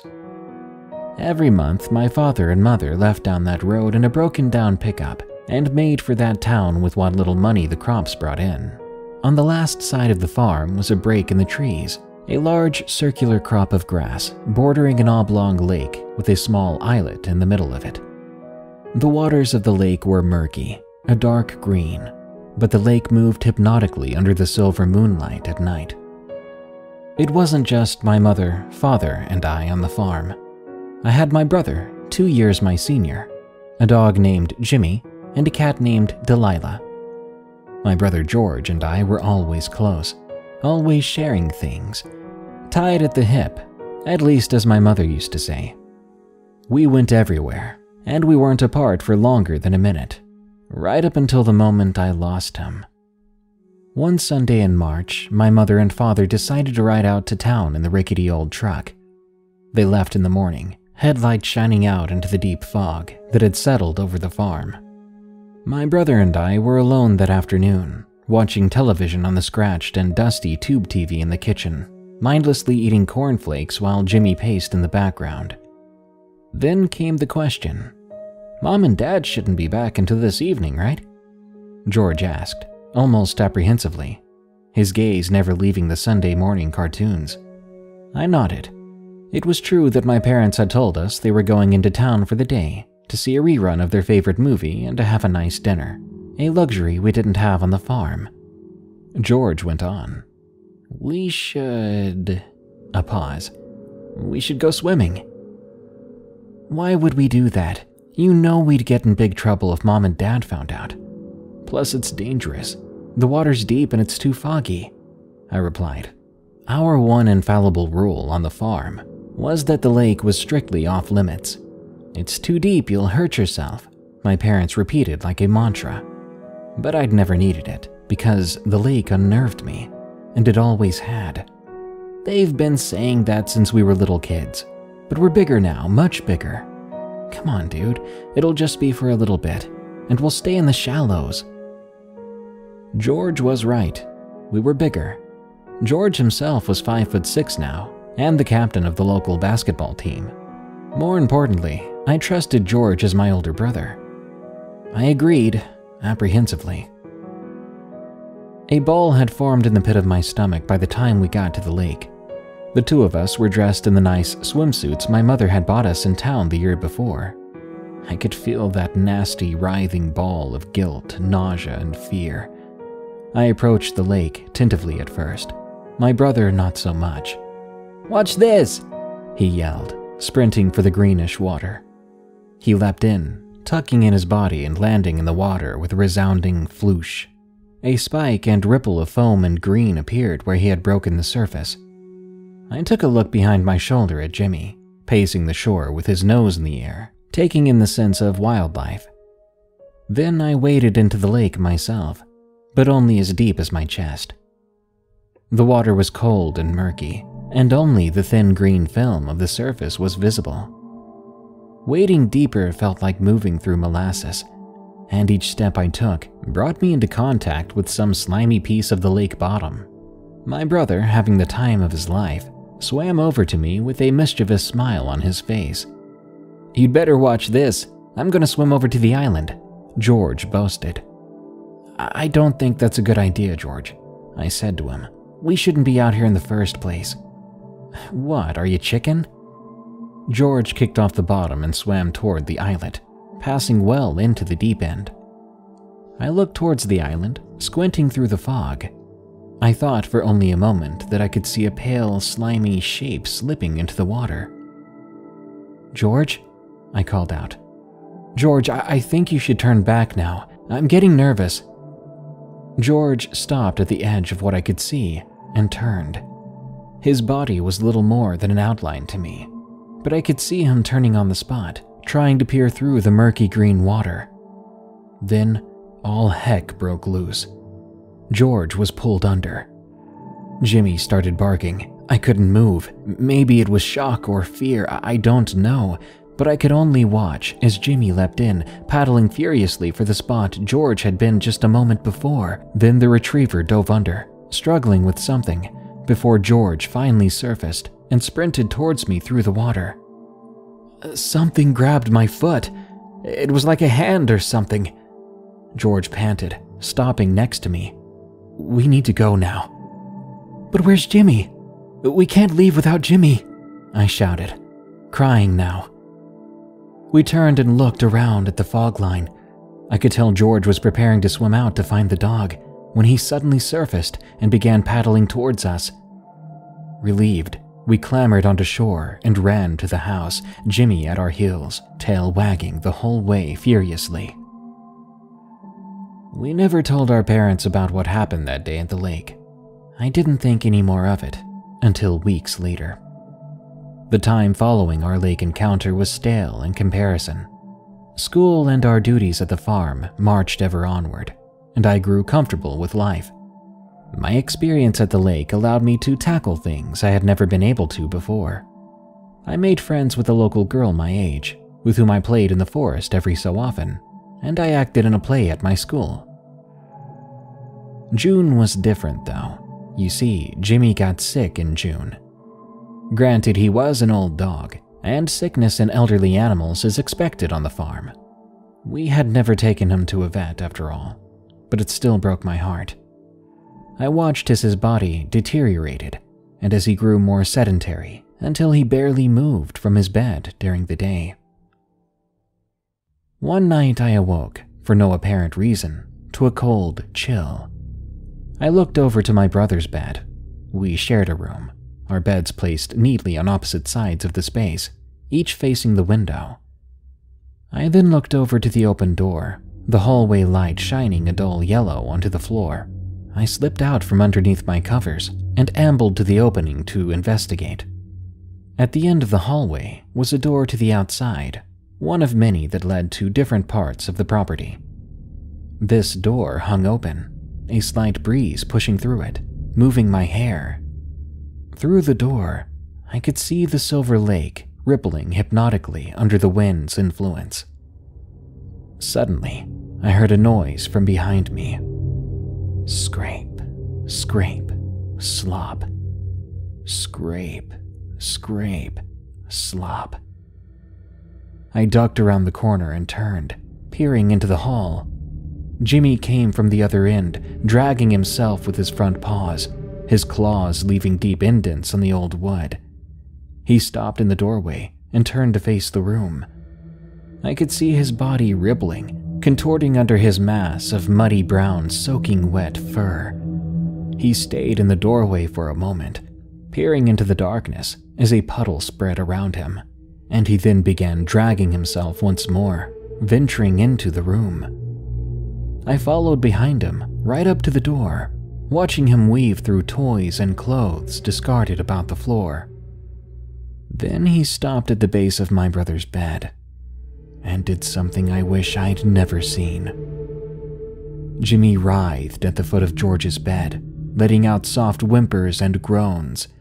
His bones cracked and his fur bulged around his scruff. Then it stopped.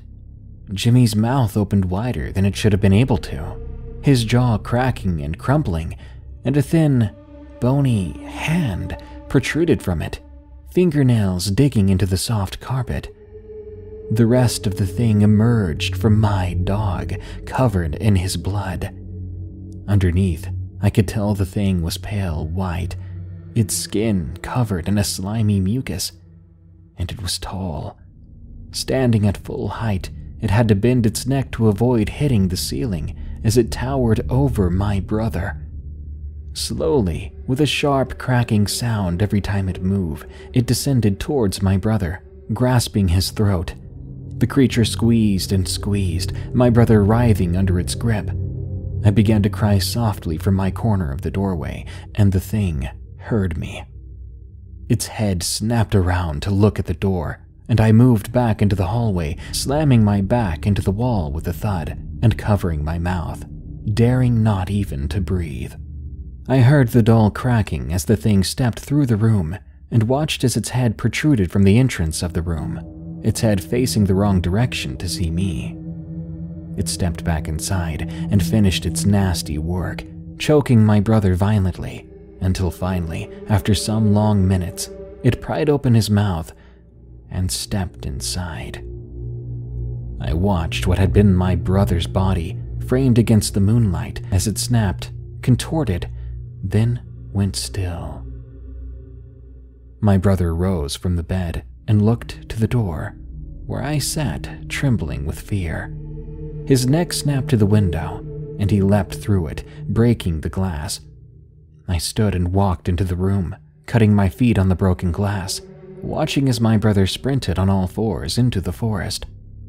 My parents ran into the room, demanding to know what had happened, but all I could do at the moment was mutter, It took him and Jimmy They're gone.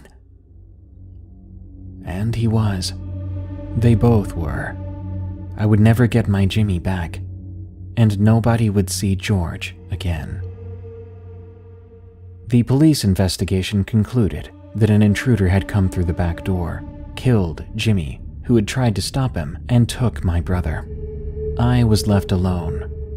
I tried to explain what had really happened to the detectives, but my account was reduced to an overactive imagination in reaction to trauma. I went through therapy for 11 years.